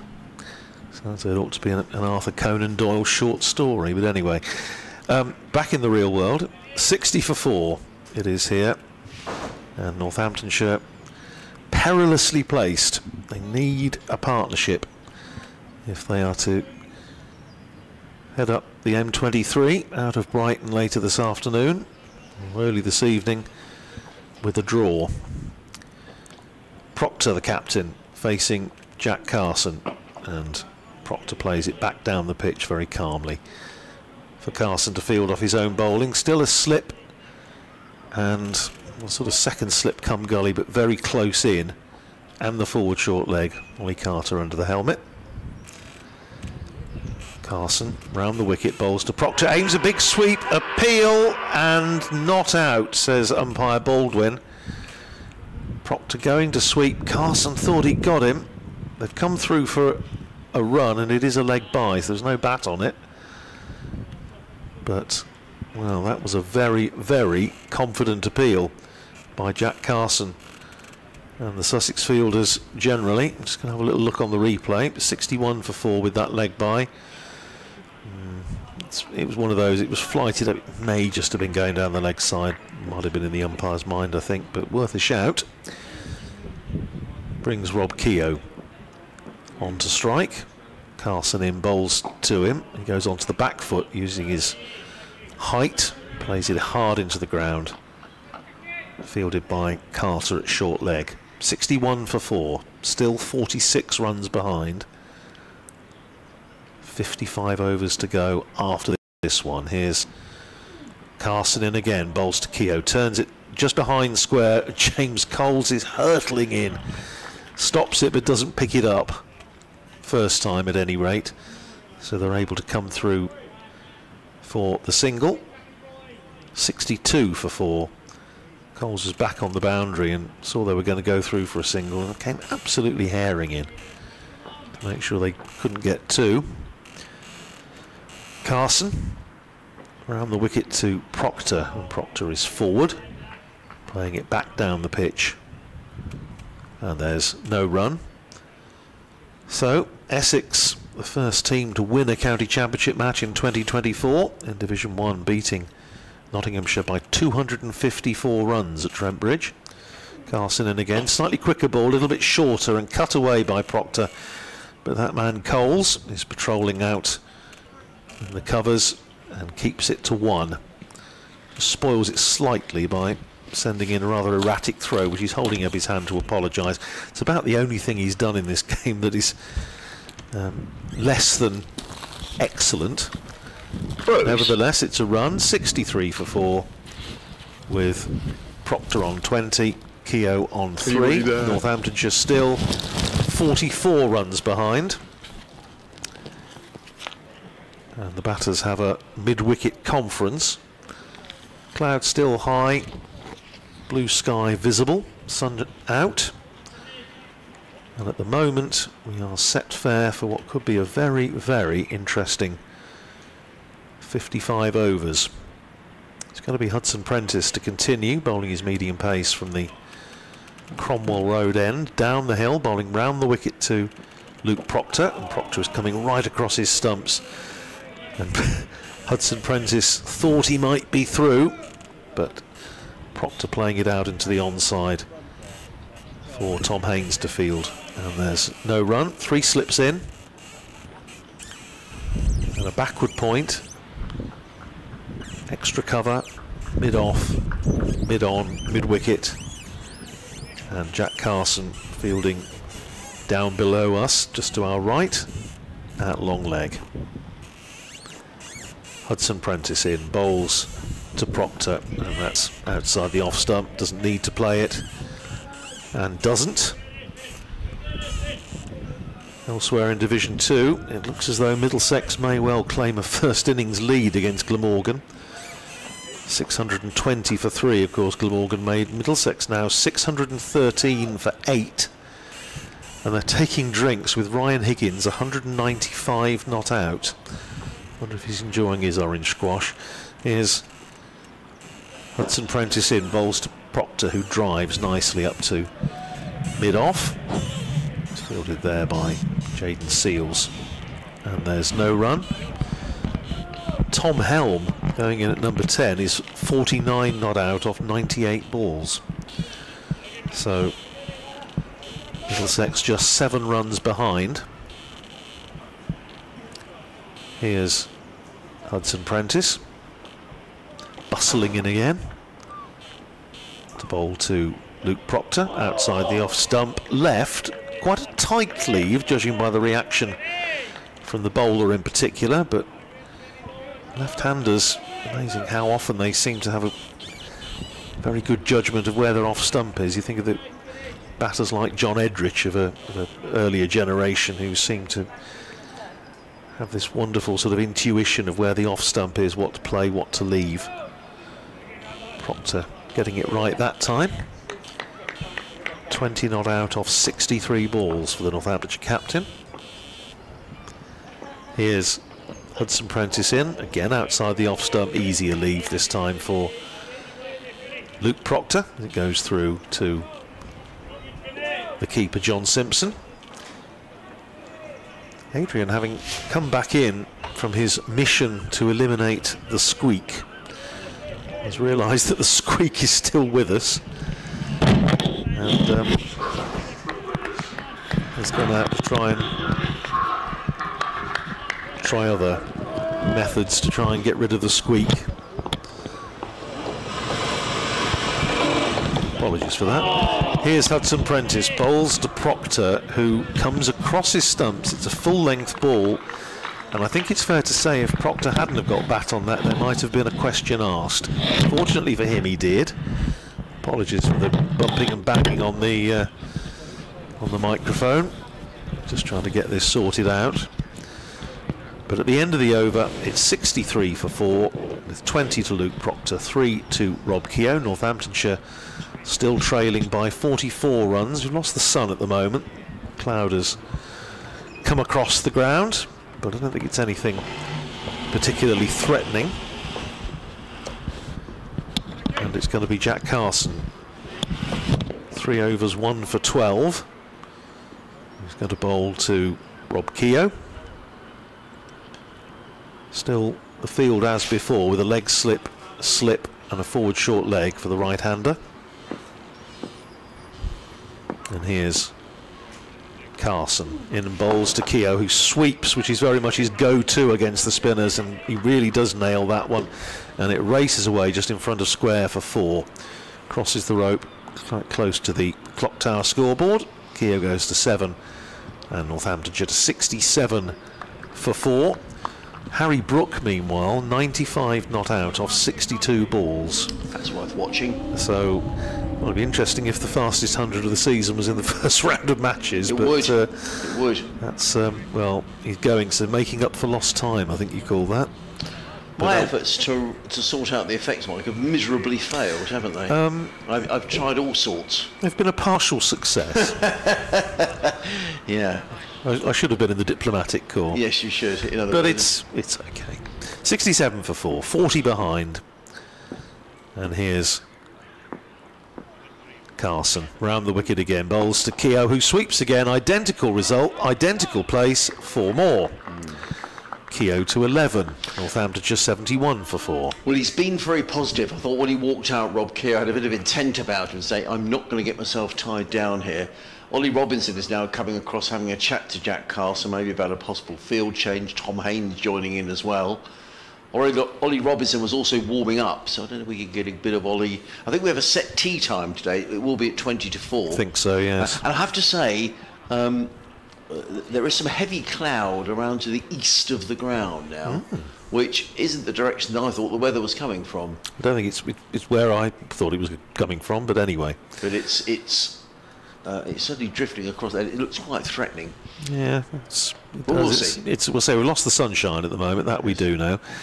Well, a little bit of moral victory for Rob Keogh in that one of the close catches has now moved out. The leg slip's gone, so a slip and a forward short leg. Carson in again bowls. And this time it's the reverse sweep and it goes for four. So three balls, three fours for Rob Keogh. Two orthodox sweeps, one reverse sweep. Not a shot he plays an awful lot, the reverse sweep, Rob Keogh, but middled that one nicely. It races away for four, catching his captain up. 15 to Keogh, and Northamptonshire 75 for four. I think that's good cricket. Well, it, yeah, I mean, he's, uh, as we said, Northamptonshire do need to get past this 107 so that anything they get then is is puts them in the black and they're actually going to be able to take a little bit of time, more time out of the game. But it's um, it's certainly been a positive start for Rob Keogh, who played magnificent innings against Essex last year when he played a few shots I don't think I've ever seen him play before. Here's Carson in again, bowls to Keogh, defensively this time, pushing into the offside, calls through for a quick single, Procter responds. Jayden Seales fields, but there's an easy single there in the end. Procter is, uh, now on strike, Keogh 16 76 for four. you just sensed with that 100 against 160 odd against Essex last year that it was all the frustrations of the season just pouring out in the way he played. It was an extraordinary innings and, well, set up a Northamptonshire victory, albeit too late to make any difference to the the outcome of the season. Short, pulled away by Luke Procter for four. Well, this is an expensive over, isn't it? So that's the fourth boundary in five balls. That was that was a little bit of a of a long hop, and Procter's not going to pass that over. And pulled it away for four, particularly as there's actually there are actually only two fielders on the, or three on the leg side, including the short leg. There's a deep backward square and a mid wicket, so it was a bit of a free hit for Procter. He goes to 24, and Northamptonshire to 80 for four. Here's Carson to finish the over. That's flighted up and nudged into the onside by Keogh. They've come through for one and they're going to jog through for two. So, from Northamptonshire's point of view, a very productive over. 19 runs off it. Procter is 26, Keogh is 16, Northamptonshire are 82 for four, and they are 25 runs behind with 53 overs remaining. And Ollie Robinson is going to return to the uh, Sussex attack. I don't think that's anything to do with what happened in that over from Jack Carson. Nice to see there John Simpson actually. That's where experience comes in. He's just run across the field. He's probably run a good 30 yards. And he's just tapped Jack Carson on the back. And I suspect, although I don't know, that conversation was probably the lines of, don't worry, Jack, but just, just take a break. And I suspect we'll see a change at this uh, end of the ground. Uh, but it is going to be Ollie Robinson. I think that's a good move. Um, Robinson with one of the wickets, Seales with two of the four. And we've got, what, 25 minutes to go until tea. Or 27, 28 minutes to be factually correct. Ooh, there's a noisy seagull. um, and Robinson is on his way. Three slips go down. Robinson in, bowled, and Keogh is forward and plays straight to Seales. And there is, you know, on the leg side field is interesting. There's a a short leg who's forward short leg. There's another fielder in a very short, close mid wicket. Um, we heard the cry there. Come on, Robbo. Oh, there's another. There's another. Come on, Robbo. Right on cue. They're all at it, aren't they? Oh, and there's the howling wind. Oh, that sounds vicious, doesn't it? I've talked about Arthur, Arthur Conan Doyle's short stories. It sounds about that might be a soundtrack to The Hound of the Baskervilles. Hudson Prentice bowls, Keogh defends. Uh, the substitute is on, who I think is Archie Lenham on this occasion, in its short extra cover. I think Finn Hudson Prentice may have gone off. I can see Danny Lamb warming up down at fine leg. Hasn't bowled in this innings so far. Yes, I saw um, a bowl at lunchtime out on the uh, one of the pitches on the edge of the square. Yeah, sort of burst onto the scene, Archie, T20 two or three years ago, picked up quite a few wickets. Um, hasn't had quite such a good time of it since then. Robinson in bowls, Keogh forward, played as far as Archie Lenham, who races round from short extra and fields. He's the latest in a long line of Lenhams. I was going to say, if you're if you're a Lenham, you're Sussex cricket royalty, aren't Yes, you? Really? are. Les Lenham, his grandfather, Neil Lenham, his dad. Archie Bowles leg spin. He's a very competent bat as well. But he's struggling to get in this side at the minute. I, I suspect we may not see an awful lot of Archie until the T20s come around. Am I imagining things? Or Neil Lenham? Did he not wear a yellow helmet? I think. I, Quite recollect, possibly. recollection of, of, of Neil Lenham batting for Sussex in a very bright coloured helmet. The days when you know they weren't necessarily in, in team hmm. colours. yes. I may be completely wrong, but I'm sure somebody will know. Yes, someone will know. Let us know. Sussex Cricket at bbc.co.uk. Did Neil Lenham wear a yellow helmet? In comes Robinson round the wicket. Bowls to Procter. Oh my word. Well, he was he was neither forward nor back there, Luke Procter. And I thought for a moment I was going to see his off stump coming out of the ground. But he survives. The skipper, he's doing a good job for his county. 26 off 68 balls. He top scored with 92 in the first innings. And he'll be desperate to keep there.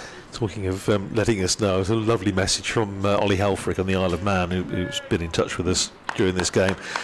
He picked up on the reference when I said about another partial success when we were talking about trying to eliminate the squeak. Come back to that. Robinson in bowls, Procter defends, and there's no run. And he said it reminded him, and it's exactly what it reminded me of as well, which is why I said it. Um, those of us of a certain age that remember the, the comic Viz, that was always Yes. a little bit near the knuckle in Yes, at times, but they had a character called Professor Piehead. Do you remember Professor Piehead? It was always saying if things went, you know, catastrophically wrong, it was always another partial success. and it's it's one of those it's sort of sort of running joke in the family, and um, yeah, absolutely. So great minds thinking alike there, Ollie. Or well, one great mind and one lesser mind, but. Uh, you're right on with the uh, the reference. Robinson in bowls to Procter, who lets that go outside the off stump. There is no run. Ollie Robinson's disappointed with that last delivery. He makes a sort of sign with his hands if I wanted it to go the other way. End of the over. Only one run coming off of it though. Robinson eight overs, two maidens, one for 19, 83 for four. Um, now let's see what's going to happen from this Sea end. I wondered if it might be going to be Danny Lamb. In fact, it's not. It's a return for Jayden Seales. I think that's a good bit of captaincy as well. Um, you know, get your quick back on. You've got Yeah. a couple of wickets. No, bit of a blast before tea. Absolutely right, and he, you know, he might also just be having a little look at the skies and thinking, well, you know, if there is, if there is going to be some rain around later, so there's no particular sign of it at the moment, but. Uh, you know, you don't want the game to drift, do you? You don't want these two to put on 30 or 40, knock off the arrears, and then um, Sussex are, you know, going to have to try and think about containing as well as attacking, and uh, becomes a little more difficult. But if they could knock one of these two over quickly, if this new ball pair are now back in the attack could do so before tea, then Sussex are still in with a, a chance. Four slips as Seales comes in, bowls to Keogh, who drives up to mid off, and there's no run. The, the game just has a different feel, doesn't it? The minute that Robinson and Seales come back on, and you know these two will be well aware that, that, you know this is the threat now. That that might be the only. I mean, it's, it's been a terrific performance by Sussex in this game. That might be the only thing that you know outside of these two. You know they've looked they've looked like taking the wickets. Um, and James Coles did in the first innings. I'm a little surprised James hasn't bowled, but maybe that's to come a little later. Here's Seales for now running in and bowls to Keogh outside the off stump, left alone He's by quick. Rob Keogh. And already, I mean, after it's not as though he needs to build up to it. He's just come on, and the second ball is sharp. He's into his eighth over, two for 24. Picked up the wicket of Justin Broad just before lunch. Called at third slip by James Coles, and then immediately after lunch, knocking out Emilio Gay's off stump. So two wickets for Seales, one for Robinson, one for Carson so far. 83 for four, 24 behind. Here's Seales. In again, bowls to Keogh, who's pushing that up past mid-on. And having seen it elude the fielder, they're now running. They're going to get two. I think that's all they're going to get. Ollie Robinson chasing back to complete the fielding and almost sort of daring them to have another go and try for three, but um, they decided not to. Two to Keogh, he's 19. And Northamptonshire 85 for four. These two coming together, the total 57 for four. So they've put on, what, 26, 28, just steadied things a little, but still some work to do. Here's Seales running away from us, bowls to Keogh outside the off stump. Keogh just lets it go through to the keeper John Simpson. Harry Brook 99 not out off 65 Wow. at Headingley against Leicestershire.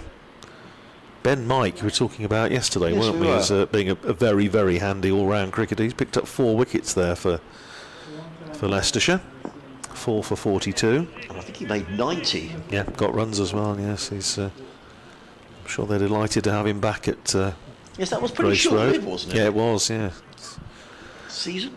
Here's Seales in again. Bowls short. Keogh ducks underneath it.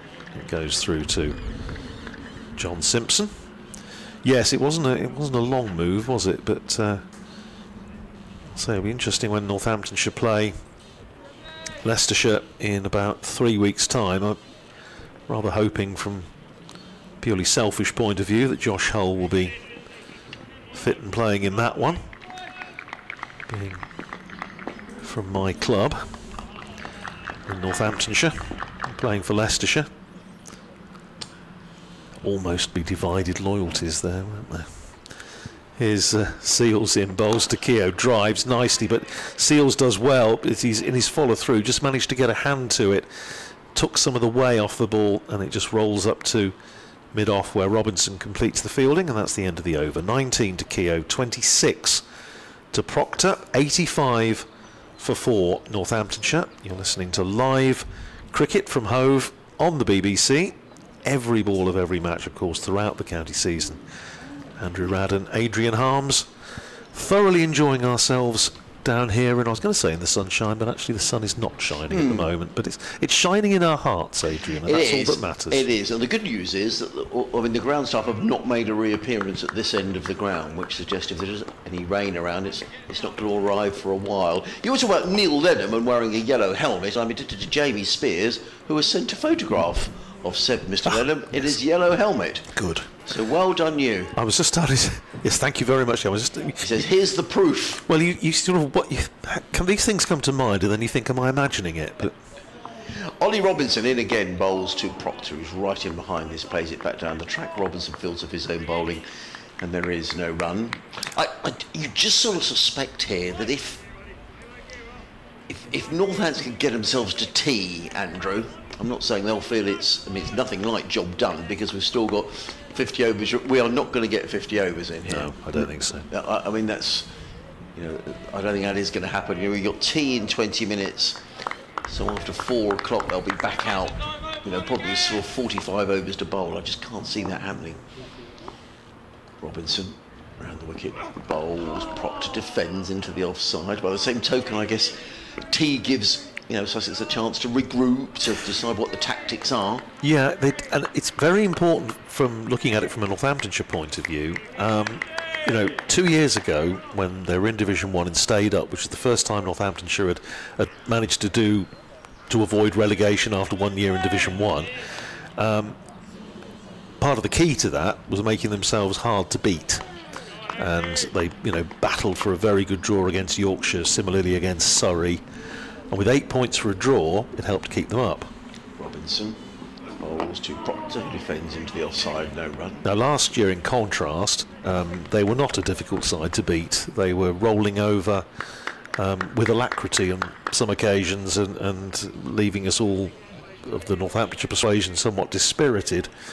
Um, so they need to say right from the start, okay, we're going back to being, you know, if we want to win, we want to be positive, we want to win matches, but if we're in a position where we can't win the match, and that, that this is clearly one of those, then we need to make sure that we're hard to beat and that we, we battle through and we've got the resilience to get the draw. Robinson on his way. Bowls. He's on 399 wickets for Sussex, is Ollie Robinson. Come on, Ollie, they say. It's changed from come on, Robbo. Robinson wanders back to his mark. Luke Procter goes down and does some gardening. He's done well here, Luke Procter, throughout the match. 92 in the first innings. 26 off 74 balls second time around. Three slips, point cover mid off, mid on short leg. A fine leg, Jack Carson down in front of us. Ollie Robinson is on his way.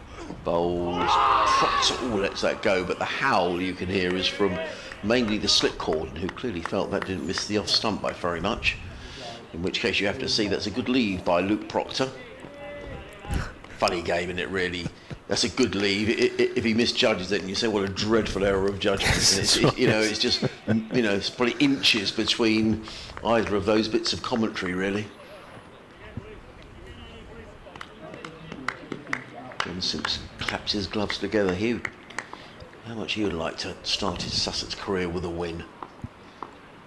He waits. Robinson in bowls and Procter is stoutly, steadfastly forward. Thou shalt not pass.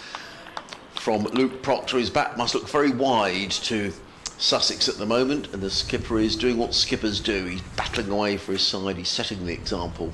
Ollie Robinson has bowled nine overs, three maidens, taken one for 19.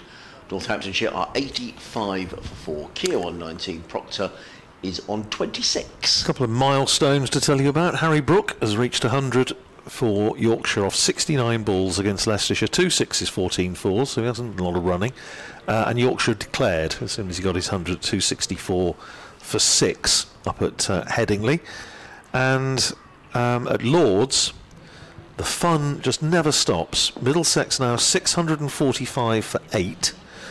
Ryan Higgins 221 not out. Here's Seales in, starting a fresh over to Rob Keogh. Plays that out into the covers, and there's no run. Still a attacking field, as you would expect from Sussex. Three slips in and a forward short leg. Then nice inviting gap through the sort of the backward point region. There's cover, extra cover, mid off, mid on. Another inviting gap through the onside and a long leg down on the boundary at the Cromwell Road end. A bit more cloud around than there was sort of 10-15 minutes ago, but still fairly high. And here's Seales steaming in. Bowls to Keogh goes for a big firm-footed whoosh through the covers, rather similar to the stroke that he got out to in the first innings. This time he doesn't make contact, but Sussex players, I'm sure, with the odd observation to make from the slip cordon. Now, James Coles is warming up at third slip, so I think Adrian may get his desire, which is to get him into the attack, and it seems, would seem to make sense based on how well he bowled in the first innings. Here's Seales. In again, bowling to Rob Keogh. This time he's nicely in behind that, solidly in behind that. Plays it out into the covers and there's no run. Ryan Higgins is out, stumped off Kiran Carlson for 221. Middlesex batting on, 645 for 9. Tom Helm at number 10, 55 not out. Off for rain again at Edgbaston. Worcestershire 295 for 3. They've played there for what, about 45 minutes today? Yeah. But they're off. Kent 217 for 3 against Somerset, so that's a nailed on draw at Canterbury. Daniel Bell Drummond 68 not out. Seales in bowls to Keogh. Cracks that through the covers for 4. That's a lovely shot. It was just a little bit of width and Keogh latching onto it and plays it away through the covers for 4 to the front of the members pavilion. Takes Rob Keogh into the 20s, 23 to him. And Northamptonshire to 89 for 4. And Joe Denley, one of the, the senior county cricketers around these days, 78 not out off 88, so he's enjoying himself this afternoon against Somerset at Canterbury. Here's Seales running in again to Keogh, who's in behind that, playing it down to backward point. And there's no run. So Kent Somerset is now the only match actually in play at the moment in Division 1. Durham Hampshire abandoned without a ball bowled. Lancashire Surrey is also off, and Nottinghamshire losing heavily to Essex at Trent Bridge. And they're off for rain at Edgbaston between Warwickshire and Worcestershire. In Division 2, I mentioned Middlesex 647 for 9 against Glamorgan, so 27 runs ahead. And Yorkshire just declared against Leicestershire 90 runs behind after Harry Brook got his 100. Seales bowls to Keogh down the leg side, trying to pick that up over towards what will be the new ladies' pavilion. But didn't make contact, goes into the gloves of John Simpson, and that's the end of another over. Another one ticks by for Northamptonshire, 49 remaining now. It's 89 for 4, 23 to Keogh, 26 to Procter. As the wind howls around. It does, doesn't it? The gables of, That sounds more like November, doesn't it? of stately Harms Manor. Yeah, I wish. uh, James Coles is into the attack as predicted by Radders, get the lottery numbers for Radders for this weekend. Um, I can see it when somebody's swinging their arms around. Yeah. yeah. Um, so James Coles, who bowled very well in the first innings and picked up three wickets, three for 45, and seemed to get more bounce um, than perhaps Jack Carson did. And he was talking, uh, James, about his trip to India with the England Lions over the winter, working alongside the likes of Graeme Swann and saying, you know, how that, that, that was one of the um, aspects of his game that was picked up on, that he, he can get a bit more bounce. James Coles, he's come over the wicket to Luke Procter. We've got nine minutes to go until tea. As in comes Coles. Oh, well, that was just wide of first slip. I mean, I, I, it wasn't a chance, but it wasn't that far away from first slip. That's, uh, I think, Tom Alsop in there. No, it's Tom Clark. Well, he's a brilliant fielder, Tom Clark. So I'm fairly certain that didn't go to hand. Was slightly behind Clark, but certainly it was an an involuntary shot, I think, by Procter, but nonetheless goes to 30. Northants are closing in steadily now on this lead of 107, 93 for 4, led by these two experienced campaigners. Coles in. Well, as Procter turns that to square leg, fielded by Carson. And we welcome again listeners to Five Sports Extra to Hove. News that James Coles is bowling from the Cromwell Road in his left arm spin to the Northamptonshire skipper Luke Procter. And Procter has a big swing at that. Looking to dispatch that away on the leg side. The ball hits the thigh pad and bounces in front of him. Not out is the decision. Northamptonshire 93 for 4 Keogh on 23 Procter on 30 Northamptonshire needing to get to 107 to make Sussex bat again Coles in again, that's too short and played on the bounce into the gloves of Ollie Carter at short leg. They were in a good deal of trouble on 57 for four. Two wickets for Jayden Seales, one for Ollie Robinson, one for Jack Carson. But these two experienced pros are just dragging things back for Northamptonshire as Coles is in again and Procter drives down the offside of the track. And there is no run. A partnership of 39 between these two as steadied the Northamptonshire ship, but there are still 48 overs remaining to be bowled today. Coles in again, bowls let go outside the off stump by Procter, and there is no run. So we've got seven minutes to go here until tea. Northamptonshire 93 for 4. You're listening to 5 Sports Extra, BBC Radio Sussex, BBC Radio Northampton, myself Adrian Harms, alongside Andrew Radd. And you have to say that Sussex have really played most of the cricket in this match since sort of tea yesterday when they had that wonderful final session, basically doubling the score from uh, 176 for 3 to 351 for 6 at the close. Carried on in similar vein this morning. Were able to declare at 478 for 9 with Finn Hudson Prentice 73 off 60, Danny Lamb a quick 41, Jack Carson 61 off 53. Ollie Robinson 32 not out off 29 Northamptonshire attack made to look a bit ordinary. So the declaration coming just before lunch. And Sussex managing to nip out Justin Broad before lunch.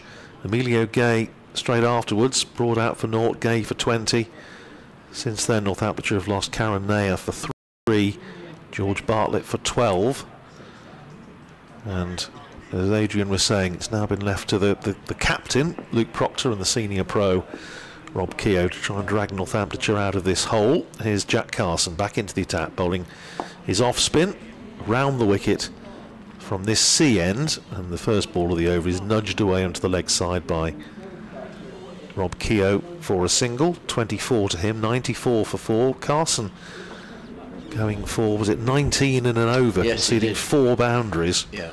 Three to Keogh, one to Procter, but you feel with this Kookaburra ball that the spinners need to be bowling when there's still a little bit of hardness in the ball. Round the wicket he comes again outside the off stump, left alone by the ever watchful Luke Procter. Slip in, forward short leg, backward point, man sweeping on the cover boundary in front of the clock tower scoreboard.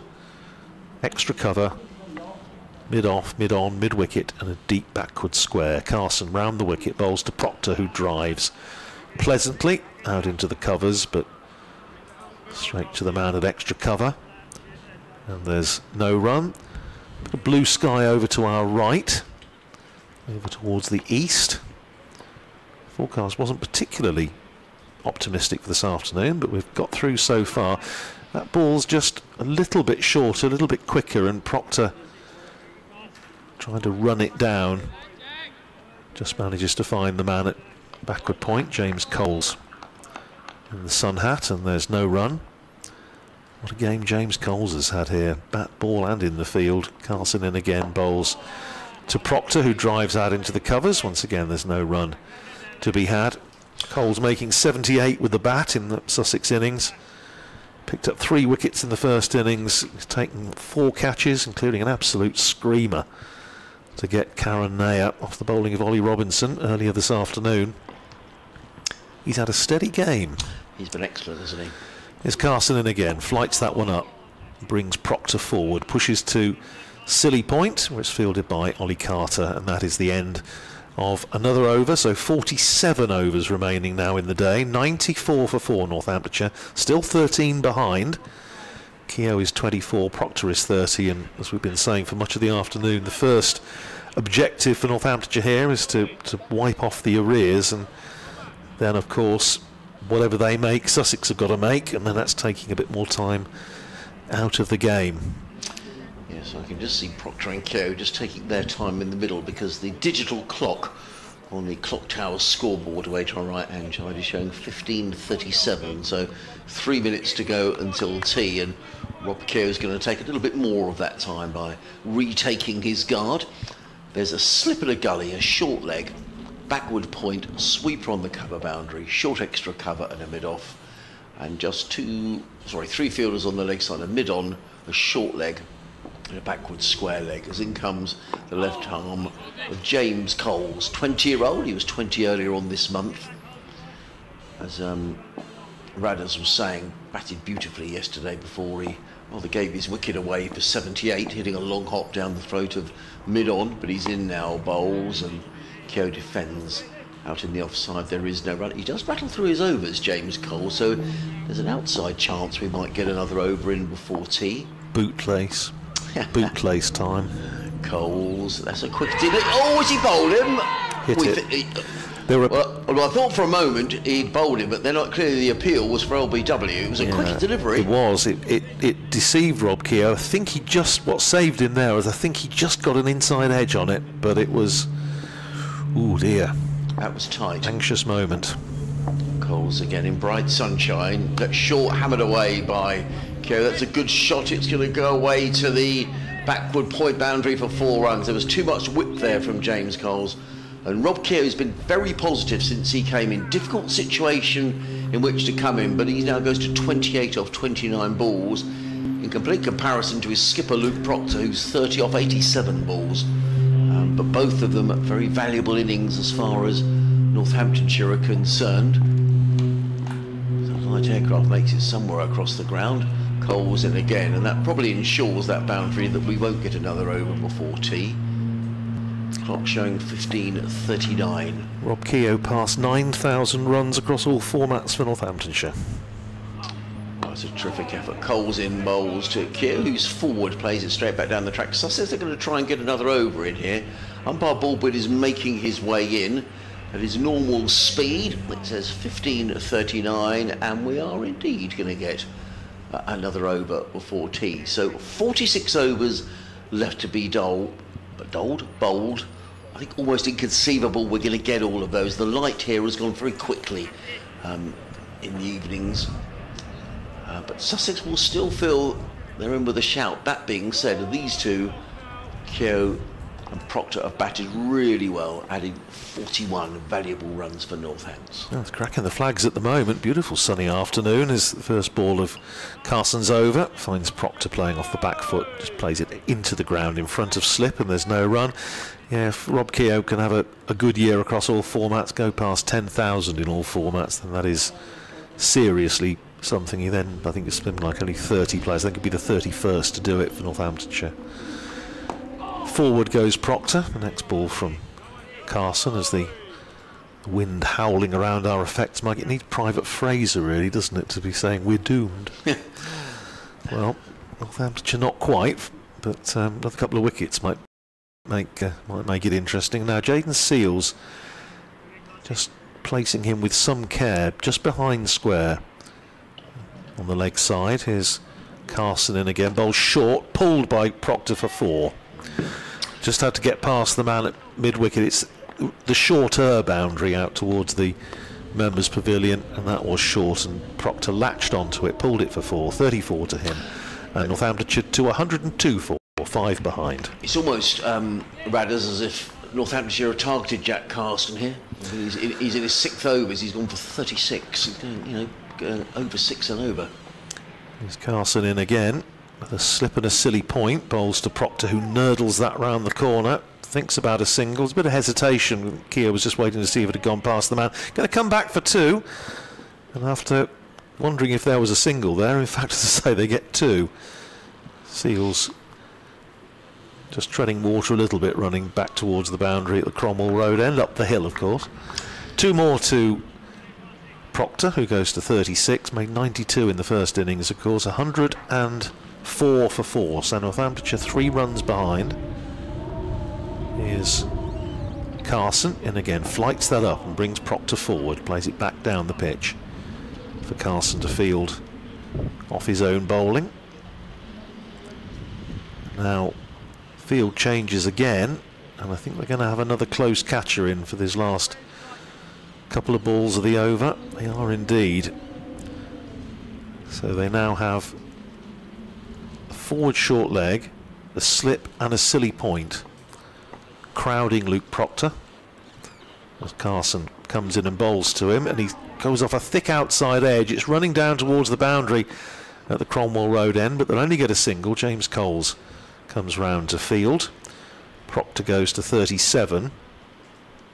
Northamptonshire to 105 for 4, and that is T. T on the fourth and final day of this Division 2 match between Sussex and Northamptonshire. Northamptonshire 105 for 4 at the break, so just two runs behind, four wickets down. We have, in theory at least, 45 overs to go if the weather and the light are kind. It's absolutely glorious at the moment, no problems at all. Lovely sunny afternoon. Sussex have bossed the session, but Northamptonshire still afloat. 105 for four, they trail by two. Andrew, thank you very much indeed. So there we are, the players make their way off to the pavilion in the corner of the ground. The weather has defied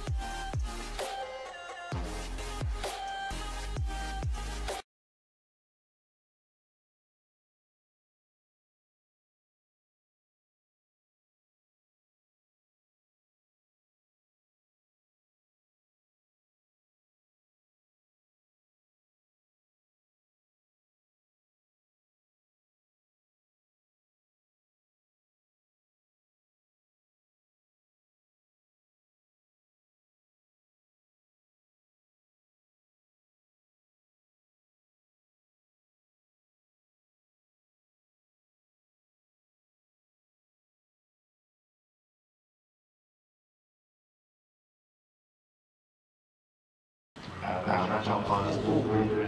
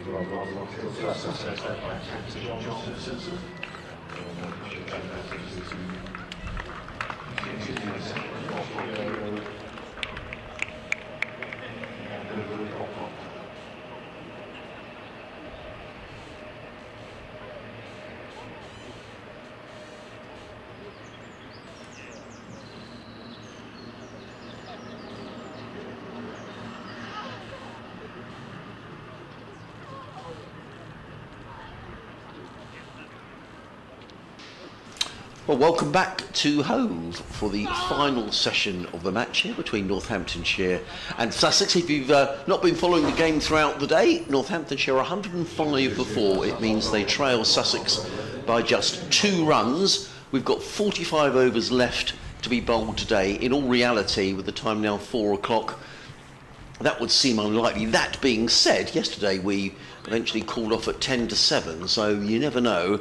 Um, but there's a lot of very dark cloud around Hove at the moment. We haven't had an interruption so far today, and let's hope it stays that way. But certainly to the north and east of the ground, the, the, the, the sky does look very threatening. However, we're going to start after tea, and it's going to start with James Coles, who's running around the wicket and comes in and bowls to Luke Procter, the Northamptonshire skipper, who is playing a captain's innings and some. He's 37 not out of 94 balls. And he and Rob Keogh came together when the score was 57 for 4 and are just sort of steering Northamptonshire towards safety. It's not job done yet, as in comes uh, Coles and Procter plays this one away through uh, mid-wicket for a single. He goes to uh, 38 on the total to 106 for 4. It brings Rob Keogh on strike, whereas Luke Procter has taken 95 balls to get his 38. Rob Keogh has been uh, very adventurous since he came in, 28 of just 31 balls. Trying to wrestle the initiative away from Sussex. Coles is in. Keogh is forward to a ball of good length and plays it onto the onside. And there is no run. There's an ooh and an ah. Uh, that delivery is bowled by James Coles. Two slips and a short leg in place. Coles in again. Bowls flighted nicely, clipped by Keogh through uh, mid wicket, pick up a single, and that means that effectively Northamptonshire are now naught for four. Put that way, Yes. yes, it, yeah, Sussex will have to will have to bat again, whatever. They will, and that will take time out of the game. A couple of overs. Um, if we get to that eventuality. From here, I, I think Northamptonshire will continue in the same vein because the more runs they score, the longer it's going to take Sussex to get them. And so we go. In comes Coles, bowls to Procter. Procter plays that two short fine leg. Certainly, the two bowlers who have caused a lot of problems have been Jayden Seales in particular. who's taken six in the match and two in this innings, uh, and Ollie Robinson, who's only taken one in this innings, but when those two have been on, it has looked a different game. Coles in again, bowls, and Procter steers to short leg on the bounce. I hasten to add there is no run. The end of the opening over after tea. It's another one ticked off as far as Northamptonshire are concerned, who are 107 for four. Rob Keogh is on 29, Luke Procter is on 38. And James Coles' figures three overs, no maidens, no wicket for 10. And it looks like we're going to get Danny Lamb. Middlesex 655 all out at Lords. Middlesex's highest total at Lords. Um, and Glamorgan have just gone in again. What must be one of, I would have thought, the less relevant little sessions of cricket of the season. Um, trailing by 35, two for no wicket in their second innings, but all sorts of records. You can imagine the uh, press box and the media centre at, uh, at Lords will be a buzz with all the different stats and factoids flying around. Rather less so here so far, hmm. but 107 for four. So Northamptonshire level pegging at the moment, and Keogh, his first ball from Lamb, he plays it defensively back down the pitch. Bright sunshine now, and is a quite a striking image because there's not a dark cloud over to the north, which I don't think is going to bother us because that will have gone. But the contrast between the bright sunshine here and the dark cloud over the other side of the flats, the other side of Cromwell Road, is, uh, quite striking.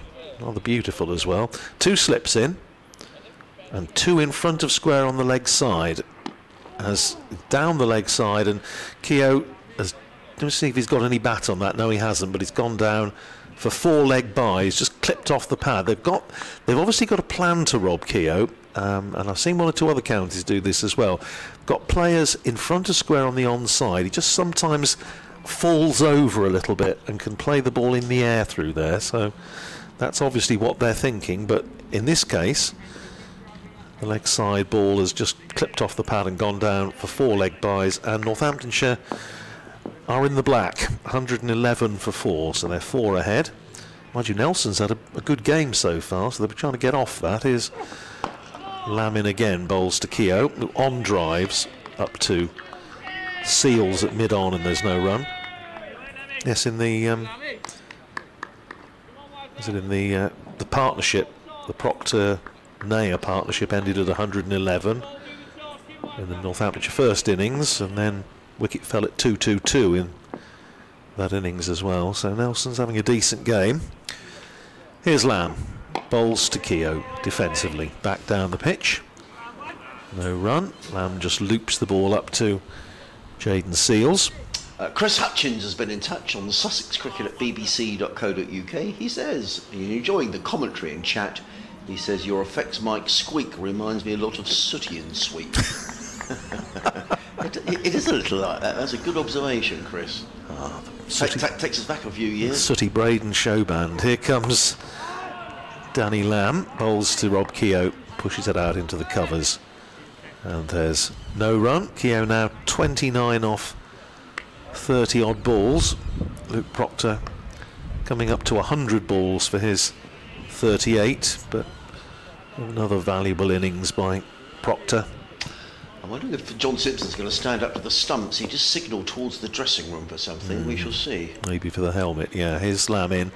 Bowls to Keogh, turns that away just behind square on the leg side. There's certainly one. I think they'll come back for two. Yes, they will. Keogh just have to get the hammer down a little bit, but he does so, and they complete two fairly comfortably. Takes Rob Keogh into the 30s, 31 off 39 balls, and at the end of the over, 113 for four Northamptonshire. So they are six runs ahead. We still have 43 overs remaining. Plenty of cloud around, but the weather fine at the moment. Yes, I'm just seeing who's not out on the field for Sussex, and I think it might be. I can't see Ollie Robinson out there because um, Archie Lenham is Oh, back yes. out after tea on 12th man duties. Uh, now, a helmet is being brought out for uh, John Simpson. Um, or a different helmet, maybe, I shall see. Because in fact, I've had a helmet on for James Coles. Oh, it's a helmet for someone else. It's a helmet for uh, Tom Haines, who's very unusually um, in a slip. So there's a ring of three men on the offside. There's sort of, in fact, there's four. There's Tom Clark at first slip, Tom Haines at third slip, Tom Alsop at second, and there's a gully as well. And now Sean Hunter's come running out. He's come running out to take something else off. Know what that's about. That's taking a long time, isn't it? Sussex were really guilty of that last year. It takes an, an inordinate amount of time to bring out helmets and things, and in the end, ended up losing points. Think John Simpson will let that happen. So they're all crouched around the batters. In comes Coles to Simpson, and is that a stumping? Simpson thought he'd got his man. Umpire Baldwin is unmoved. Smart bit of work. Very good bit of work. In fact, so that, that field for the left-hander is a slip, and then on the leg side there's a leg slip, sort of a leg gully, and a short leg, and that was a short delivery by James Coles, and they were all looking to take evasive action. As Luke Procter was swinging away on the leg side, but in the end didn't connect. Coles again. In and bowls, quick delivery, and Procter helps that around the corner. They've taken one, they'll look for two. Archie Lenham, Lenham is racing in. And Fields well gets in a good throw right over the top of the stumps to Simpson and just keeps Luke Procter to a single. He goes to 39. 114 for four. If it gets to half past four and I'm not dialing on my phone, Andrew, will you give me a nudge? Because um, I missed the half past three update. So well, I'll I've got one to do at 22 minutes past Oh, four. well, not, twen- not 21 or 23. Don't be late. 22 minutes past four. Coles again in and bowl. Short and punched away by Keogh. Uh, through the covers finds Archie Lenham, who's been kept busy. Won't mind about that because it's a little chilly out there at the moment. Uh, Keogh goes to 32, 115 for four. I can reveal exclusively that the only matches in which play is now taking place are Canterbury, here and Lords. So the southeast corner's doing all right, but Yes. uh, no play anywhere else at the moment. Coles in again. Bowls. Procter smothers the spin and plays onto the onside. No run. You, can't account enough for how well Luke Procter has played in this match. You know, Skipper's lead from the front, and he led in the front in the first innings, making 92. And this 39 has come in at exactly 100 balls, but it's the balls he's chewing up which are important here for Northamptonshire. Coles again in the bowls and turned onto the leg side. Well, if you think about it, a single. it's, it's a very good point you make. Um, he faced 225 balls in the first innings. He's played a, hu- he 101 here so far, 326. So he's he's faced the equivalent of what 50 overs Yeah. thereabouts. James Coles in bowls to Keogh. There's a loud appeal, not quite sure what for. The ball has ended up off the pad and ends up at short fine leg, fielded by Jack Carson, but the um, Luke Procter called Rob Keogh through for a leg bye. That is the end of the over. 117 for four, 32 to Keogh, 40 to Procter. So um, the Northamptonshire lead is 10, effectively 10 for 4, with 42 overs left in the match. Mean, if it was a bright, sunny day, we'd be thinking, well, you know, we were going to get all 42 overs. This is far from done, but I, I rather suspect we're not going to get the full 42 overs because, you know, a couple of wickets now, and, you know, Oh, who yeah. knows? I mean, Sussex will not have given this up, nor should. No, no, no, absolutely not. No, quite right. But it's going to be Danny Lamb to continue from the Sea end at 117 for four. Two slips in place. Still a couple of men in front of square on the leg side on the drive. But That's a lovely stroke through the offside by Rob Keogh. Just stood tall, punched it away again. A bit of a trademark Keogh stroke. And that races away to the boundary in front of the pavilion for four. Takes Rob Keogh to 36 and Northamptonshire to 121 for four. I know, you know, we, we all love a love a stat, but it is interesting when you think, as say Rob Keogh, you know, climbing up towards 10,000 runs, gone through past 9,000 in this innings across all formats for Northamptonshire. Here's Lamb in bowls to Keogh, plays it up to silly mid on, and uh, there's no run. James Cole's fielding there. Uh, you know, he's just sort of moving up past some of the players that a lot of supporters would say are the you know all-time greats of the club, and he's he's in fairly illustrious company, being up there with some of the players that have gone past 10,000 for Northamptonshire. Still a long way to go before he reaches the likes of Bailey and Lamb and Larkins and Cook. It's again on the back foot. Keogh plays it up to mid-off and there's no run. But nevertheless, He's climbing up that list. And he's a player who I think one of those that probably in retrospect will look back and think of as a, as a real Northamptonshire stalwart. Say his 15th season as a first team cricketer with the same club. Wow. It's turned away by Keogh. It's a lovely shot away through mid wicket. Might scatter a few of the pigeons who are enjoying bit of uh, tea on the outfield there, but that's raced away for four. And beautiful timing from Keogh. He goes up into the, well, within reach of a half century. He's up into the 40s. And Northamptonshire to 125 for four, 18 runs ahead. I think I put in his uh, piece I wrote for his testimonial brochure that these days, if somebody spends three years at the same county, they get a parchment scroll and a, a gold watch. So Yeah. To have been there for as long as, as Rob has.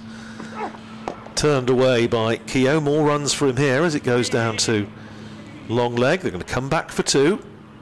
Again, positive stuff, positive running from Rob Keogh, who overtakes his captain. He's 42 now, Procter 40. And uh, Northamptonshire 127 for four. And he's uh, a lot of the players that say, oh, I don't, I don't know, statistics aren't important, records aren't important, but they all love it, really. Oh, they do. Oh, they do. Absolutely And, uh, they do. Rob's always very interested in the uh, in the facts and figures.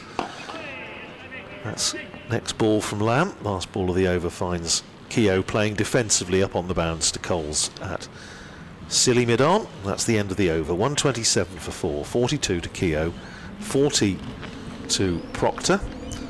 I think I shall nip off if that's all right, Adrian, and do Sure. my uh, Do your bit. piece for uh, the afternoon show with Roberto, and uh, I'll be back with you presently. No problem at all. Uh, that's Andrew Radd from BBC Radio Northampton. And Andrew will be with us um, shortly. So the overs are just ticking by here. The lead is now 20. James Coles is going to carry on. Uh, in terms of a weather update, that really rather threatening cloud has sort of disappeared uh, uh, over the North Downs in the distance. We've now got a glimmer of sunshine across Hove. A very good afternoon and welcome to our listeners on 5 Sports Extra. As James Coles bowling his left arm spinners into the Northamptonshire skipper Luke Procter, who plays straight back down the track. And there is no run. Northamptonshire here are 127 for 4.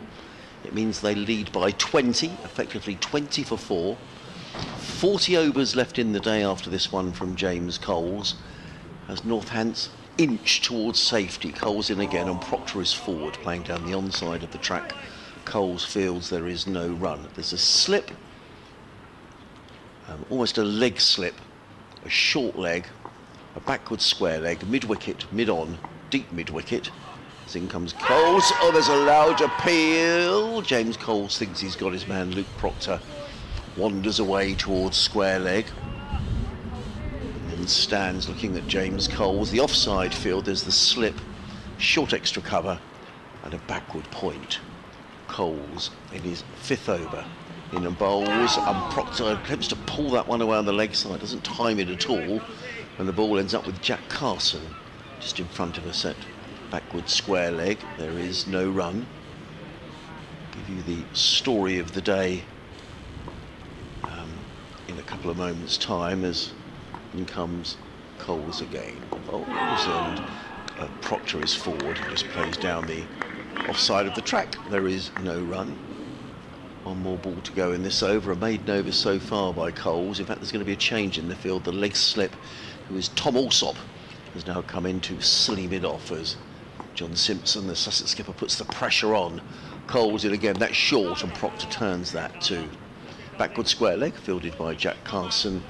And there is no run. Carson takes off his glasses as if to suggest he's going to bowl the next over from this, the Sea end of the ground. So Northamptonshire 127 for 4. Rob Keogh on 42 off 47 balls. Luke Procter on 40 off 107 balls. These two coming together when Northants were in real trouble. 57 for 4. Two wickets for Jayden Seales, taking him to six in the match. A most impressive debut one for Ollie Robinson, his 399th first-class wicket for Sussex. The other taken by Jack Carson, who indeed is going to bowl from the Sea end of the ground here at Hove, bowling up the slope. So at that stage, Northants 57 for four and in real trouble. But these two experienced campaigners have really steadied the ship as far as Northamptonshire are concerned. But still 40 overs to go in the match, and Sussex won't be giving this up just yet.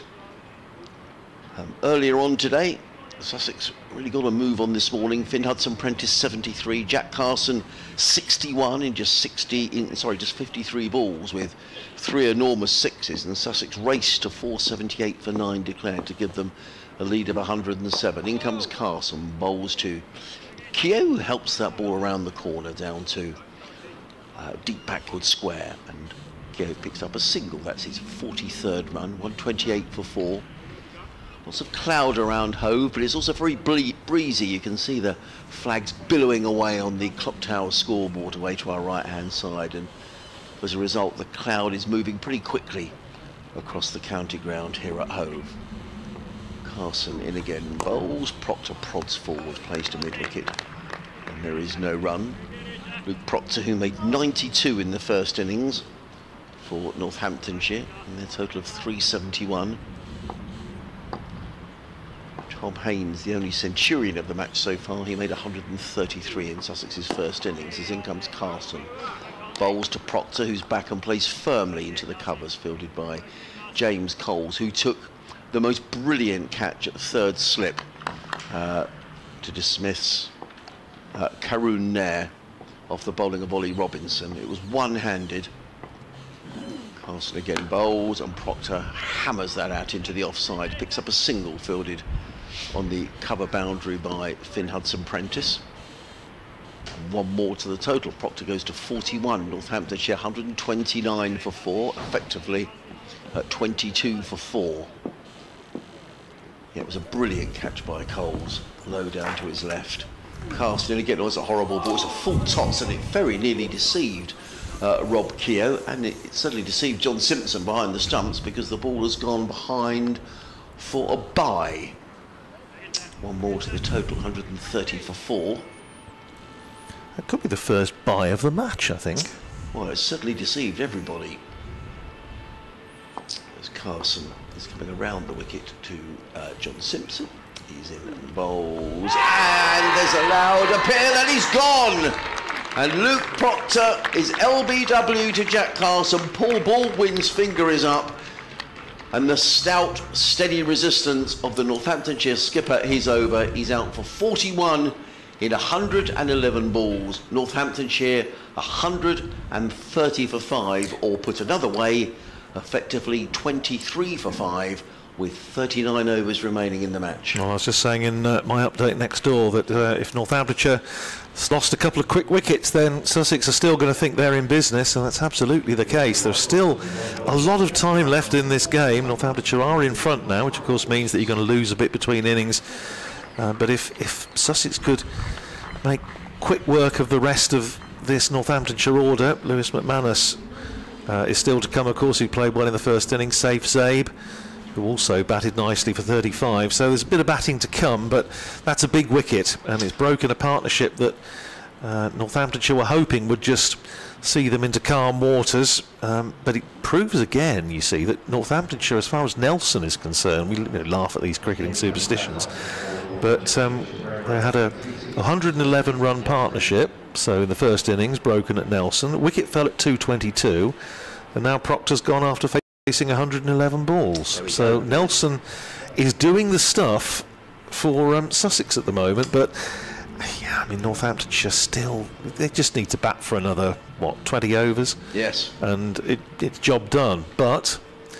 They've still got. They've still got to do it. Yeah, and a bit of credit to John Simpson. It's his first game in charge of Sussex. I think he's juggled the bowling around well, and he he's brought back Jack Carson, who before tea went for 18 in sorry 19 in an over. So Brave to begin back, and he's got the wicket.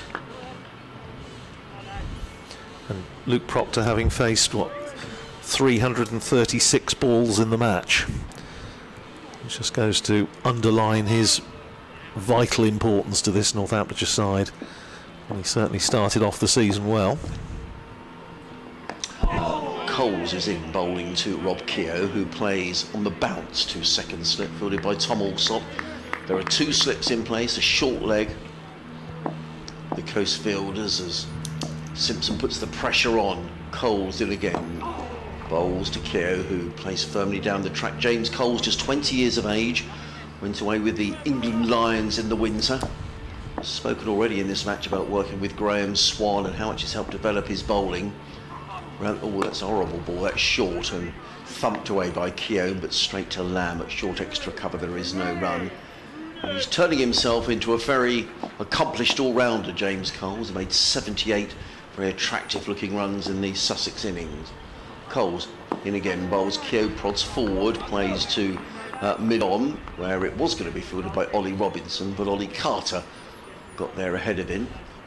Interesting that Robinson's back on the pitch because he was off for a while and he's bowled in bursts together with Jayden Seales and I suspect we'll see those two again if the light holds. Coles in again, bowls to Keogh. That's down the leg side, clipped away nicely by uh, Rob Keogh and that's going to run away for four runs and Keogh goes to 47 and Northamptonshire to 134 for five. So Luke Procter has basically soaked up 56 overs Yeah, in this match, which is pretty darn good when it comes to setting the tone for the season. Yeah, absolutely. Coles, final ball of the over. Short, hammered, oh, hammered to short extra cover, and he's been put down. Rob Keogh has been given a life. It was driven very hard by Rob Keogh. That's Danny Lamb in there at short extra cover. He rings his right hand. It was going like a rocket, but it was a chance. It's gone down. Danny Lamb has clearly hurt his hand. Um, it looks like he's almost hurt his wrist, actually. It did go very, very fast. But it's a chance. You probably heard the cry of catch. And if another wicket had gone there, Northants really would have been in trouble. Oh, Keogh yes. survives on 47, but he's had a life. And the slightly ironic thing there is that we were making the observation earlier that one of the differences between the sides in this match is that Sussex have caught very, very well um, across the the first four, well, first three and a bit days of this match. They put very little down. Northamptonshire were somewhat fallible in the field, and uh, the coaching staff will be hoping it's not a repeat of last season when Northamptonshire's catching was was frankly poor in all the competitions. But uh, yeah, that could be a costly one. Got to be Carson to continue from this Sea end with a slip forward short leg and a silly point. Bowls to the left-handed Zaib, who chops that away past silly point uh, to the man sweeping on the cover boundary. And Saif Zaib is off the mark. 135 for five. Northamptonshire leading by 28 with 37 overs to go after this one in progress. Sky's getting darker. Lost the sunshine at least for now. Here's Carson bow- bowls to Keogh, who had got into the stance to play the reverse sweep, and seeing this, Carson didn't let go of the ball. So signalled as a dead ball by umpire Baldwin. Carson has another go. Comes in and Keogh still goes for the reverse sweep. It's looped up and he's been caught as he. There's an appeal. Not out, says umpire Baldwin. They're appealing for the catch, and yeah, Rob Keogh's rubbing his arm to suggest that that's what it came off. But well, the ball before he was obviously was attempting the premeditated reverse sweep to the extent that the bowler pulled out. He still played the shot, and it could easily have cost him his wicket as it just looped up, was caught at slip. Big appeal, but not out, says umpire Baldwin. Nervy times for Northamptonshire as Carson trots in again. Bowls to Keogh, sweeps, orthodox sweep this time, and it goes down to backward square for a single. Takes Keogh to 48, and Northamptonshire to 136 for five. Rob Keogh in his testimonial year. Obviously keen to have a big year for the county for which he's played now for 15 years. And here's Carson round the wicket to the left-handed Zaib. And Zaib pushing forward out to the man at silly Point. Understandably, Sussex just putting a little bit of pressure on the new batter. They've got a slipper Scilly Point, forward short leg.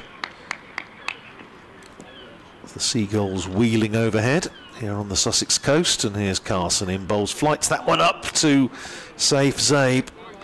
Who has a little fiddle at it outside the off stump. Simpson, for once, doesn't take it cleanly. Bowlers that we've spoken to, the spinners in this match, say with the Kookaburra ball, it's it's fine bowling spin with it when it's still got a bit of hardness, and that's short, and it's cut away by Zaib, and he's going to get another run as it goes out to the man sweeping on the cover boundary. One more to Saif Zaib, who pinches the bowling as well. That's two to Zaib, 48 Keogh and Northamptonshire, 137 for five at the end of the over, so 30 runs ahead with 37 overs remaining. And well, just a quick look at what's happening in the very few other games still going on as well. At Lords, Glamorgan are 10 for 1 in their second innings after Middlesex were finally dismissed for 655. And um, Ethan Bamber has picked up an early wicket there for Middlesex as that one obviously goes to a draw.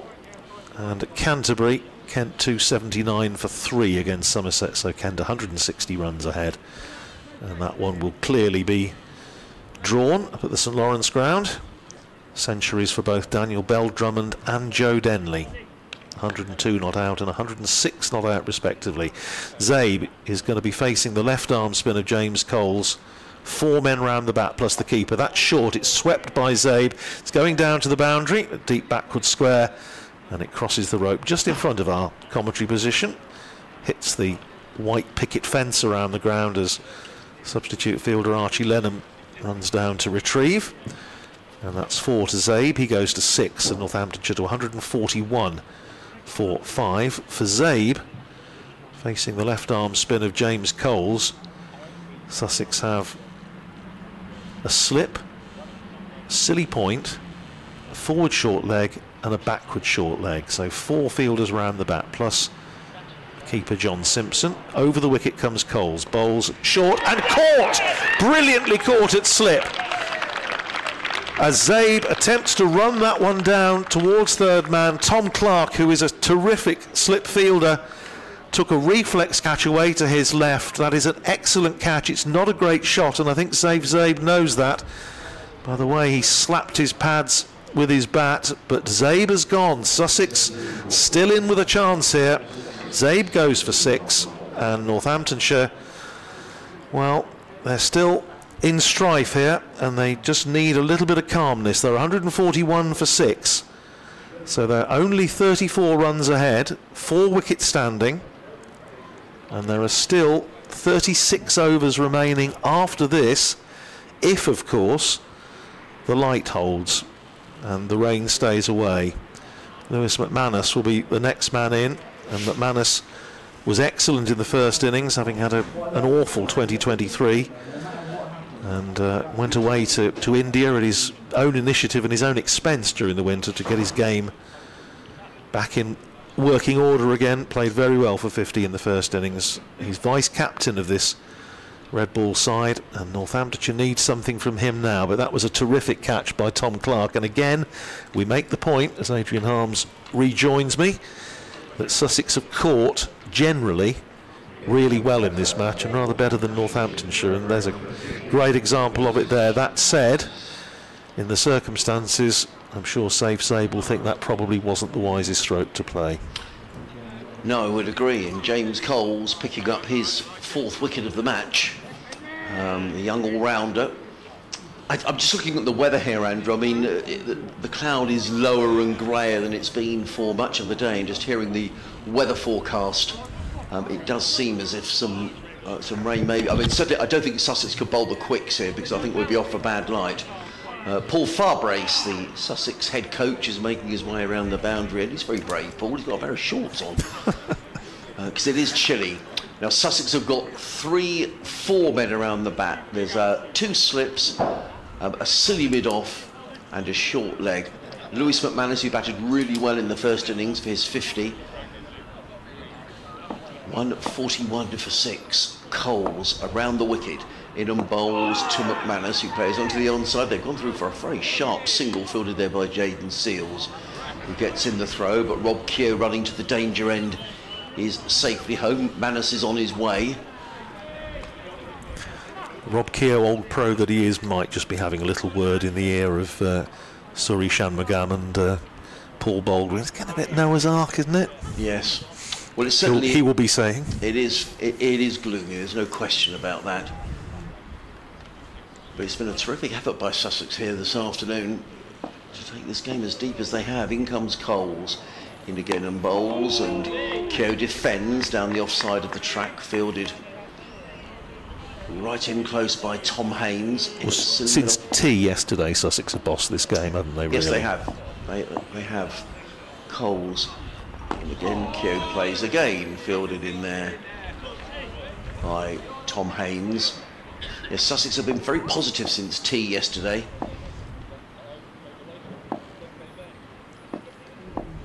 Coles. In again, bowls.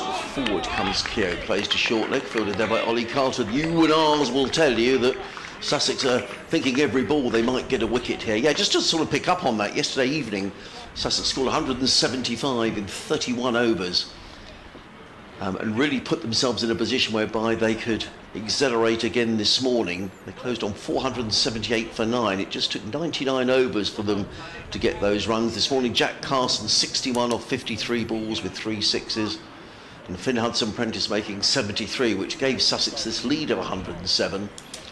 And they've sort of worked their way through the Northamptonshire order. Whether they'll have enough time or not, and whether the weather will relent long enough, we'll have to wait and see. But it certainly is a final day that I don't think we were really expecting. No, absolutely not. Certainly not the amount of cricket that we've had, as you say, given the uh, given the weather forecast. Just got the radar on it. There is rain around, but it's quite a long way away to the west, and I'm not entirely sure it's coming in this direction. I think Portsmouth's getting a bit of a soaking at the moment, but um, it's okay here. It is, however, a bit gloomy.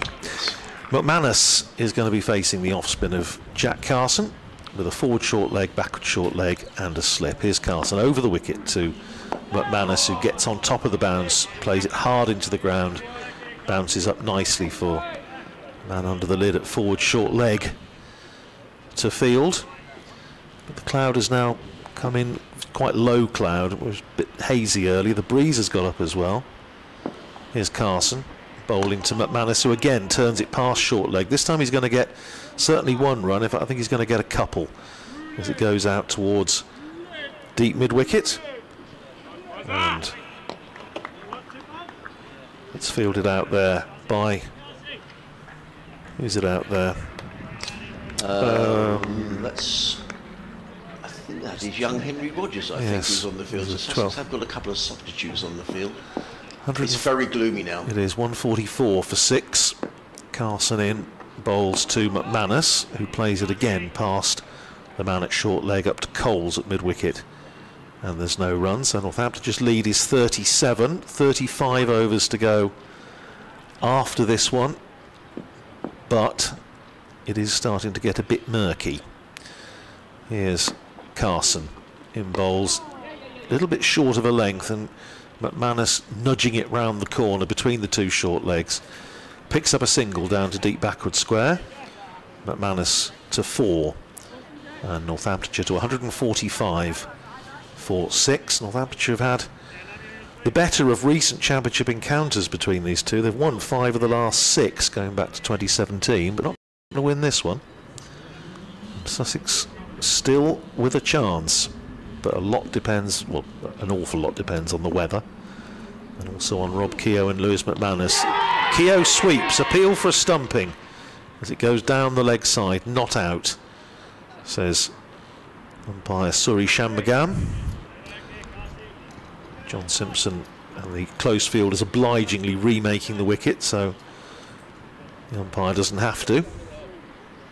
Saves a second or two. Here's Carson. In again, bowls to Keogh, who sweeps, heading down towards deep backward square, and he's going to pick up another single. Takes Keogh to 49. That's the end of the over. Another one ticks by. Keogh to 49. McManus is four, and Northamptonshire 146 for six. So they lead by 39. 35 overs to go. The umpires are having a chat. Yes, they are. Um, Uh, they will presumably have a look at the the meter because they will have taken a reading.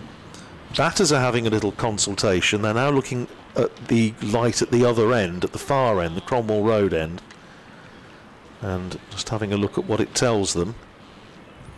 we're staying on, I think. Yeah, it, uh, to, to me it doesn't look quite as dark as it was when we came off.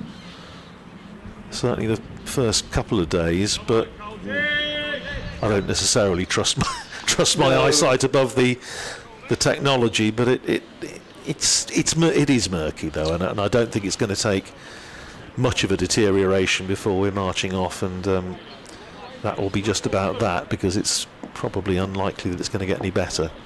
James Coles is coming in in the meantime around the wicket. He bowls to uh, who plays this nicely through backward point. He's going to pick up a couple of runs. Danny Lamb comes chasing down to the um, third man boundary. That prevents anything more than a couple of runs.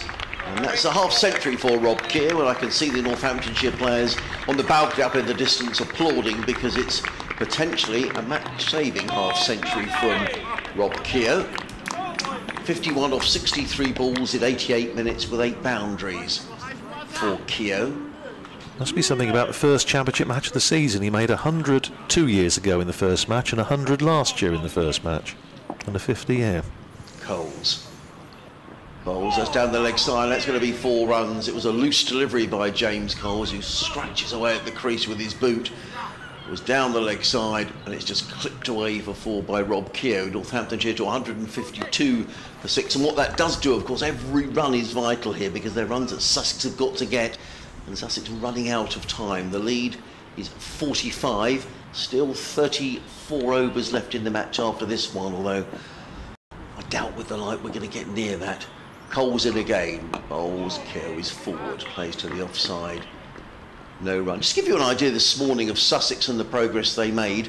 Uh, 127 in 19 overs. They scored as Sussex set up a declaration on 478 for nine.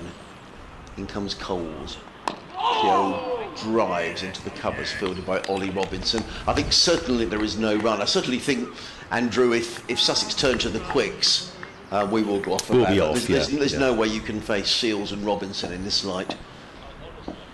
Coles again around the wicket in them bowls and Keogh is out. He's LBW and James Coles clenches his fists.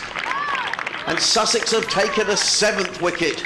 And James Coles picks up his fifth wicket of the match. Rob Keogh is on his way for 55. Northamptonshire 152 for seven. They lead by 45, but they've only got three wickets remaining.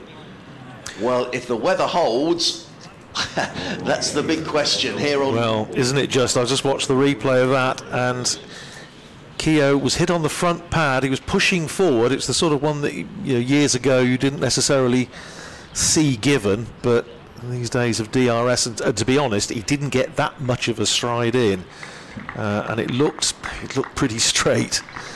Having watched the uh, the replay, I don't think Rob Keogh has got too much to complain about there. If anything, he didn't seem particularly mithered. I think that's just a good bit of bowling. And now, well, all things are possible, Adrian. Well, yeah, I was just looking at the tail. I mean, the tail did wag for Northamptonshire in the first innings. Uh, ben Sanderson made 27 and Chris Tremain 22, but it was a slightly different situation then. But I, I, you know, I just wonder whether the tail enders might decide to play the way they played in the first innings, which Yeah. was attacking because. Um, as I say, every run is more runs Sussex will need to get. It's going to take more time out of the game. Well, what a finish we've got here at Hove on Five Sports Extra, BBC Radio Sussex, BBC Radio Northampton, Adrian Harms and Andrew Radd here in the gloom. Although, having said that, I'm looking away to the west.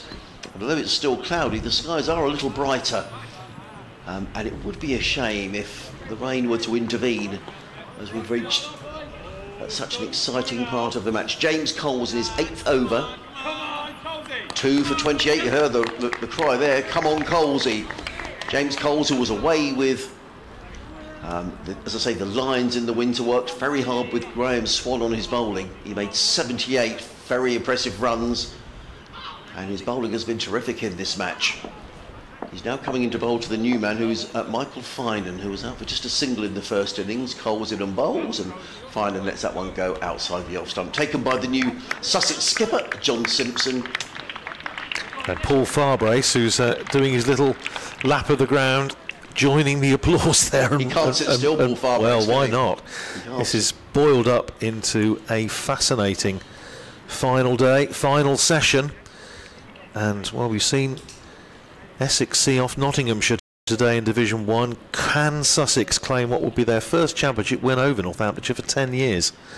Since 2014 here at Hove, which was a very bad season for Northamptonshire. That was in Division 1, of course. And uh, Northamptonshire went through the season without winning a game. And they lost here down at Hove.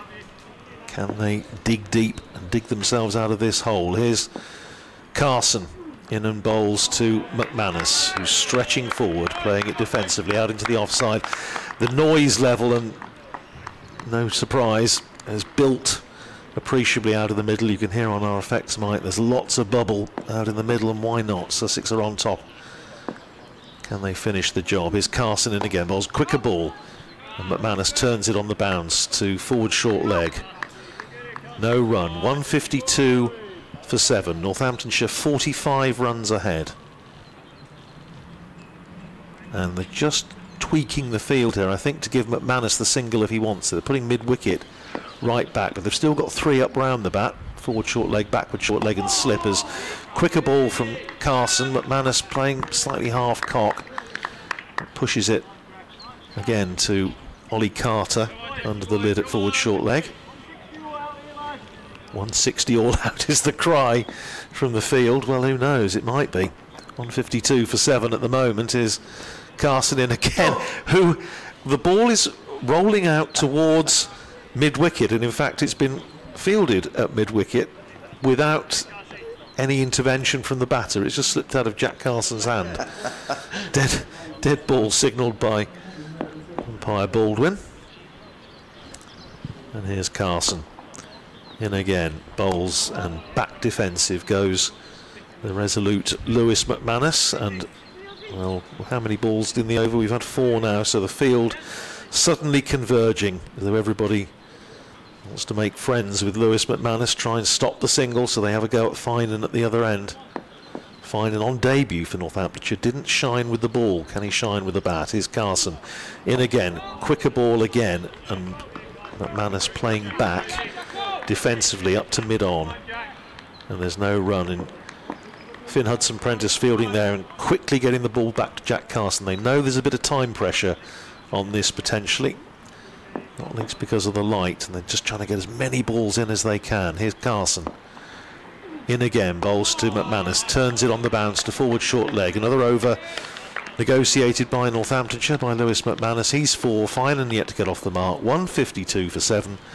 Northamptonshire are 45 runs ahead. We have 33 overs remaining. And interestingly, Adrian, we can't see, obviously, behind us in our commentary position, but the glass of the block of flats opposite is quite, suddenly started to get a little bit brighter, which Yes, would it has. suggest that the weather behind us, which I think is where it's coming from, Yeah, it's coming from the southwest. maybe is getting a wee bit brighter. James Coles comes in from the Cromwell Road end down the hill for Sussex fielders and he's out. He's caught at slip. That's a terrific catch by uh, Tom Alsop. Michael Finan driving away, not to the pitch of the ball, thick outside edge. It went very quickly to Tom Alsop, who did the rest. And Northampton now 152 for 8. They lead by 45. James Coles picks up his third wicket of the innings, his sixth of the match. And to make Sussex Day even more complete, it is definitely getting a little brighter here It is. at Hove. Well, I, I, they don't do the uh, they don't have man of the match in these championship matches, but I think James Coles would be No, I agree. pretty much nailed on. What a match he's had. He, he's batted well, he's bowled well, he's caught well, exceptionally well. In fact, the catch to get Karun Nair, which is obviously a, a big, big wicket. And well, you, I mean, you called it, Adrian, because you did say you thought he probably may even have come into the attack a little bit earlier than he did. Bowled very well in the first innings, but John Simpson bringing him into the attack. He's now picked up three in the innings, three for 28 in his ninth over, and uh, 45 is the lead.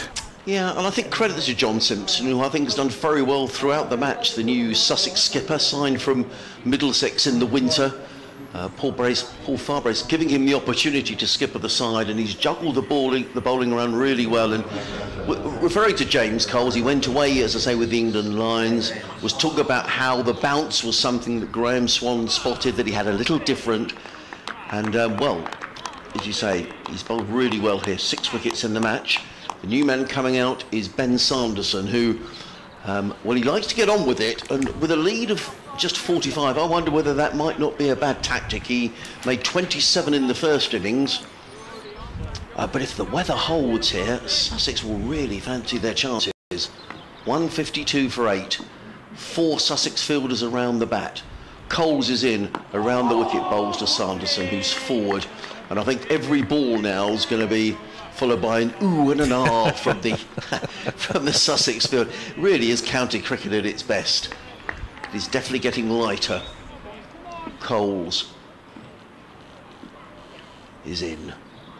Bowls, Sanderson forward, plays on the bounce to Silly Midoff, fielded there by Tom Haines, who made 133 for Sussex in the Sussex innings of 478 for 9 declared.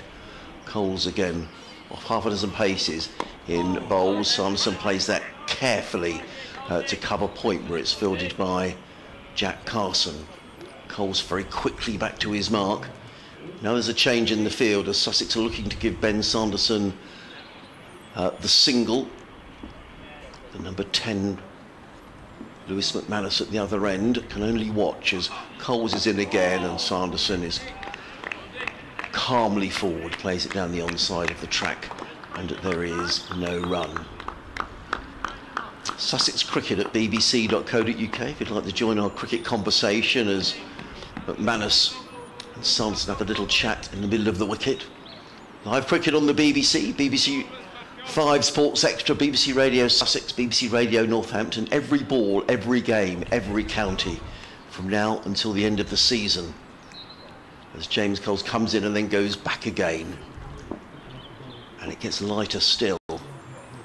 Coles in bowls. Sanderson is up to the task and just placed in front of him. There is no run. End of the over, 152 for 8. 32 overs remaining in the day. We will lose two of those overs if we get to the stage of a change in innings. Very quickly, uh, elsewhere, uh, no play at all in the matches at Durham or Derbyshire. Both of those matches abandoned without a ball being bowled.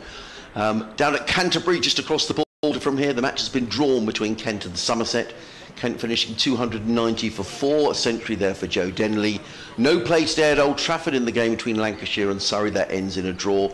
Terrific win for Essex at Trent Bridge, uh, thrashing Nottinghamshire by 254, and it finished in a draw at Edgbaston, the game between Warwickshire and Worcestershire, and much the same, I suspect, coming up at Lords in the game between Middlesex and Glamorgan. Here's Carson starting another over to Lewis McManus, who blocks the first ball out into the offside. John Simpson comes round from behind the stumps to retrieve, and there is a very welcome sight for Sussex out there at the moment, which is shadows. Hmm.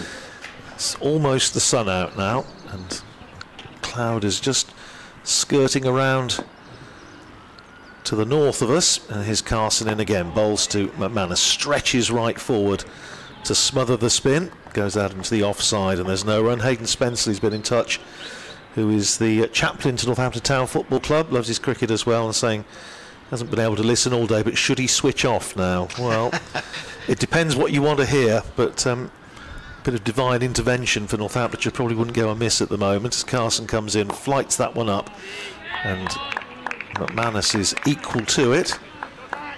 Pushing back up the pitch for Carson to field. Do you know, the light is almost such that Sussex could bowl the quicks here Yeah, now. they could. I think they would. They would get certainly get away with it now. Three balls gone in the over. Uh, field is changing around. They may just be going to bring another close catcher in. Uh, fielder going across from the offside onto the onside out to deep mid wicket. And yes, they're going to have bring in another close fielder. So Sussex now with slip, silly point, forward short leg, backward short leg. Four up round the bat, plus the keeper. Here's Carson. In and bowls. Quicker ball left alone by McManus. And I suspect that didn't miss the off stump by a great deal. McManus at least showing a bit of judgment there and suddenly four balls gone. The field comes He's in. suddenly got all his friends back again. All of the Sussex fielders. Those that are not certainly in the close catching cordon are now in looking to save one and keep Lewis McManus at this end and have a go at Ben Sanderson for the start of the next over. Next ball is punched up to mid on off the back foot by McManus. Fielded by Hudson Prentice. And there's no run, so one ball left in the over. McManus would love a single. There's clearly some chatter going on out there. John Simpson is just rearranging the field, and Lewis McManus quite within his rights just to walk away and look exactly where this field is being placed. I have to say also, in, in passing, you have to spare a thought for Michael Finan. Um, this is his Northamptonshire debut, and it, it hasn't been a, a great game for him, sadly. That's the game. That's cricket can do. Next ball to McManus is turned away on the onside, but there's not a single to be had. Fielded by Ollie Robinson, and that's the end of another Jack Carson over, who's bowled now 11 overs, one maiden, two for 42, having picked up the wickets of Luke Procter, which was a vital one, and George Bartlett, 152 for eight. McManus is four. Sanderson yet to get off the mark. The most relevant statistic on the board to our right is that there are 31 overs remaining. And you're listening to live cricket on 5 Sports Extra, BBC Radio Sussex, BBC Radio Northampton. Myself, Adrian Harms, alongside Andrew Radd. Um, and not an outcome that we foresaw this morning, particularly with a very inclement weather forecast. But so far, the rain has stayed away. Coles comes in, bowls to Sanderson, who's forward, plays into the offside. There is no run. Four men around the bat mindful of people joining us all the time and the story of the day Sussex declaring on 478 for 9 as James Coles is in. Bowls Sanderson is forward. Plays onto the onside. There is no run. Sussex scoring 127 this morning in 19 overs led by Jack Carson who made 61 in 53 balls with three sixes. Uh, Coles again, quicker delivery. Sanderson plays on the bounce to Haines, who's in there at silly mid off, and there is no run. So Sussex declaring with a lead of 107, and they've slowly worked their way through the Northamptonshire order. Coles, and again, a little bit of extra bounce from James Coles. Sanderson plays it well, he played it with soft hands. Desperately trying to avoid one of those four men who are encamped around the bat. Coles. Oh, Sanderson drives, it's in the air, but he's going to get a single. Sussex won't mind too much about that because it means that Ben Sanderson is now, um, well, he's at the non-striker's end, but there's only one ball left in the over. 153 for eight. I think Sussex will mind in the slightest. It's a slightly interesting decision, that one, I think. Take the run. The lead is 46 for Northamptonshire. Coles again, bowls, and right behind that is McManus, plays it back to James Coles. There is no run. Another over slips by. 30 overs remaining in the match. Just to finish up with those scores elsewhere, uh, the match is drawn at Headingley. A century for Harry Brook in very quick time today. Uh, Leicestershire finishing their second innings 26 without loss. So a draw there. Um, it's heading for a draw at Lords where uh, Glamorgan are 28 for 2 in their second innings, uh, trailing Middlesex by seven runs. Uh, Sam Northeast 14 not out, having made 330 of the highest first class score at, in the first innings. But really, it's all about this game at Hove. And Ollie Robinson has just trotted off the field. He's now up Yeah. in the changing room, so one imagines that may be bowling boots time for Ollie Robinson before coming back into the attack. Ben Sanderson on strike to Jack Carson. And there's a big appeal for LBW as Sanderson pushes half forward.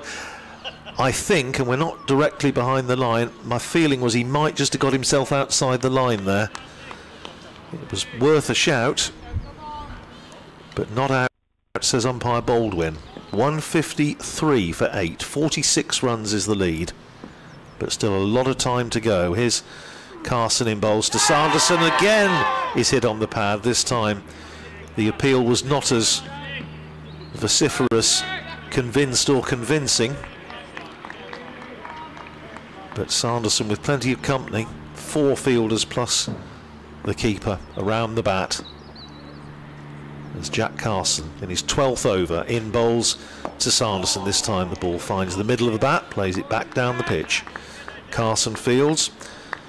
Messages starting to come in from Northamptonshire supporters who are somewhat exercised by what's been going on. Here's Carson in again. Bolster Sanderson, who jabs down on that. Such a hurried little defensive stroke. Carson firing that one in. And Sanderson was on the back foot. And my goodness, that almost got through. Inside edge saved him. Can't take your eyes off this one. Here's Carson. In again, bowls to Sanderson, who pushes forward this time, and it goes to short leg. And there's no run. Now, with one ball to go in the over, John, John Simpson dispatches his fielders out and give Ben Sanderson the single, surely. Surely they won't. Surely they won't take it. But you never know. We'd have said that um, the back end of the previous over, but um, anyhow. Sanderson made a mark with the bat in the first innings with a quick 27. He needs to play a, probably a rather different innings this time. Here's Carson in and bowls to Sanderson, who drives pleasantly. It, it goes out to deep extra cover, who's sort of tracking back, thinking, "Come on, Ben, have a go," but he's not. He's not going to run.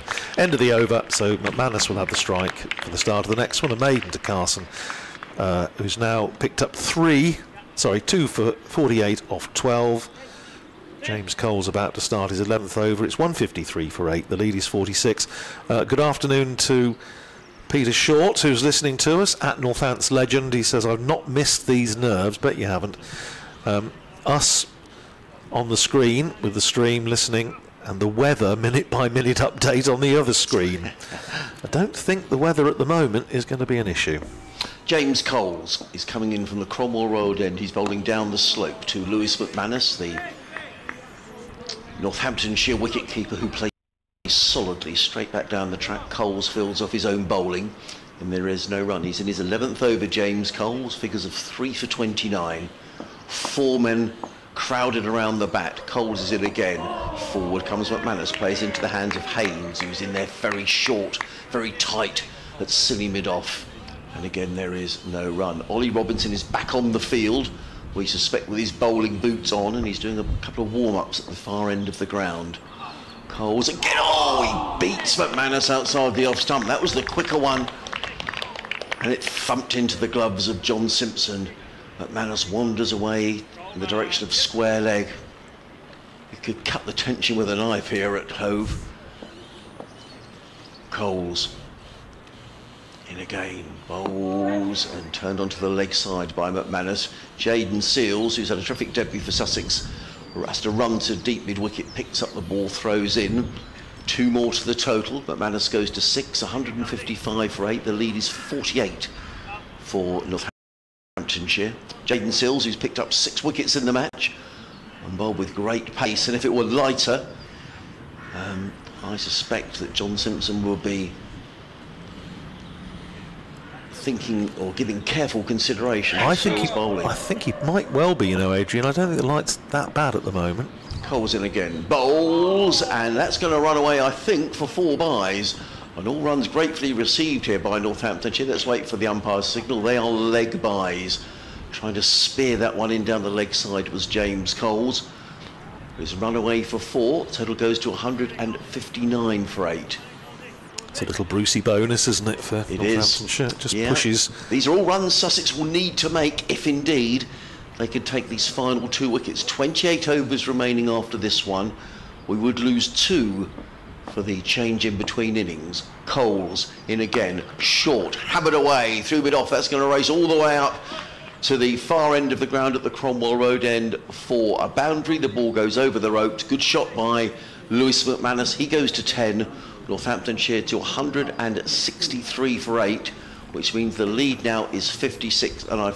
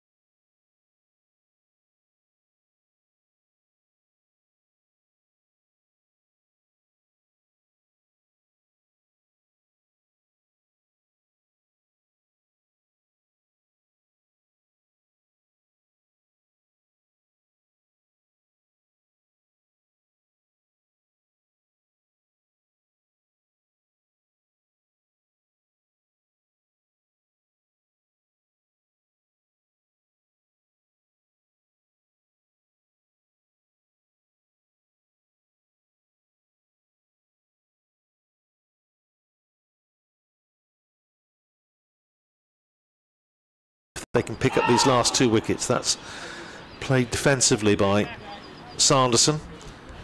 Just runs down off thick outside edge perfectly safely into the slip cordon. Five round the bat now. Slip, forward short leg, silly point, leg slip, leg gully. And that's turned away by Sanderson. That was a little bit short. Worked away into the onside by Ben Sanderson. 167 for 8, 60 runs. The lead now, 27 overs to go after the one in progress. The batters have a, a chat in mid-pitch. Come on, Jackie, is the cry. Well, he's picked up two wickets so far, Jack Carson. He's in his 13th over, two for 52. Sanderson will not be rushed, that is for sure. Just taking his time and settles into his stance as Carson bowls. Flights that one right up, driven again by Sanderson. This time doesn't miss the man at mid off. So that's four balls gone in the over. There's Carson. And again, bowls to Sanderson. Once again, flights it up. This time, Sanderson drives straight back down the pitch. Fielded by Carson. And now, one assumes they will be quite happy to give Sanderson the single. One ball to go in the over. Here's Carson. It's short. And Sanderson on the back foot plays it back down the pitch. Carson fields, end of the over. 167 for 8. McManus is 10. Sanderson is 5. The lead is 60. There are 27 overs to go. The light is okay. Yeah, it's not great. I don't- I It's, it's not wonderful, but it's. I think at the moment, it's uh, it's certainly playable. Weather, I was just sort of thinking that probably in the previous couple of overs, it might just be good enough if they wanted to bring the seamers back. Now, I'm not sure. It's marginal. Live cricket here on 5 Sports Extra, BBC Radio Sussex, BBC Northampton. In comes Coles. all that kept low and it was well kept out by Lewis McManus, who plays the ball to mid-on, fielded by Jayden Seales. Adrian Harms and Andrew Radd on commentary duty. What a cliffhanger of a game in this first round of county championship matches. Four men around the back. Bat Coles in McManus's forward strokes carefully into the covers, picked up by Robinson.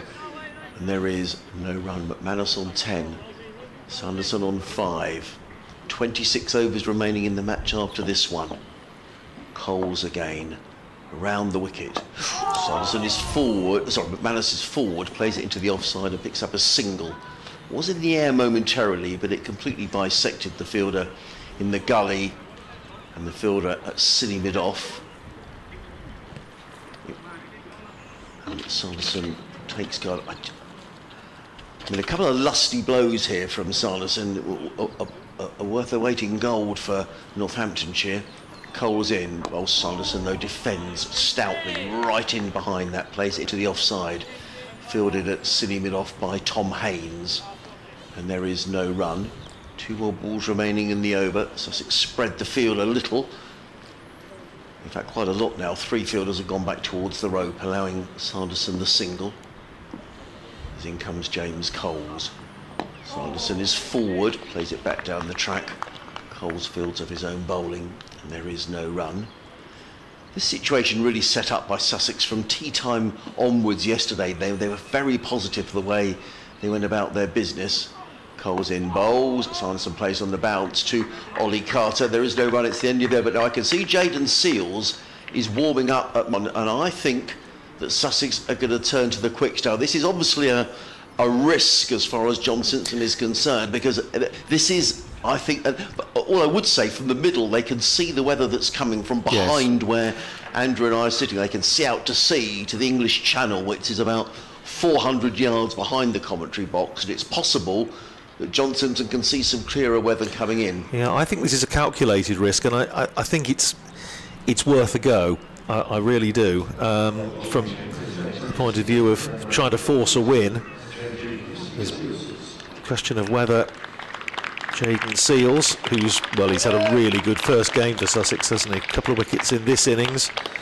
Wonderful sight for him earlier on, just after lunch, when he knocked the off stump of Emilio Gay flying out of the ground. It's pretty, I mean, that, that that we can see coming over the back of our commentary position, coming up from the south, is is fairly bright. I think we're okay, at least, as I say, for the time being. 26 overs remaining. And Jayden Seales back into the attack. Nine overs, one maiden, two for 38. He's going to be bowling from the Sea end. Three slips in. And he's bowling to Lewis McManus, Northampton's vice captain. And Seales is in outside the off stump, and that bounces horribly mm. for John Simpson, who sort of took it on the half volley and took it very well. That was a difficult take, and he made it look very easy. As far as what's happening elsewhere is concerned, match drawn at Canterbury. Kent 290 for 4 declared, with Daniel Bell Drummond 107 not out. Joe Denley made 110. So that is a draw at Canterbury. Here, Sussex win still possible. Next ball from Seals is played defensively by McManus out into the covers. There would have been an easy single had they wanted it. They don't. The field now, three slips in place. They have a deep point on the boundary in front of the members' pavilion. An extra cover, mid off, mid on, deep square just in front, about five yards in from the boundary in front of the clock tower scoreboard, and a long leg down in the northeast corner of the ground, Cromwell Road end of the ground. So there would be a single pretty much anywhere if McManus wanted it, which at the moment he doesn't. His Seales in, bowls to McManus outside the off stump, doesn't need to play it, just, and doesn't. I just wonder, Andrew, sometimes in this situation, I can't believe McManus is going to take a single to Jayden Seales. So I just wonder whether you're better in having everybody around the bat, really. Yeah. You know, try and put some pressure on McManus because at the minute he's got a free rein. There's no one in front of the batting close at all. In fact, now with three balls gone, John Simpson is bringing in the field, certainly on the offside. Well, we are now the only championship match in progress. And what a cracker we've got yeah, here. Great start to the season. Oh, wonderful start to the season. We've been saying how lucky we've been to get so much cricket, um, a round of matches that's obviously been fairly depressing for spectators in some parts of the country. And this boiling up to what could be a fascinating finish. Here's Seales in bowls and McManus running it down into the slip cordon. And there's no run. And the umpire, Suri Shanmugam, is going across. I'm not quite sure why to point, whether it's I don't know. Maybe he's just distracted by. There's, there's no fielder in his No. in his way, but he's decided to go across. I can see Now- um, I can see Ollie Robinson warming up as well, Andrew. I think we're going to get pace from both ends. I think here. we are now. They are just changing the field. Lewis McManus is now waving to the dressing room, and what are we going to have? A forward short leg is going to go in, I think, for McManus. There's, there's a pile of helmets behind Um, Yes. John Simpson. It's like a sort of a helmet depot immediately behind the Sussex captain, and they're, they've got a couple of them out, throwing them around like rugby balls at the moment. At the end of which we have two slips, a leg slip, and a forward short leg. Yes. And Ollie Robinson is helping J- Jade Seales set the field and is moving the man that was at cover round to backward point. With two balls left in the over, McManus on strike, and Seales round the wicket to him, short, Ooh, that and that was a quick bouncer from Jayden Seales, and McManus played it well, swayed out of harm's way. And the great thing is, there's not a, let's be honest, there's not a huge crowd in here, but those that are here mm. are really getting into this. Yeah. And there's a few in particular in the main stand over to our left who are muffled up against the chill, but they are really enjoying this. There's nothing like the sight of a genuinely quick bowler. That's tremendous stuff from Jayden Seales. Orange soles of his boots visible as he runs in, bowls another short ball to McManus, who I think he wore one for the team there. Just took it somewhere on the body. But that's the end of another over. And McManus survives it. 11 to him, 5 to Sanderson. 1 6 8 for 8. Northamptonshire are 61 runs ahead. There are 25 overs now remaining. And um, just a hint of are you being served glass of water, for Mr. Grainger? Glass of water for Mr. McManus. James Sales is out there on the field at the moment, just um, offering a, a glass of water to the vice captain, and it is indeed going to be Ollie Robinson coming back into the attack from the Cromwell Road end, who's going to be running down the hill. Ollie Robinson, nine overs, three maidens, one for 19. He's taken 399 first class wickets, all of those uh, for Sussex. Um, and a message on Twitter. Good evening, Adrian and Andrew. It's a nail biting match at home. I'm watching on the live stream. Thanks, says Philip Gabbage in Wolverton in Milton Keynes. Thank you, uh, Philip, for getting in touch. You can email us, sussexcricket at bbc.co.uk. You can tweet at oldmanrad, R-A-D-D, or at BBC uh, Sussex Sport. Ollie Robinson running down the hill from the Cromwell Road end bowls to Ben Sanderson, who's forward. And the ooh and the ah was because the ball was in the air for a little while as it found its way towards short leg, but it bounced. And there is no run. You're listening to live cricket on the BBC from 5 Sports Extra. BBC Radio Sussex and BBC Radio Northampton. Every ball, every game, right through the season. And now Paul Baldwin has gone from the, the other side Yes, across to point. May have been, I think, possibly the man at forward short leg will be obscuring his uh, his view partially.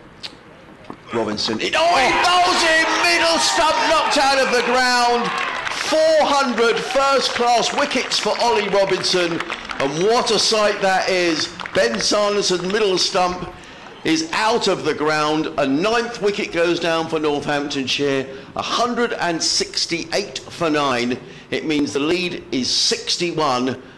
And if the light holds, and that is the big if, Sussex could be closing in on a quite extraordinary victory here at the county ground. Well, I'll tell you what, there's absolutely no doubt about that. When the middle pole goes for a walk, you've got to go. And that's a cracking bit of bowling from Ollie Robinson and Ben Sanderson's resistance. He was there for about half an hour, faced 27 balls for his five runs, but his middle stump not flying by Ollie Robinson. And now Chris Tremain, the Australian, coming out to join Vice Captain Lewis McManus. The lead 61. Where are we now? 24 overs to go after this, so we've always got to be knocking two off. But at the moment, if this last wicket falls quickly, then Sussex will have, on the face of it, a fairly straightforward chase if the light holds. Yeah, definitely. A lot of questions asked about Ollie Robinson. We spoke to Ollie last week in the press conference. The media were here in force because he's had a difficult time over the last year, but he's come back in this game. He's running hard, and the longer this game has gone, the more it's looked like the old Ollie Robinson. With due respect to Ben Sanderson, uh, clearly he was a tail ender, but you know, he, he just looked to be something back to his best. And he was saying, Ollie Robinson, how he, you know, he was glad to be back at home. He just wants to play cricket. And that's his 400th first class wicket. So, Chris Tremain is the last man in. Three slips, a leg slip, a short leg. Robinson on his way down the hill from the Cromwell Road end. He bowls and Tremain places firmly on the leg side, fielded by the athletic Jayden Seales, the tall Trinidadian. And there is no run. I was trying to work out what the time will be in Sydney at the moment because uh, Chris Tremain's uncle Mark has been on to us Yes. various times throughout the match and has been following proceedings back home in Sydney. I don't know if he's still listening now, but uh, Well, he's got a chance to make a name for himself here, Chris Tremain. Robinson is back to his mark and already running in. Bowls to Tremain, who digs a good delivery out from Ollie Robinson. It was a Yorker right up in the block hole, and there is no one. What a start to the county championship season this is. Whether if Sussex win, if it's a draw, whatever, it's been a terrific advert for the game, and it's it's been a wonderful four days entertainment, despite losing pretty much a day's play with rain on days one and two. Two slips. Silly mid off, short leg, leg slip, Robinson down the hill, bowls to Tremain, who lets the ball go by outside of the off stump. But we've also had listeners, Andrew, from literally around the world. We've had Well, listeners we- in China, in Australia, Cambodia, Laos, Bahamas. Yes, we do. Florida. Um, we've had Jofra Archer's stepdad listening over in Barbados. Yes. We've had listeners in Berlin. Eastbourne, yeah, Bexhill, Milton Keynes. I think we've even had Cornwall. all these all these exotic locations. Yeah, that's right. But it's uh, well, it proves that the county championship matters, doesn't it? It does. To an awful lot of people around the world. Robinson in again, bowls to Tremain, who's right in behind. That credit there to Chris Tremain because a fired up Ollie Robinson down the hill at Hove is not easy to face, but he sees out the over, which he does 168 for nine. As the score goes off on the main scoreboard, they're just showing that wicket taken by uh, Ollie Robinson. That's, that's a great sight as a Bet bowler, Ollie isn't it? Robinson's quite happy to have that one on, on repeat. Just put that one on loop. Yeah, particularly when it's your 400th. Yeah, that's a that's an important So, milestone. Weather update. Um, we've almost given up with this today. I mean, there is some heavy cloud drifting across Hove. Behind it, it looks like there's some brighter, lighter skies. But can Jayden Seales finish off this Northamptonshire innings? Uh, uh, if you're McManus here, do you think yourself, do you think, you know, a quick 15, 20 runs, or is it about chew- I think it's probably still about chewing up overs I at this think stage. it is. It's it's a it's a really really difficult call now for, for Lewis McManus, but it's is it worth the it's risk and reward again, isn't it? Is it worth the risk? I, I don't know. I just feel he's probably got to trust Chris Tremain, who's a very experienced first class cricketer, He's got a first class hundred. Here's Jayden Seales round the wicket, bowls to McManus in behind that, plays it up on the onside, and there's no run. Ollie Carter, who's under the the shin under the, the helmet and with the shin pads on at forward short leg, retrieves. I'm just wondering how many Northamptonshire supporters are going to be thinking about Southampton 2022, right at the back end of the 2022 campaign, when Northamptonshire were trying to hang on for the draw against Hampshire, and we knew the rain was coming, and it was coming over Telegraph Wood, and you could see it. and We got it on the radar. Come back to that in a second as Seales runs in and bowls to McManus, who plays that nicely down to backward point, and there's no run to be had. And Northamptonshire probably realistically had to face another three, four balls at the most to hang on because the rain was already starting to to spit. Um, and Jack White was bowled. And Northamptonshire lost, and by the time the players got back to the pavilion, it was siling down, and was still siling down an hour and a half later when I left the ground. But um, exciting stuff. Likewise here. here is Seales in bowl short, and McManus ducks underneath it, goes through again on the half volley to John Simpson, who takes it very well. Just occurs to me, Andrew, we were speaking to John Filby, the Sussex chair, yesterday. Sussex have decided this season that they will not use floodlights in county championship cricket. Several reasons, I won't go through them all, but one of those, it's cost something like £150 an hour to keep these lights on. But also Sussex feel that the game should be played in the light with red ball cricket. So there will be no floodlights here at Hove this season. Here's Seales in bowls again to McManus, who tucks that away past mid wicket. It's a long, long chase for two fielders, one from mid off and Ollie Cox from forward short leg, but they're going to settle for two. Two more to McManus. He's 13. Northamptonshire 170 for nine. The lead now 63. 22 overs to go after this one in progress. So it, it, would be ironic yes, if, it if, if, if, suddenly the players come off for bad light and, and the lights can't be used because once that decision's been made, they cannot be used for the whole season. Let, us from a Sussex point of view, let's hope that isn't the case. I was going to say the natives might might get decidedly restless if they're denied. Sussex are denied victory here anyway. Long way off. Here's Seales in bowls. And McManus ducked underneath that. It was a short ball, but it didn't get up very much. And. McManus was, I would suggest, almost below the height of the stumps. It was almost like a sort of limbo dancer job. But he managed to get everything out of danger. And there's now one ball to go in the over. So he would dearly love the single. Certainly, you would think one possibly on the leg side. But Seales, now he's switching his line of attack, having challenged McManus from around the wicket. He's now switching to over the wicket. And here he is, running it away from us from the sea end. Bowls to McManus outside the off stump. McManus leaves it alone. That's the end of another over. He's 13. Chris Tremain yet to get off the mark. Northamptonshire are 170 for nine. And as the scoreboard very helpfully tells us, Northamptonshire lead by 63, one wicket in hand. 22 overs to go. Where's your money? We're listening to county cricket here on 5 Sports Extra, of BBC Radio Sussex and BBC Radio Northampton. Adrian Harms and Andrew Radd. What a start to the county championship season. People joining us all the time. Just want to keep you right up to date. No play at all um, over the four days in the game at Durham and Derbyshire in this round of matches. I'll give you the other results in a moment, but James Coles is back into the attack, bowling his spin. Ollie Robinson out of the attackers. Forward comes Tremain, plays onto the leg side. There is no run. Is that a sign that the light is fading again? I, or, yeah, maybe swap the, the seamers over, get Seales down the hill. Not sure. Coles Three wickets to his name, six in the match bowls to Tremain, who's forward, punches into the covers, fielded by Robinson. Or maybe they feel that Tremain, against the seamers more likely to just put a big front dog down there and block it. You actually got to think about it a wee bit more with the with the spinner on. Coles. In again, Tremain forward, plays it straight back down the track. Coles fields off his own bowling. Actually, and I know you'll, I should be accused of wishful thinking, but it, it is actually getting a wee bit darker yeah, again. it is. It is which could be that John Simpson saw that coming in from his position on the field.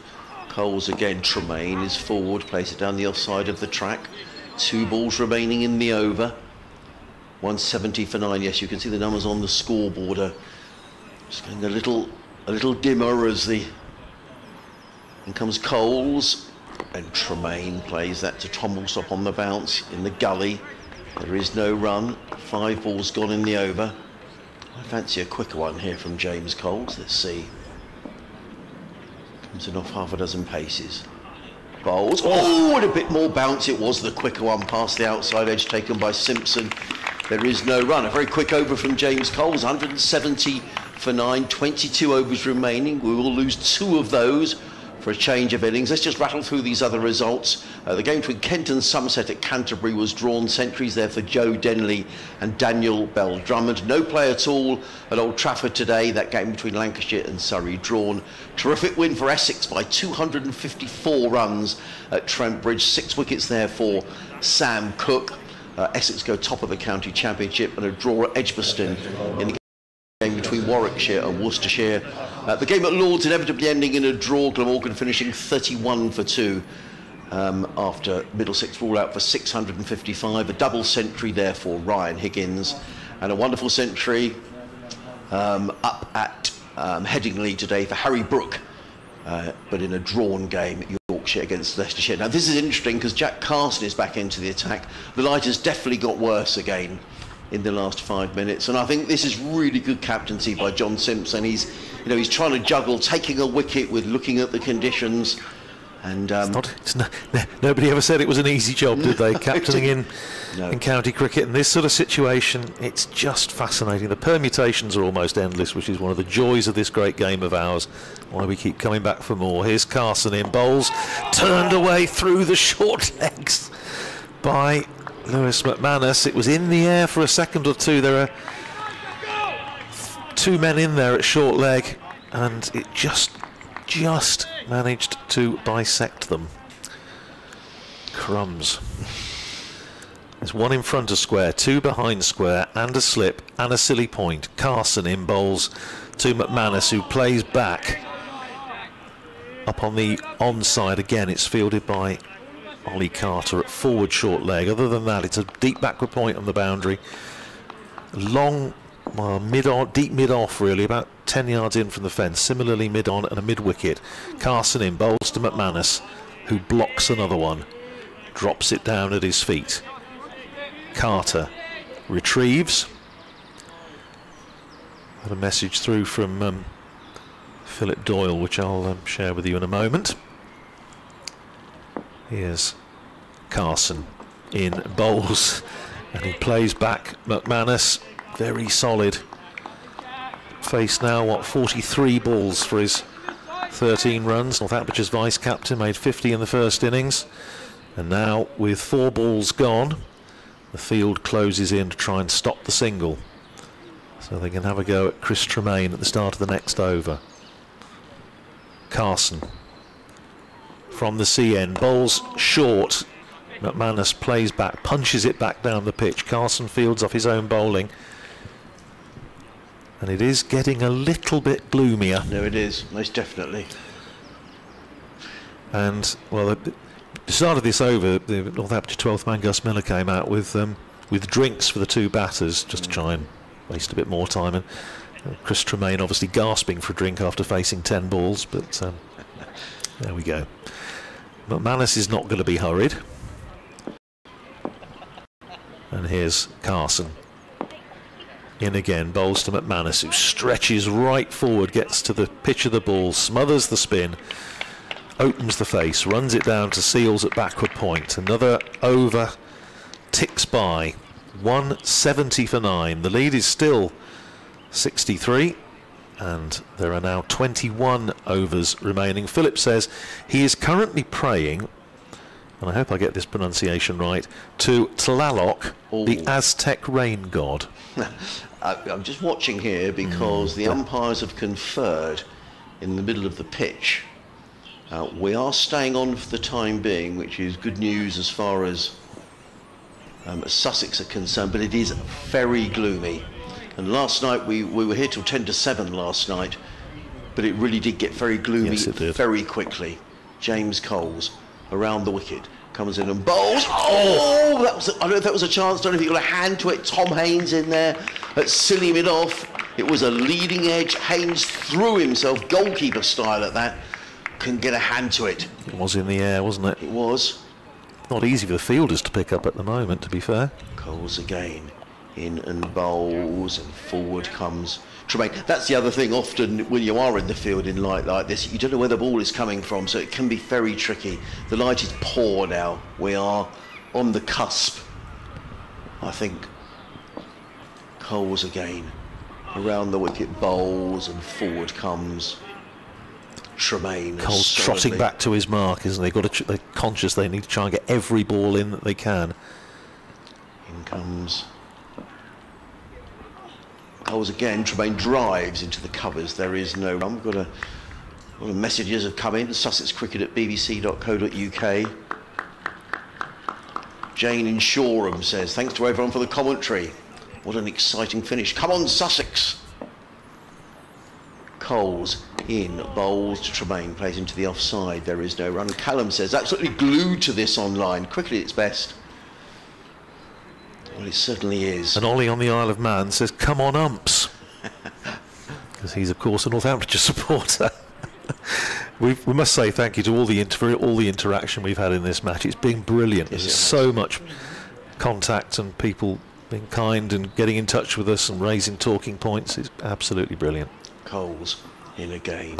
Bowls played by Tremain down the track. There is no run. It's a maiden over, which is almost irrelevant in the scheme of things. 170 for nine. We're sort of slightly struggling.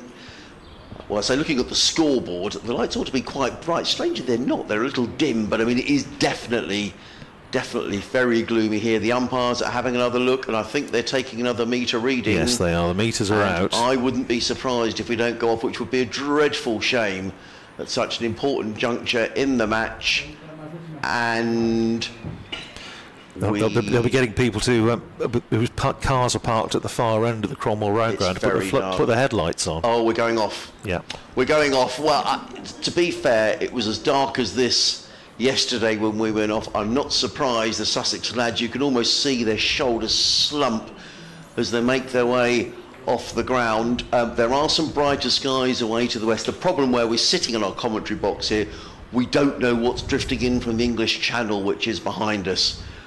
But, um, well, we'll have to see how things pan out over the next Yeah, I don't think this is necessarily the end. Um, I was going to say it, is perhaps the beginning of the end, but that's um, that's quoting Yes. a, a rather different occasion. Um, 20 overs, so We'll start to lose them. we'll from start now. to lose them from now, as it's now what 5:35 local time.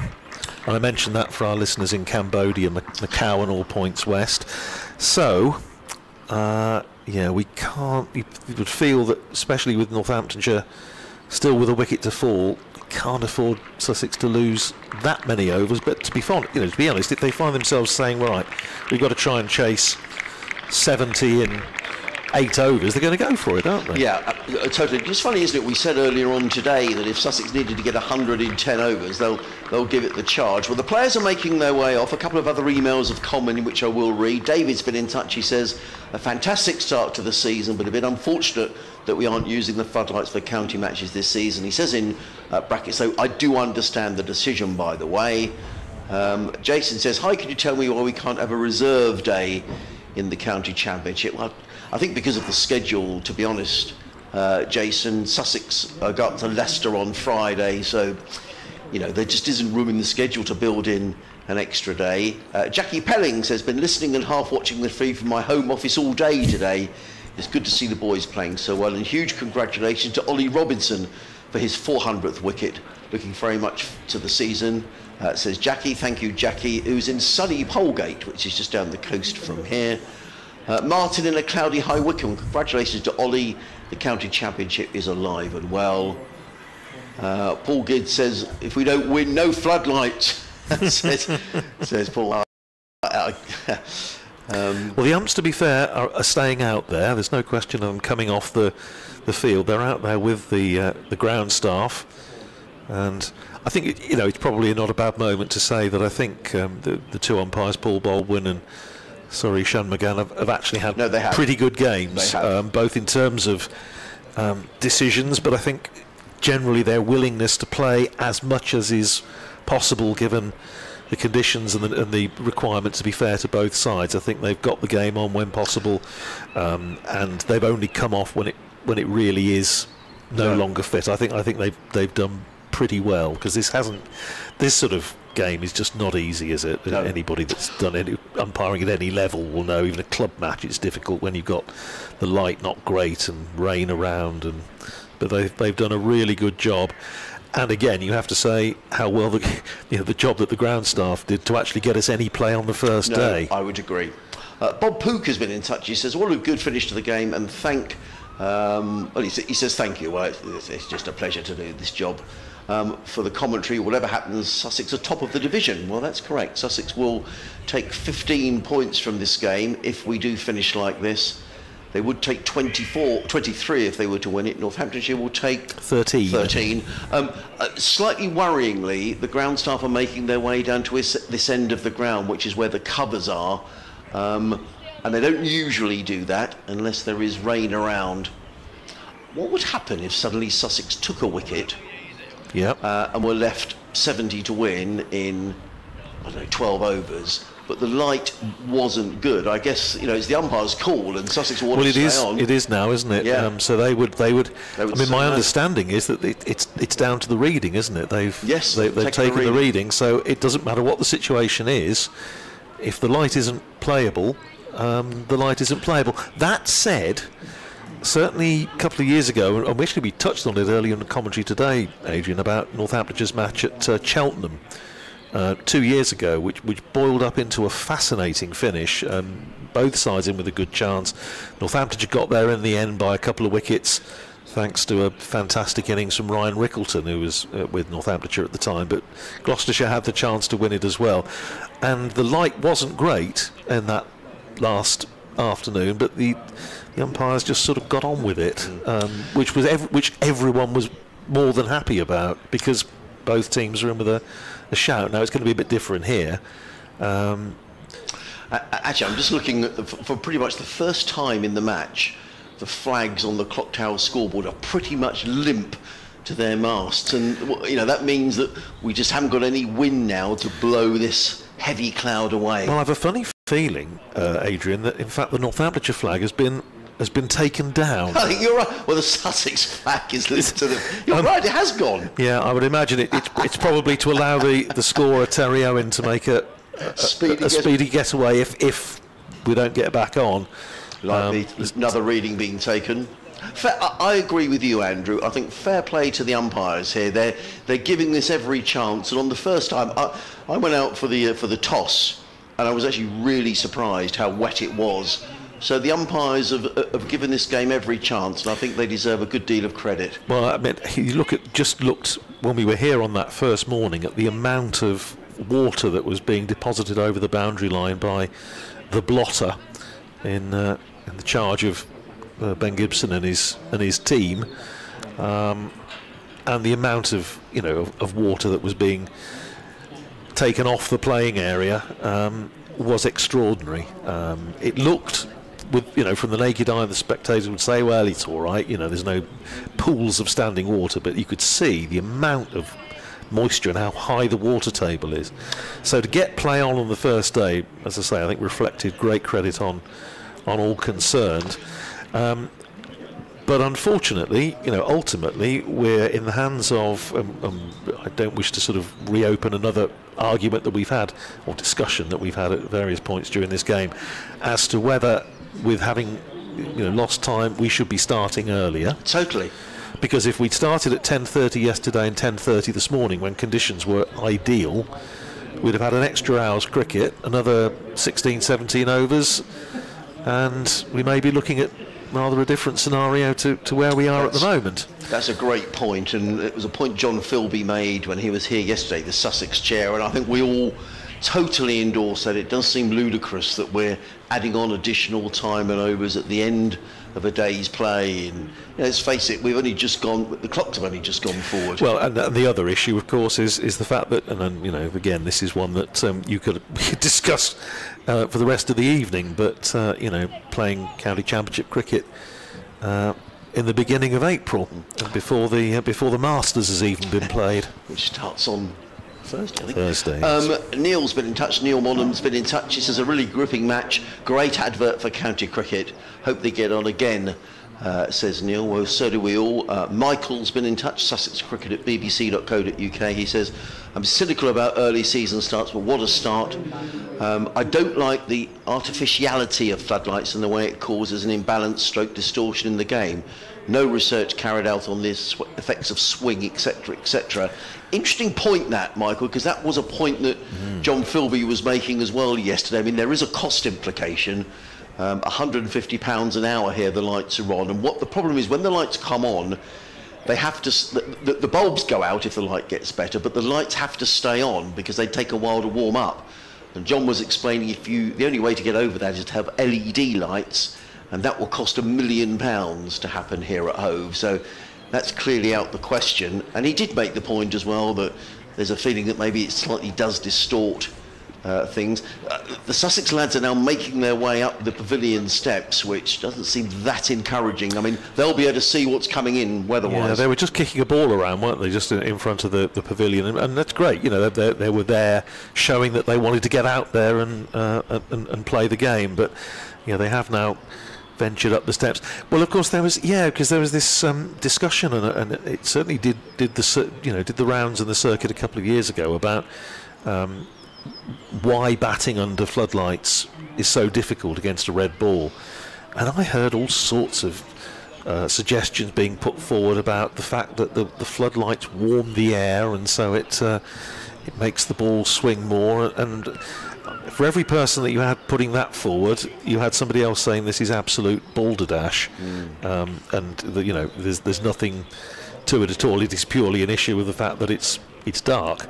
Um, so I, I don't know, but I think it will be very interesting as we go around the circuit, as, as we're saying, in the, in the fortunate position of doing, to see how many counties uh, have decided to do that. I mean, I, I, don't know what, what the decision has been at Northamptonshire. So we haven't played a home game yet. That'll be starting on uh, on Friday at, at Wantage Road against Middlesex. But um, I know last year there were certainly comments about putting the lights on for half an hour and the amount of um, time and energy it was and cost, of course, as you as you mentioned already, and that was being talked about last year.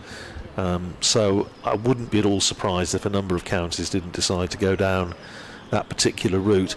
The umps are still out there. We, you know, I think it's important that we keep you up to date with what's happening. Um, the umpires are there. The ground staff are poised. The players have now gone inside. We've been off for 12 minutes by my reckoning, so we are starting to lose overs, but as I say, we're not at the point yet where the game has has gone. The chance of a result has gone. If it suddenly brightened up and we were able to get back on. That said, looking over to our left, which is where I think the the weather's coming from, and you know this ground a hundred times better than I do, Adrian. I, it does look a bit murky. Yeah, it does, and uh, uh, and I think the trouble is here. We saw this even on the day when there was good light during the day. That once we got to around about six o'clock, quarter past six, the, the light really did start to deteriorate. Yeah, yeah. And, and, Andrew's just showing me his his um, map here of the um, the radar. And it is there is there is rain around. Rain around. Uh, it's still to, to the west of us. It's more towards Portsmouth and yeah, Chichester. But it's sort of starting to. It's starting to inch its way towards Brighton. But that's that's probably going to take a little while to to get so. here. But um, but if it is rain and it's low cloud, it's it's not going to help the light. The the flag has just picked up a bit. It's just billowing a little now. But um, I I rather fear that we may not get back on here. I mean, it's been a terrific day's cricket. It, I mean, it really has. With you know Sussex this morning really going about their business in a very positive way. They added 127 in 19 overs. Jack Carson making 61 in 53 balls. Um, really led the charge and set Sussex up with a lead of 107. Sussex declaring on 478 for nine. Um, and then slowly working their way through this uh, Northamptonshire order. Uh, Luke Procter resisted. Um, he made 41. Rob Keogh with a half century. Um, but Jayden Seales with two wickets, Ollie Robinson with two, James Coles with three, uh, have, have kept us on the edge of our seats. And now with nine wickets down, um, I mean, Sussex will still need to score the runs, and that's the issue now for Sussex because overs will be drifting away. It is. I was just thinking, um, years ago uh, at Northampton, we used to have uh, what we called the Ted Rogers Trophy, um, named after the uh, the comedian who hosted that baffling game show 321. Oh, yes, yes. Yeah, yeah. Where the clues were totally incomprehensible unless you happened to work for MI6 or something. And uh, the, the reason it was called the Ted Rogers Trophy is that we used to uh, award points at the end of every match, uh, like a sort of a merit table. Three points for the most valuable uh, contribution, most valuable player in the match, two and one, and so on, with a bit of latitude. If somebody had played an absolute you know, match-winning innings like Alan Lamb in the B&H semi-final at Canterbury in '87, then we could we could up it to a four. You know, if, if it was a, a, real match winner, and then we tottled, you know, top them all up, and at the end of uh, the end of the month there'd be a little prize. And then at the end of the season, they would they would be a winner. I was just thinking, I think James Coles might be on for the three. Yeah, well, I agree. Um, if, yes, or even or even four. Um, but there have been, I thing is from Sussex point of view, there have been some terrific performances. I mean, that, that century from Tom Haines again has been sort of slightly overlooked because of what's happened since, and yes. that no, I would that agree. Uh, wonderful batting from Hudson Prentice and Lamb and, and Carson and Ollie Robinson today, but. Tom Haines laid the foundations with, with that century, 133. Um, no, so you're right. You, you, you're right. It has almost got forgotten.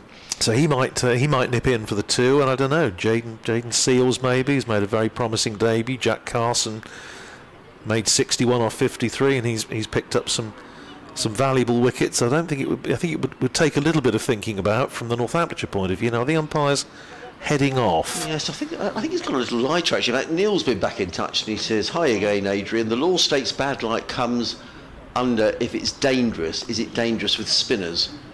Well, I think I think the law says dangerous or unreasonable. Right. Um, I, I, think it has got marginally lighter, but it's. I mean. It's marginal. It, it, it, um, it is marginal. I mean, the, the the fact the ground staff are here suggests to me that they think that rain mm. is on the way. And bear in mind, Sussex have still got to get these runs. Yeah. You know, and uh, yeah, I mean, it's. From Northampton's point of view, I think you'd have to say Luke Procter yeah, would be would be on for your for your three points at the, at the moment. He's Most had a, he's had a very very good game. Um, other than that, Rob Keogh played nicely today. Um, Lewis McManus, I think Lewis McManus must be in. If Northampton get a, get away with this one, get away with a draw, um, then I think he's going to be on for the two points, isn't he? Um, and and it's a very good story. In fact, interestingly, I was I was chatting to uh, Northampton's head coach John Sadler. We were talking about Lewis McManus, and he said from his point of view, he thought it was the best story of the winter. Um, the fact that you know Lewis had had such a an awful time last year. Um, you know, highest championship score, 27, broken thumb, couldn't buy a run um, in red ball cricket certainly, and the fact that he's come back. He's, he's taken the initiative himself, took himself off to India um, at That's his own terrific. at his own behest. Uh, had, as he said, had a couple of weeks when he just concentrated on his training, nothing else, no extraneous. Uh, you know, teammates to worry about or coaching programs or anything. He just did what he thought was was needed. Um, came back, uh, made 50 yesterday, and, and, played as though the 2023 season never happened. He was back playing the way he did in, in 2022. So that's a you know it is a good story, and it's it's nice when they will talk about reward for virtue, don't they? And oh, it's, it's, it's rather nice when somebody's actually t- you know prepared to put that investment into their own game when they actually you know find it being rewarded. Good for him. Now the umpires The are lights- coming back down the steps. Yeah, the light's are awful now, isn't it? It is very very gloomy. Uh, you you just this feeling that this might be the the sort of the decisive thing. They're are they actually going out in the field? Yes, they are. I mean, I I just wonder whether they're going to sort of because they they'll probably feel obliged. I mean, obviously overs are ticking away now. I wonder whether you get to a stage where there are so few overs left in the match that Sussex can't possibly score the runs. But if there's, Well, we've lost. Um, I mean, if there's if there's 20 minutes. I mean, Sussex have got to take a wicket. Then we will lose two overs as well. Yes. So even if they said, right, there's 10 overs to go, by the time a wicket falls, that's seven. Then you've got seven overs to get. Well, Sussex will have a dip at it, but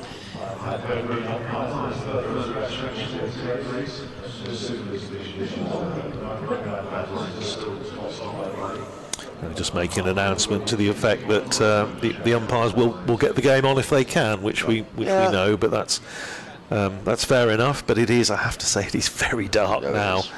Um, I know we're, we're looking. It's always it's always slightly difficult when you, you sort of like, like when you're watching a game and you realise you've got your sunglasses on. No. And you think, well, can they be playing in this? We're th- looking at it through a slightly tinted window here, but it, it I think it is pretty dark. If you're looking at the sort of relative light, certainly for me, it's darker than it was when they came No, I agree. each of the, the last two evenings. Um, but with the again with the match, it's one of those where if, if the game was dead the umps would uh, Oh, would, would, would say, yeah, okay, you know, let's go home. But um, the fact is that there is a possibility still of a result, so they have to do, you know, everything with due process. Somebody's um, It's it's one of the ground staff. They're collecting up some of the chairs Oh, down below okay. us. Right. So, so the umpires are out there at the moment, and they're with the. I think that's is that Ben Gibson out there, the head, Yes, the, the head groundsman. Yeah. Um, somebody, we joked, didn't we, about a quarter of an hour ago, Adrian, about they, they'll be asking because there's no floodlights. They'll be asking people to put their car headlights on at Cromwell Road ground. Somebody has. Yeah, they have. They have. Um, well, that shows how dark it is. And uh, yeah, the, the announcement's just come up on the, the board to say further inspection as soon as conditions allow. And well, they're still out there. I think it is. Well, there's people are starting to vote with their feet now. I think it's fair to say, and they're starting to, to drift away. It is very hard. Um, with the best will in the world, it is very hard to see now how we are going to get back on. And I say that because with the, with the radar on the, the rain that we were talking about that's coming up from the south uh, is not that far off the coast now, and so presumably there's sort of cloud ahead of it, um, and it, it's yeah, it's difficult to see how this uh, how this could happen. Can I just say, if we uh, you know the, the basis that we may be uh, off soon, a big thank you to everybody connected with Sussex County Cricket Club. I've had I've had four thoroughly enjoyable days here. You've got some of the friendliest people on the gate and around the ground on the circuit. Um, it's always a great pleasure to come here and. Uh, uh, you know, I, I look forward. It's been three years since we were here in any competition, and I hope it's not three years before we're uh, we're coming back because it's uh, it's a great pleasure coming down here to to Hove. Well, thank you, Andrew. It's been good to have you here as well, and it's been a re- we want to start to the championship. Um, it's been a terrific game, uh, and lots of good talking points as well. I think I, I I hope that, that you know the Sussex aren't going to get too much criticism for not having the floodlights. I, I, I think you're absolutely right. If we could have started at half ten yesterday and today, we wouldn't be in this situation. Um, but there you Well, go. I've had a quote here, and uh, Ollie Helfrich is, is, is working overtime today on the Isle of Man in Douglas. Uh, he said, brilliant start to the county season for both teams. Cracking ad for county cricket. Thank you for your engaging commentary. And in the words of the great Jeff Lynne, and I mention this because of course, he went and watched um, ELO. the ELO tribute the other night. Sweet, sweet is the night. so thanks for, for that, Ollie. Well, it's not quite night here, but I have to say it's not. Um, it's not far off. It's one of those when the old, the great old chestnut of Lionel Tennyson and Walter Livsey batting together for Hampshire in the twenties, and the uh, deciding that they ought to be appealing for the light, and uh, Tennyson said, "Why don't you appeal against the light, Walter?" And he said, "I can, I can hear you, my lord, but I can't see you." and it's it's a bit like that at the moment. It is. Well, it's it's it's very dark. Um, I, I, I, I- I have to say I will be amazed if it, for two reasons. A, it's too gloomy. B, as you say, it just feels like rain now, doesn't it? You just it's low and it's glowering and um, Well, I mean, the other the other interesting thing we, we mentioned about the fact that this would have been, and it may not be now, but the Sussex haven't uh, beaten Northamptonshire in a championship match since 2014 at Hove. Before that, Hove uh, 2010. So, um, and they haven't won at Northampton for 20 years, which is extraordinary. Um, and of course, they will have uh, an opportunity to put that right when Sussex come up to Wantage Road at the end of June, match starting on the 30th of June at Northampton, which is also former Players' Day. So that's uh, always a day to look forward to. But it is extraordinary that um, that, that Sussex, as I say, haven't won at Northampton since 2004. I, I suppose again it's the sort of thing that happens with two divisions, doesn't it? You get teams that just find themselves in different divisions, and so they don't play each other for a long period of time. But 2014 was Division One, wasn't it? yes, it That was. uh, yes, it was. when the, the last time Sussex won, I mean, Northamptonshire had a had a woeful season. They didn't win a game. I suspect. I, I suspect probably Jofra Archer got a stack of wickets then, or maybe not. No, it's before Jofra started. It started. had been a bit before Jofra, I would have thought. yeah, probably perhaps Magoffin Yeah, 20. I'm just going to just going to have a little look. now. You've, you've you've piqued my interest, as they say. So I shall have to have a little look now at the at uh, that that 2014 game. Uh, meanwhile, the ground staff down to our left are well poised and ready for action, a bit like Brenda when the new ball's due. Yeah. and uh, quite a number of spectators now over to our left. And I think there weren't a vast number here in the first place, but um, a few of them are now just starting to drift towards the the exit. Um, I think they've probably made their own minds up, but again, in other circumstances, we will be sitting here moaning about the umpires that can't make a decision. But in this situation, they are absolutely right. They've got to do the right thing for both, you know, for both sides, in particular for the side that is uh, is still in with a chance of winning. So, as I say, we shall uh, we shall just wait. That I've got that game up here now. Um, County Ground, July 2014. Sussex won by an innings and 85 runs. Sussex 405 all out. Luke Wright 158. Uh, four wickets for Andrew Hall. Uh, okay. Then in reply, Northamptonshire 116 all out. They were 0 for 3 and 11 for 4, 20 for 5. Um, a little bit of a runs down the order from David Willey and Steven Crook. And it was indeed Mr. Magoffin. Was good, good shout, Harmsy. 5 for 12. Yeah. Um, He's a bit of a star, Steve. And, uh, well, the late and much missed Matt Hobden. Yeah. 2 for 34. And Northamptonshire following on. We're all out for 204 with Steven Crook top scoring at number 10 with 52 not out. 3 for Magoffin, 3 for Hobden, 2 for Ashar Zaidi. Oh yes, yes. And Uh, uh, left arm spinner. Sussex winning in three days. The last man out was David Willey, stumped off the aforementioned Ashar Zaidi. Now the umpires are walking back to the pavilion, uh, and I the, um, the the stumps haven't been pulled up yet, but we have now lost uh, 26 minutes of play. So that's going to be what seven? Well, realistically, seven eight overs. Yeah. We're, we're not getting back on here. It's it's. Really, I would I would be very surprised. Now the umps will stay with it, of course, because we just want to wait until we get a, a decision one way or the other. The umps are, are now going back up the stairs, back up the steps, to uh, presumably have a word. They've done this once already. Just went and had a, a word with the uh, presumably with the captains and the coaches. They're now climbing their weary way up the staircase, up towards the uh, the balcony where both teams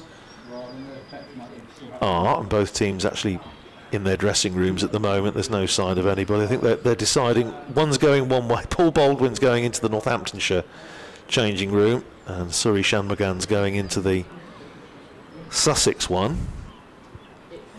And Yeah, this is probably the skippers coming out here and just. Uh, I, yeah, we, we'll just be having a look to see if there's a if there's a shake of hands or whatever. Well, John Sadler, the head coach, is now Northamptonshire's head coach, is now out on the balcony, having a word with the umps. Well, Ollie Helfrich was saying, "Come on, umps." Well, they're going back out. They've had a word with John Sadler. They're now going back down the steps. This is gripping stuff, isn't it? they're now walking down the steps back onto the playing area. And, well, I'm not quite sure what they can say that's going to be different to what they've said before, but as you say, it's all down to process, isn't it? Maybe going to have a word with the scorers, see how many overs have been lost. see how many overs have uh, have been lost and, and how we're doing for for time. Uh, the scorers, are up in the uh, up in the score box, which is at the top of the pavilion here, next to the the big clock, which at the moment says five past six. So we've been off for half an hour now. I think that is. I think they're going up to have a word with the scorers. So Messrs Unwin and Owen, sounds like a firm of solicitors, will now be in business, and they'll just consult, make sure that they're again. It's all doing things the right way. You do this in a in a club match, wouldn't you? Just check with the scorers to see how long have we been off, how many overs have Totally. have gone. Just doing things right. Um, but now they're, I'm not absolutely sure they worked out how to get up to the score box. They were just they came out of the members' pavilion and now I think they're going upstairs. So I suspect within the next five minutes or so, if you bear with us, we will probably have. I, I think they'll call this off. I, I, I, I, mean, there is. I just don't think there's any way. It's now. It's five past six. I mean, it's it's really really dark. There's no way you can play in light like this, and there's no sign of it really. There's not as if there's blue sky behind us. No, I think it's um, it's it's very much odds against, but um, it's like I say. I think it, I think it sort of typifies the approach Totally. that these umpires have taken in this game, which is you know doing things right. I think generally I'm saying not, not necessarily saying that they do anything any different to any of the other first class umpires. That's all it's all a matter of process, but. Um, I think these two. I just think they've they've done well. I think they've they've both looked in terms of, as we say, in terms of decision making, in terms of just general management of the game, I think they've done very well.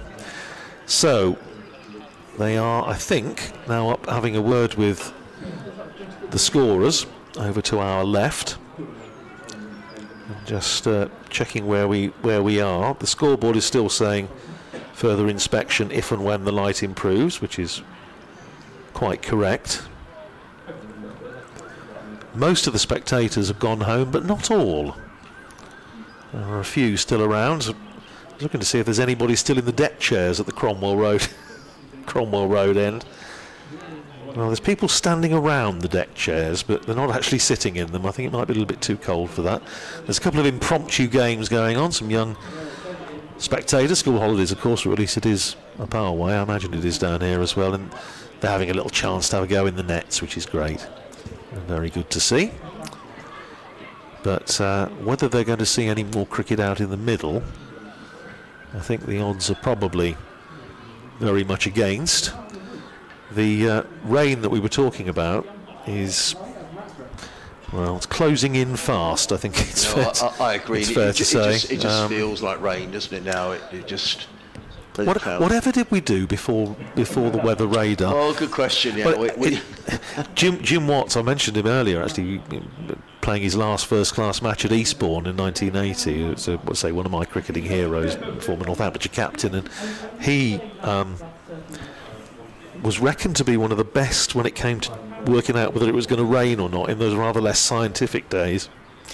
And uh, I remember David Steele telling me that uh, if, if Jim turned up with his Mac, then it was a question of, of um, when, not if, they would be rained off. The stuff that the, the skies that are coming over to our left now, it is filthy. yeah, it is. Um, it really is very, very dark, threatening clouds. Even there aren't, there aren't even too many seagulls at the moment. They've um, they've they've seen enough. We're, we're going to get wet going across to our interviews. I, I, I think it's sort of 99.9% this will be called off in the next five minutes or so. It's, I mean, the umpires have done their bit. They've they've tried to get every chance, but you can just see now. You're, quite right. That darker cloud is is making its way towards home, and I, I rather fear. In fact, Ben Gibson's now having a look, and I think Ben is. You can see he's looking behind the pavilion where this weather's coming from, and um, his staff are getting ready. I think with. Uh, with the covers, he's Well, umpire Paul Baldwin, I can see, is now up on the gantry, just where the scorers yeah sit. So, as, as we suspected, they're obviously just having a having a word as the match officials team. Presumably, Dean Cosker, I think, is there as well, the match referee. Um, and that again is, I mean, people sort of say, do you really need a, a match referee? Or they don't, they don't necessarily call it that. They have a, he's the liaison officer, isn't it, for ECB? But um, do you really need one in county championship? I think the answer is yes, you do. And I think the umpires probably appreciate having somebody that they can, you know, take soundings from, discuss. I, I mean, I, I can remember instances, you probably can, Adrian, that uh, when games have been called off, um, that's it. That is it. Yeah, and here come the covers now. The signal has gone out, and Yeah, that is match abandoned as a draw. Well, it's a shame because it could have been a very, very exciting finish as it is. It's been it's been a terrific day's cricket. Thank you very much for your patience for staying with us. But obviously, we wanted to dot the i's and cross the t's for you. But I can confirm now that uh, the match has been abandoned as a draw, uh, with Northamptonshire clinging on at 170 for nine in their second innings, with uh, well Lewis McManus take a bow because he's done his job for the side again as he did in the first innings. Sussex pick up 15 points, which I, I think they'll be fairly happy with. 13 for Northamptonshire, so decent haul for both teams, but Sussex have really bossed this game since tea time yesterday. They had a good chance to force a win, but as we said right the way